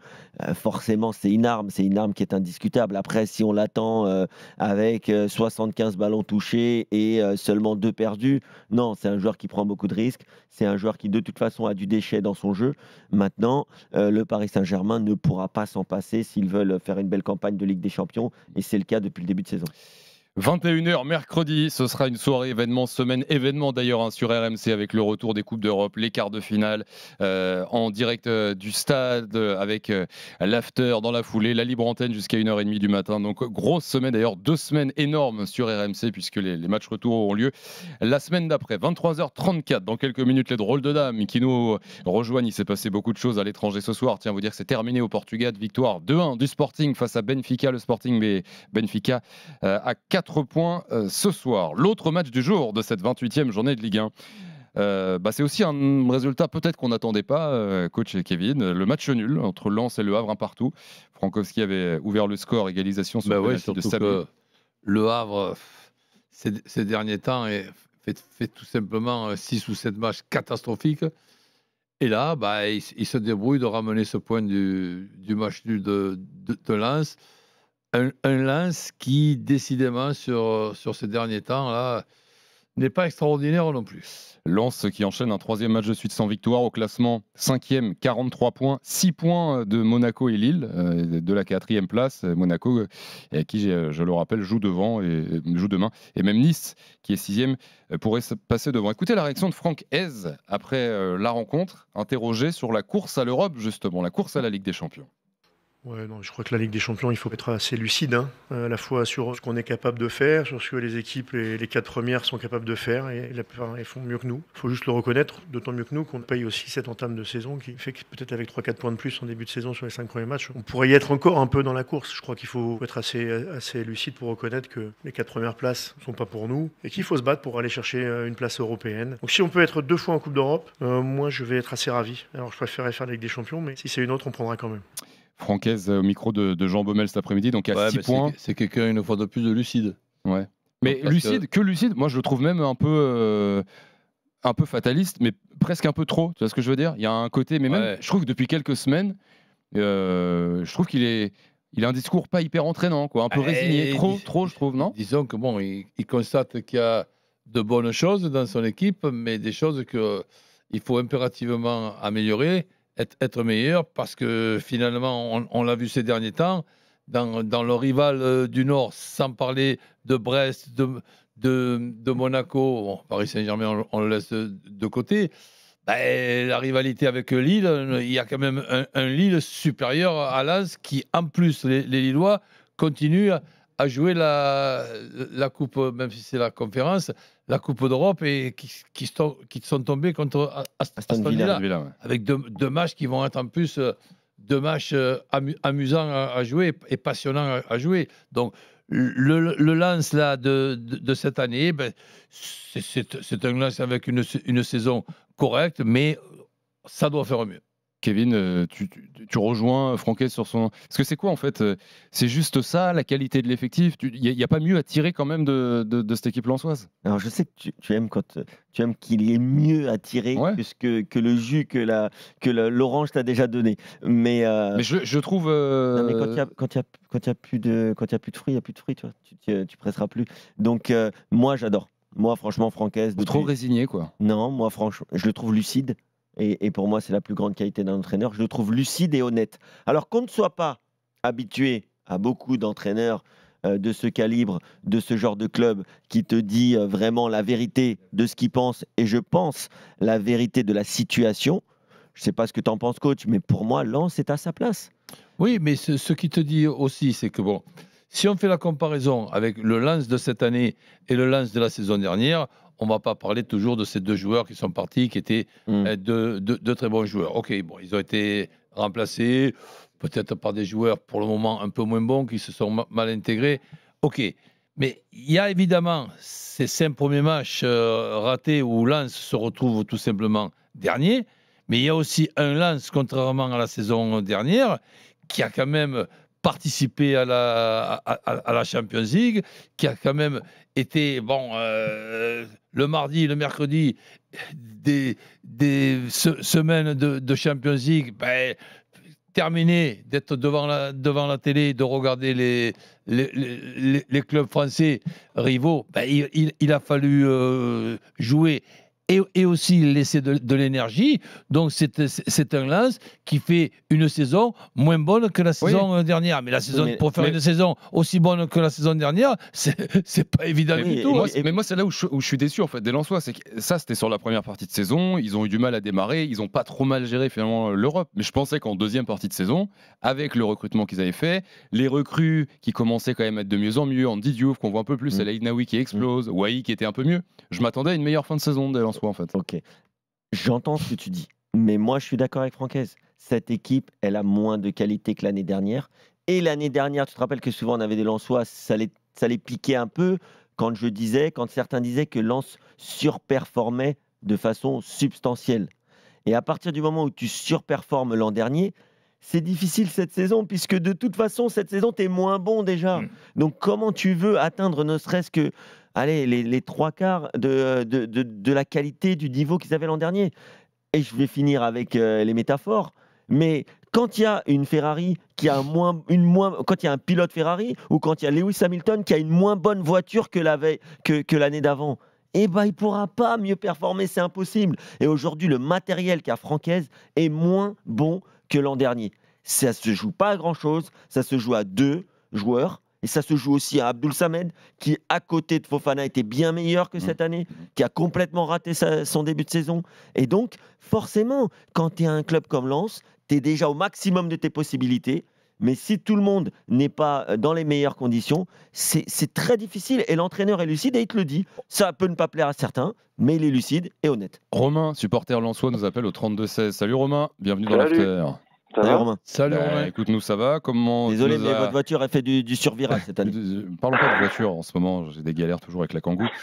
Romain, est-ce que tu es d'accord avec ce que tu entends euh, Comment tu Ouais, assez. Euh, moi, je reviens du match, j'étais euh, j'étais au match tout à l'heure. je suis assez d'accord avec Kevin sur le fait que l'année dernière, effectivement, c'est une saison exceptionnelle et c'était un kiff monumental pour tous les supporters de Lens et ça fait un plaisir fou. On a vécu une belle campagne de Champions League. On, je rappelle qu'on a fait le même nombre de points que Paris, ce qui est pas négligeable. Et, euh, après, on fait, euh, on fait ce qu'on peut avec les moyens qu'on a. Et moi, je suis assez d'accord avec Francaise. Euh, ce qu'il faut, c'est accompagner la, progression de Lens. Et la progression logique de Lens, c'était d'arriver en Europa League l'année dernière, pas forcément en Champions League. Et là, si cette année on arrive à faire 5-6e, ben c'est très bien. Et on continuera comme ça. Et peut-être que dans 2-3 ans, on fera Champions League et ce sera fantastique. Mais euh, mais il faut accompagner la progression du club, pas brûler les étapes, pas faire n'importe quoi au niveau de l'organigramme comme euh, il s'est un peu passé ces dernières semaines là. Essayer de lisser tout ça. Et au-delà de ça, même si on a fait un mauvais match, franchement, on a fait un mauvais match. Mm. Mais au-delà de ça, moi, je, je pense que là, euh, je vais rejoindre le combat de Gilbert Bribois. Il faut arrêter la VAR, quoi. C'est, enfin, là, euh, là, si, si, non, mais c'est une catastrophe. Enfin, dans ce cas-là, enfin, le, le, le penalty qui est accordé à, au Havre, euh, n'importe quelle personne qui a joué au foot une fois dans sa vie euh, dit mais pourquoi on siffle le penalty là? Et du coup, on Oui, se pose ça, forcément la question C'est pourquoi la l'utilisation. VAR ça le pourquoi la, pourquoi la VAR euh, n'appelle pas quoi? Et franchement, mais, faut, faut- euh, là- là- là, pareil, suis- suis- pour le hors-jeu sur une tresse de Wai, j'étais d'accord avec toi jusqu'à ce que tu parles de, de la- de l'arbitrage vidéo. Pour- pourtant, pourtant, moi, l'arbitrage vidéo, euh, tu sais que je suis pas un grand fan. Mais aujourd'hui, mais- là, au- aujourd'hui, tu ne peux pas me dire que c'est une erreur qui est manifeste. C'est pas Bah, manifeste. franchement, la- non, à quel on- moment- attends, laisse-moi te répondre. te laisse-moi te répondre. C'est l'arbitre qui décide de siffler. Oui, oui, bien sûr. D'accord. Donc, si l'arbitre ne siffle pas, c'est la même action. L'arbitre, c'est lui qui juge, les gars. C'est lui qui doit juger. Il a le droit de se tromper. Il y en a l'occurrence- en l'occurrence, si- je, te, dis, juste quelque chose. Sur Ouais. cette action, comme beaucoup, c'est lui qui juge. L'arbitre vidéo, ne doit pas, l'arbitre vidéo ne doit pas le déjuger. Par contre, s'il ne siffle pas parce qu'il juge qu'il n'y a pas faute, il ne faut pas non plus que l'arbitre vidéo l'appelle pour lui dire Oh, il y a une erreur. Non. C'est lui qui juge. Tu peux considérer qu'il s'est trompé, que c'est sévère. C'est vrai que c'est une poussette qu'on voit beaucoup Mais sur tous les terrains de France et de Navarre. Mais en l'occurrence, à ce moment-là, il choisit de siffler. Donc Après, pas on là revient- l'arbitrage vidéo n'est pas n'est pas en cause. Et on revient aussi sur euh, ce qu'on sait malheureusement avec l'utilisation de l'arbitrage vidéo et que certains arbitres, aujourd'hui c'était Monsieur Le Texier qui en fait partie, qui sont plus difficiles à déjuger ou que eux-mêmes ont plus de mal à se remettre en question quand il faut aller Ah, voir. là, Là, là, là, je suis pas d'accord. Là, je suis pas d'accord pour tirer sur la VAR aujourd'hui. Pour moi, ça n'a rien à voir. Non, pas la VAR. Ou sur l'arbitrage vidéo, ou le fonctionnement. Ou même sur le hors-jeu, euh, sur Sotoka, hein, franchement. Non, euh, mais bien sûr, moi je déteste ces hors-jeux, mais qu'est-ce que tu veux? Bon, en tout cas, euh, effectivement, le penalty était sévère. On te rejoint euh, là-dessus. Romain, est-ce que tu veux Ouais. ajouter quelque chose avant de, de nous laisser Non, non, non, mais juste Bon. dire qu'il faut être indulgent avec Lens et que si on finit en Europa League, ce sera parfait, il n'y a aucun problème. Et juste, juste, dis- juste Ouais. sur Franck Hez, et très rapidement, tu Ouais. me rejoins pas sur le, cette impression un peu de résignation, non te- Je, je pense, je pense qu'il est peut-être fatigué cette année, mais pas forcément par ses joueurs ou parce qu'il n'a pas eu forcément ce qu'il a eu, ce qu'il a voulu peut-être euh, en Mm. termes d'organisation interne, et que j'espère qu'ils vont faire ce qu'il faut pour le garder, parce que je pense que c'est une pépite et qu'il faut le garder absolument. Mais quoi. il- Merci, Il y Romain. a eu Voilà. quand même un, À bientôt. un- un problème dans, la saison Romain. où il faisait beaucoup, beaucoup de choses, non? Oui, oui, à un moment donné, mais il a peut-être un de peu- manager général beau- qui n'a plus aujourd'hui. Beaucoup Ouais. trop. Le Havre, euh, grâce à ce point qui prend deux points d'avance sur Lorient, euh, qui euh, jouera demain, un barragiste, et qui rejoint Nantes. Bon, pareil, un peu comme pour Clermont, ce point Havrais était peut-être pas dans le, sur la feuille de route, mais bon, il vient récompenser une période un peu plus solide. Ils ont eu un gros trou, les Havrais, ça va quand même mieux depuis quelques matchs pour, le- pour- pour le Havre. Non, moyennement, euh, Roland, bof. Ben, je, je- je crois que sur les, les six ou sept derniers matchs, je, crois avoir entendu qu'il y a Une seule six- victoire. Oui. Ouais, et, et six défaites, je crois. Mais dans le jeu, non, non, il y avait des, il y avait des matchs nuls. Mais dans le jeu, euh, Ben, c'est une équipe qui était en train de réussir sa saison. Je dis pas qu'elle qu'elle est- qu'elle est- qu'elle a échoué, mais c'était le, le promu. On, on- on le- on le regardait au milieu tranquille, en train de poser des problèmes à, à deux, matchs, deux matchs sur trois. Et là, d'un coup, patatrac. Donc, je ne sais pas ce qui s'est passé.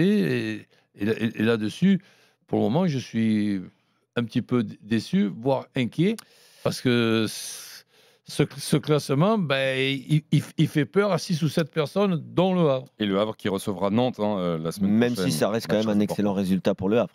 Ah bah oui. Même, 23h46. euh, in- inespéré, je ne pensais jamais qu'il puisse euh, faire un résultat à Lens qui avait besoin à tout prix de gagner ce match. Courte pause et on retrouve trois de nos drôles de dames. Beaucoup de choses aujourd'hui sur la scène européenne et notamment cette finale de la Coupe d'Espagne, toujours un partout entre l'Athletic Bilbao et Mallorca 88e. A tout de suite sur RMC. RMC, l'after-foot. C'est la pub sur RMC. En attendant, lâchez vos commentaires dans le chat.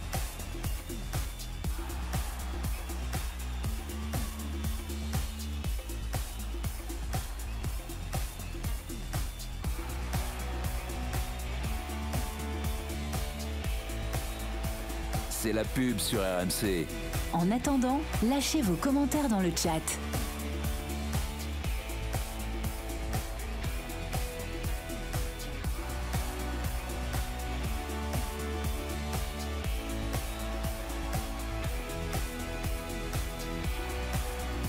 C'est la pub sur RMC.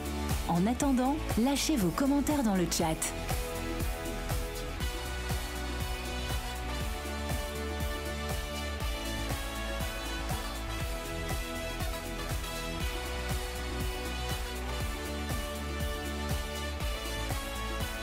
C'est la pub sur RMC.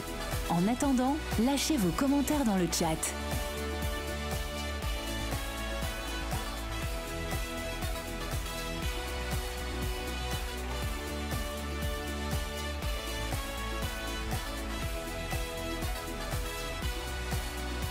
C'est la pub sur RMC. En attendant, lâchez vos commentaires dans le chat.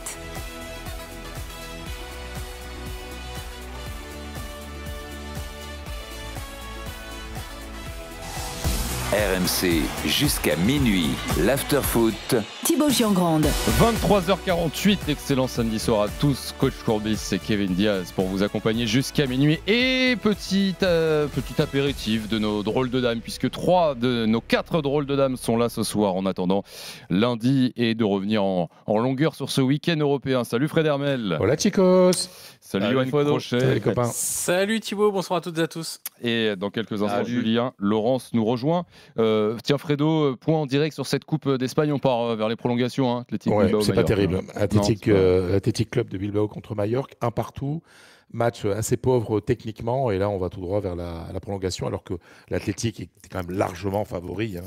C'est l'Athletic, c'est 40 ans qu'ils n'ont pas remporté la Coupe d'Espagne, eux qui étaient le, club qui avait le plus remporté le, coupe, tout ce qu'on appelait la Coupe du Généralissime sous Franco.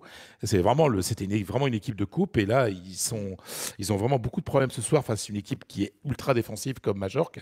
Mais voilà, bon là on va aller en ça sent j'ai vraiment l'impression qu'on va aller même jusqu'au tir au but dans cette dans cette, dans cette petite finale qui, avec beaucoup d'ambiance à Séville, mais euh, pas ah ouais, terrible niveau technique. Il y a l'air d'avoir une sacrée ambiance. Le stade est, est archi plein.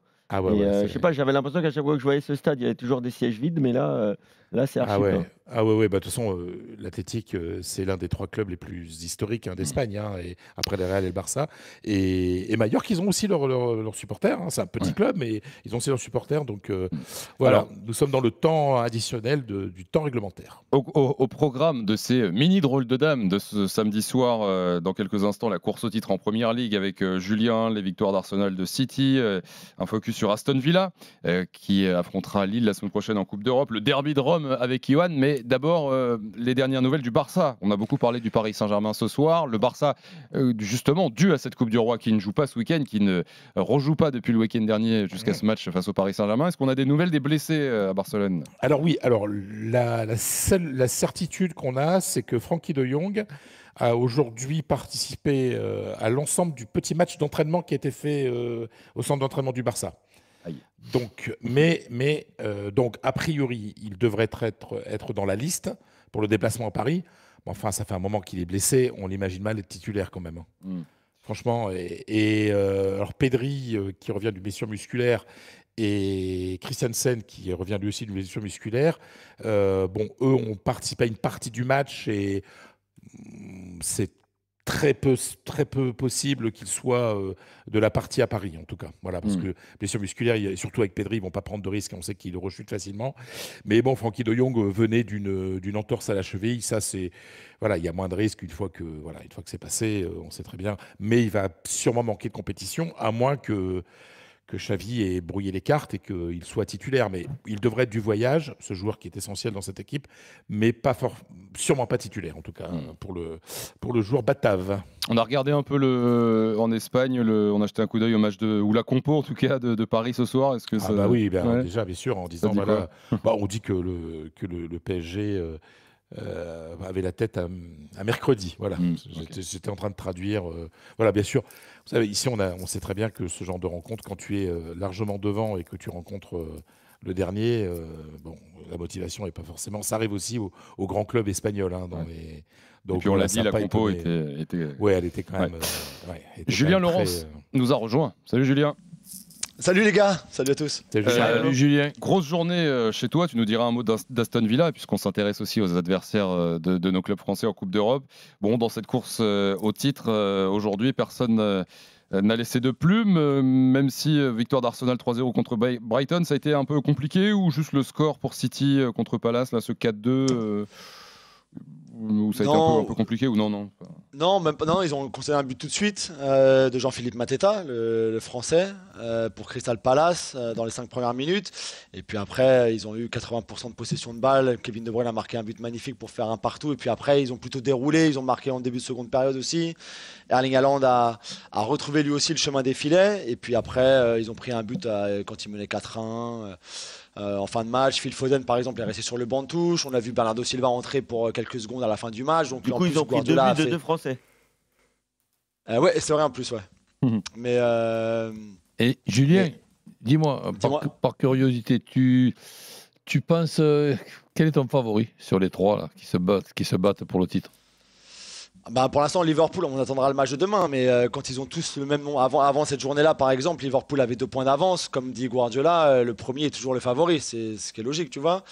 Après, pour moi, ils ont des calendriers plus ou moins, qui, se valent plus ou moins, peut-être légèrement plus favorables à Liverpool.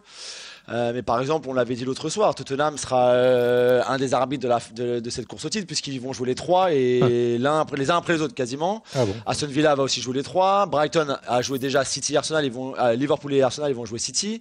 Donc en fait, tu as quelques équipes comme ça qui seront les arbitres. Ah, ça va faire au final, un sacré sprint final.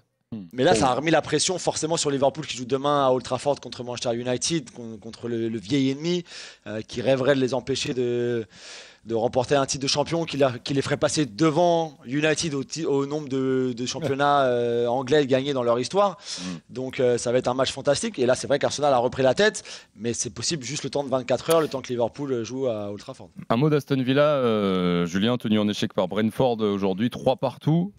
Qu'est-ce qu'on retient du dernier match avant Lille la semaine prochaine pour Villa? C'était très bien pendant la première période. Ils menaient 2 à 0, ils étaient tranquilles. On a vu un Holly Watkins qui était revenu, on en parlait l'autre soir avec Stéphane et Daniel. Il était blessé, on savait pas exactement ah, quand il allait revenir, s'il serait là pour jeudi ou pas. Ils ont pris le risque clairement hein, de, le, de, le, faire jouer aujourd'hui et ça s'est plutôt bien passé, donc il sera titulaire. C'est leur Jonathan David, c'est leur euh, vraiment un des meilleurs numéro 9 cette saison aussi en Première Ligue. Euh, donc ce sera l'arme principale pour, pour Villa. Et puis après, la machine s'est enrayée en seconde période. Incroyable, ils prennent 3 buts en 9 minutes. Euh, ils n'ont pas du tout compris ce qui leur arrivait, les pauvres. Peut-être qu'ils ont pris cette seconde période un petit peu à la légère, vu qu'ils menaient 2 à 0. Je sais pas trop. Euh, c'est vrai que depuis l'absence de Bouba Kamara aussi, même avec le retour de McGinn là au milieu de terrain avec Douglas Luiz, parfois ils, ils, sont un peu exposés défensivement. Et là, ils prennent 3 buts en 9 minutes. Ils arrivent à sauver le match nul en fin de match pour revenir à 3-3. Mais c'est un match assez incompréhensible dans la performance, vu qu'il menait 2 à 0, qu'il était vraiment tranquille dans la rencontre. Brentford, en plus, c'est plutôt mauvais cette saison en championnat. Mm. Euh, donc c'était assez incroyable pour moi, mais je l'ai déjà dit samedi, euh, la dernière fois qu'on en parlait aussi. Pour moi, Lille a vraiment une belle, chance, une belle carte à jouer. Euh, parce que en, tout cas ce sera un match qui sera vraiment agréable à voir jouer deux équipes qui jouent bien au ballon ça va vraiment être sympa mm. deuxième match à Lille hein. ouais Ouais, en plus, ouais, retour en France, retour, à Lille. Aujourd'hui, en Italie, l'événement, Johan, c'était ce, ce, derby romain. Et donc, Première défaite pour euh, Igor Tudor sur le banc de la Lazio et ça a chauffé en fin de match. Il a perdu aussi contre la Juve, non Deuxième défaite, il a perdu contre la Juve en Coupe d'Italie en milieu de ah semaine. Ah oui, oui, oui, oui, oui, j'étais sur Il avait effectivement battu cette même Juve en championnat euh, trois jours euh, auparavant.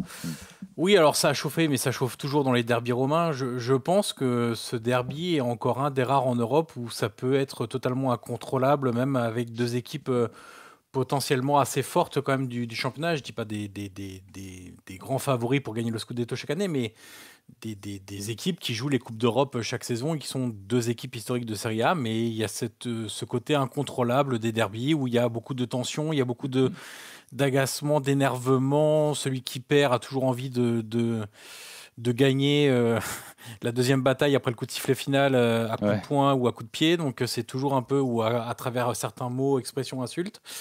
Donc c'est toujours un peu particulier, c'est pas toujours le, match le plus spectaculaire non plus. sur les cinq derniers derbies, il y en a quatre qui font un 0 et un qui fait 0-0. Il y a assez peu de buts dernièrement.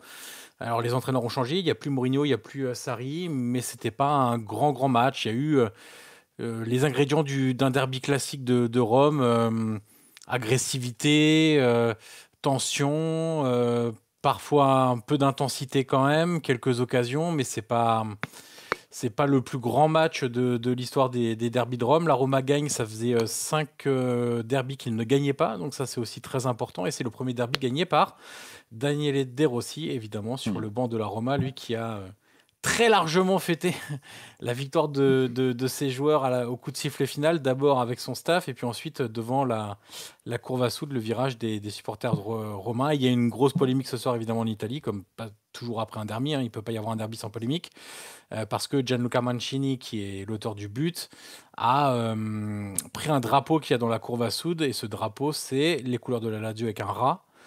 Et ça passe pas très bien parce que Gianluca Mancini est évidemment dans le giron de la, sélection nationale, hmm. qu'il pourrait être à l'Euro et qu'il est censé représenter tous les clubs euh, italiens et tous les Italiens en tout cas, plus que les clubs, tous les Italiens. Et le voir euh, avec un drapeau offensant vers euh, l'adversaire, même si c'est un derby de Rome, ça passe pas forcément très bien en Italie. Et ce qu'on retient également, c'est le, l'embrouille Gendouzi Dybala et Dybala lui, aurait montré la Coupe du Monde sur son protège tibia, c'est ça? Ouais, c'est exactement ça. Ils sont embrouillés à peu près tout le match. De toute façon, on connaît le, caractère hein, de Matteo Gendouzi et dans un derby, ça fait souvent des étincelles, ce genre de, de caractère-là. Et disons que euh, Gendouzi, euh, à partir de l'heure de jeu, et même dès le début du match, hein, il était en mode Doctolib. Il prenait rendez-vous avec tout le monde pour le tunnel, euh, pour finir le match autrement que sur un terrain de foot avec Paredes, avec Dybala, avec Mancini. On ne sait pas comment ça s'est terminé dans le tunnel, sans doute un peu plus calme que ce que euh, Matteo Gendouzi euh, euh, voulait amener comme tension. Mais oui, ça a, été, un match tendu. Et Gendouzi, qui a été d'ailleurs le meilleur joueur de la Lazio sur le terrain, pour le coup, était particulièrement nerveux et a eu du mal à gérer un peu les provocations de certains joueurs de la Roma. Merci les gars, Johan, euh, Fredo et, euh, et Julien. Ciao, ciao. Salut les amis. Lundi, 20h, 22h sur euh, Génération After spécial Drôle de Dame pour lancer cette magnifique semaine européenne sur RMC. Ciao les gars. Merci coach, merci Kevin. Salut à tous. Merci à Najib, Toto et Adrien en régie. merci surtout à vous d'avoir été là, fidèles comme d'hab à l'After qui revient demain, 20h pour la grande soirée Ligue 1 autour de ce Nantes-Lyon. Ciao tout le monde. RMC, l'After Foot.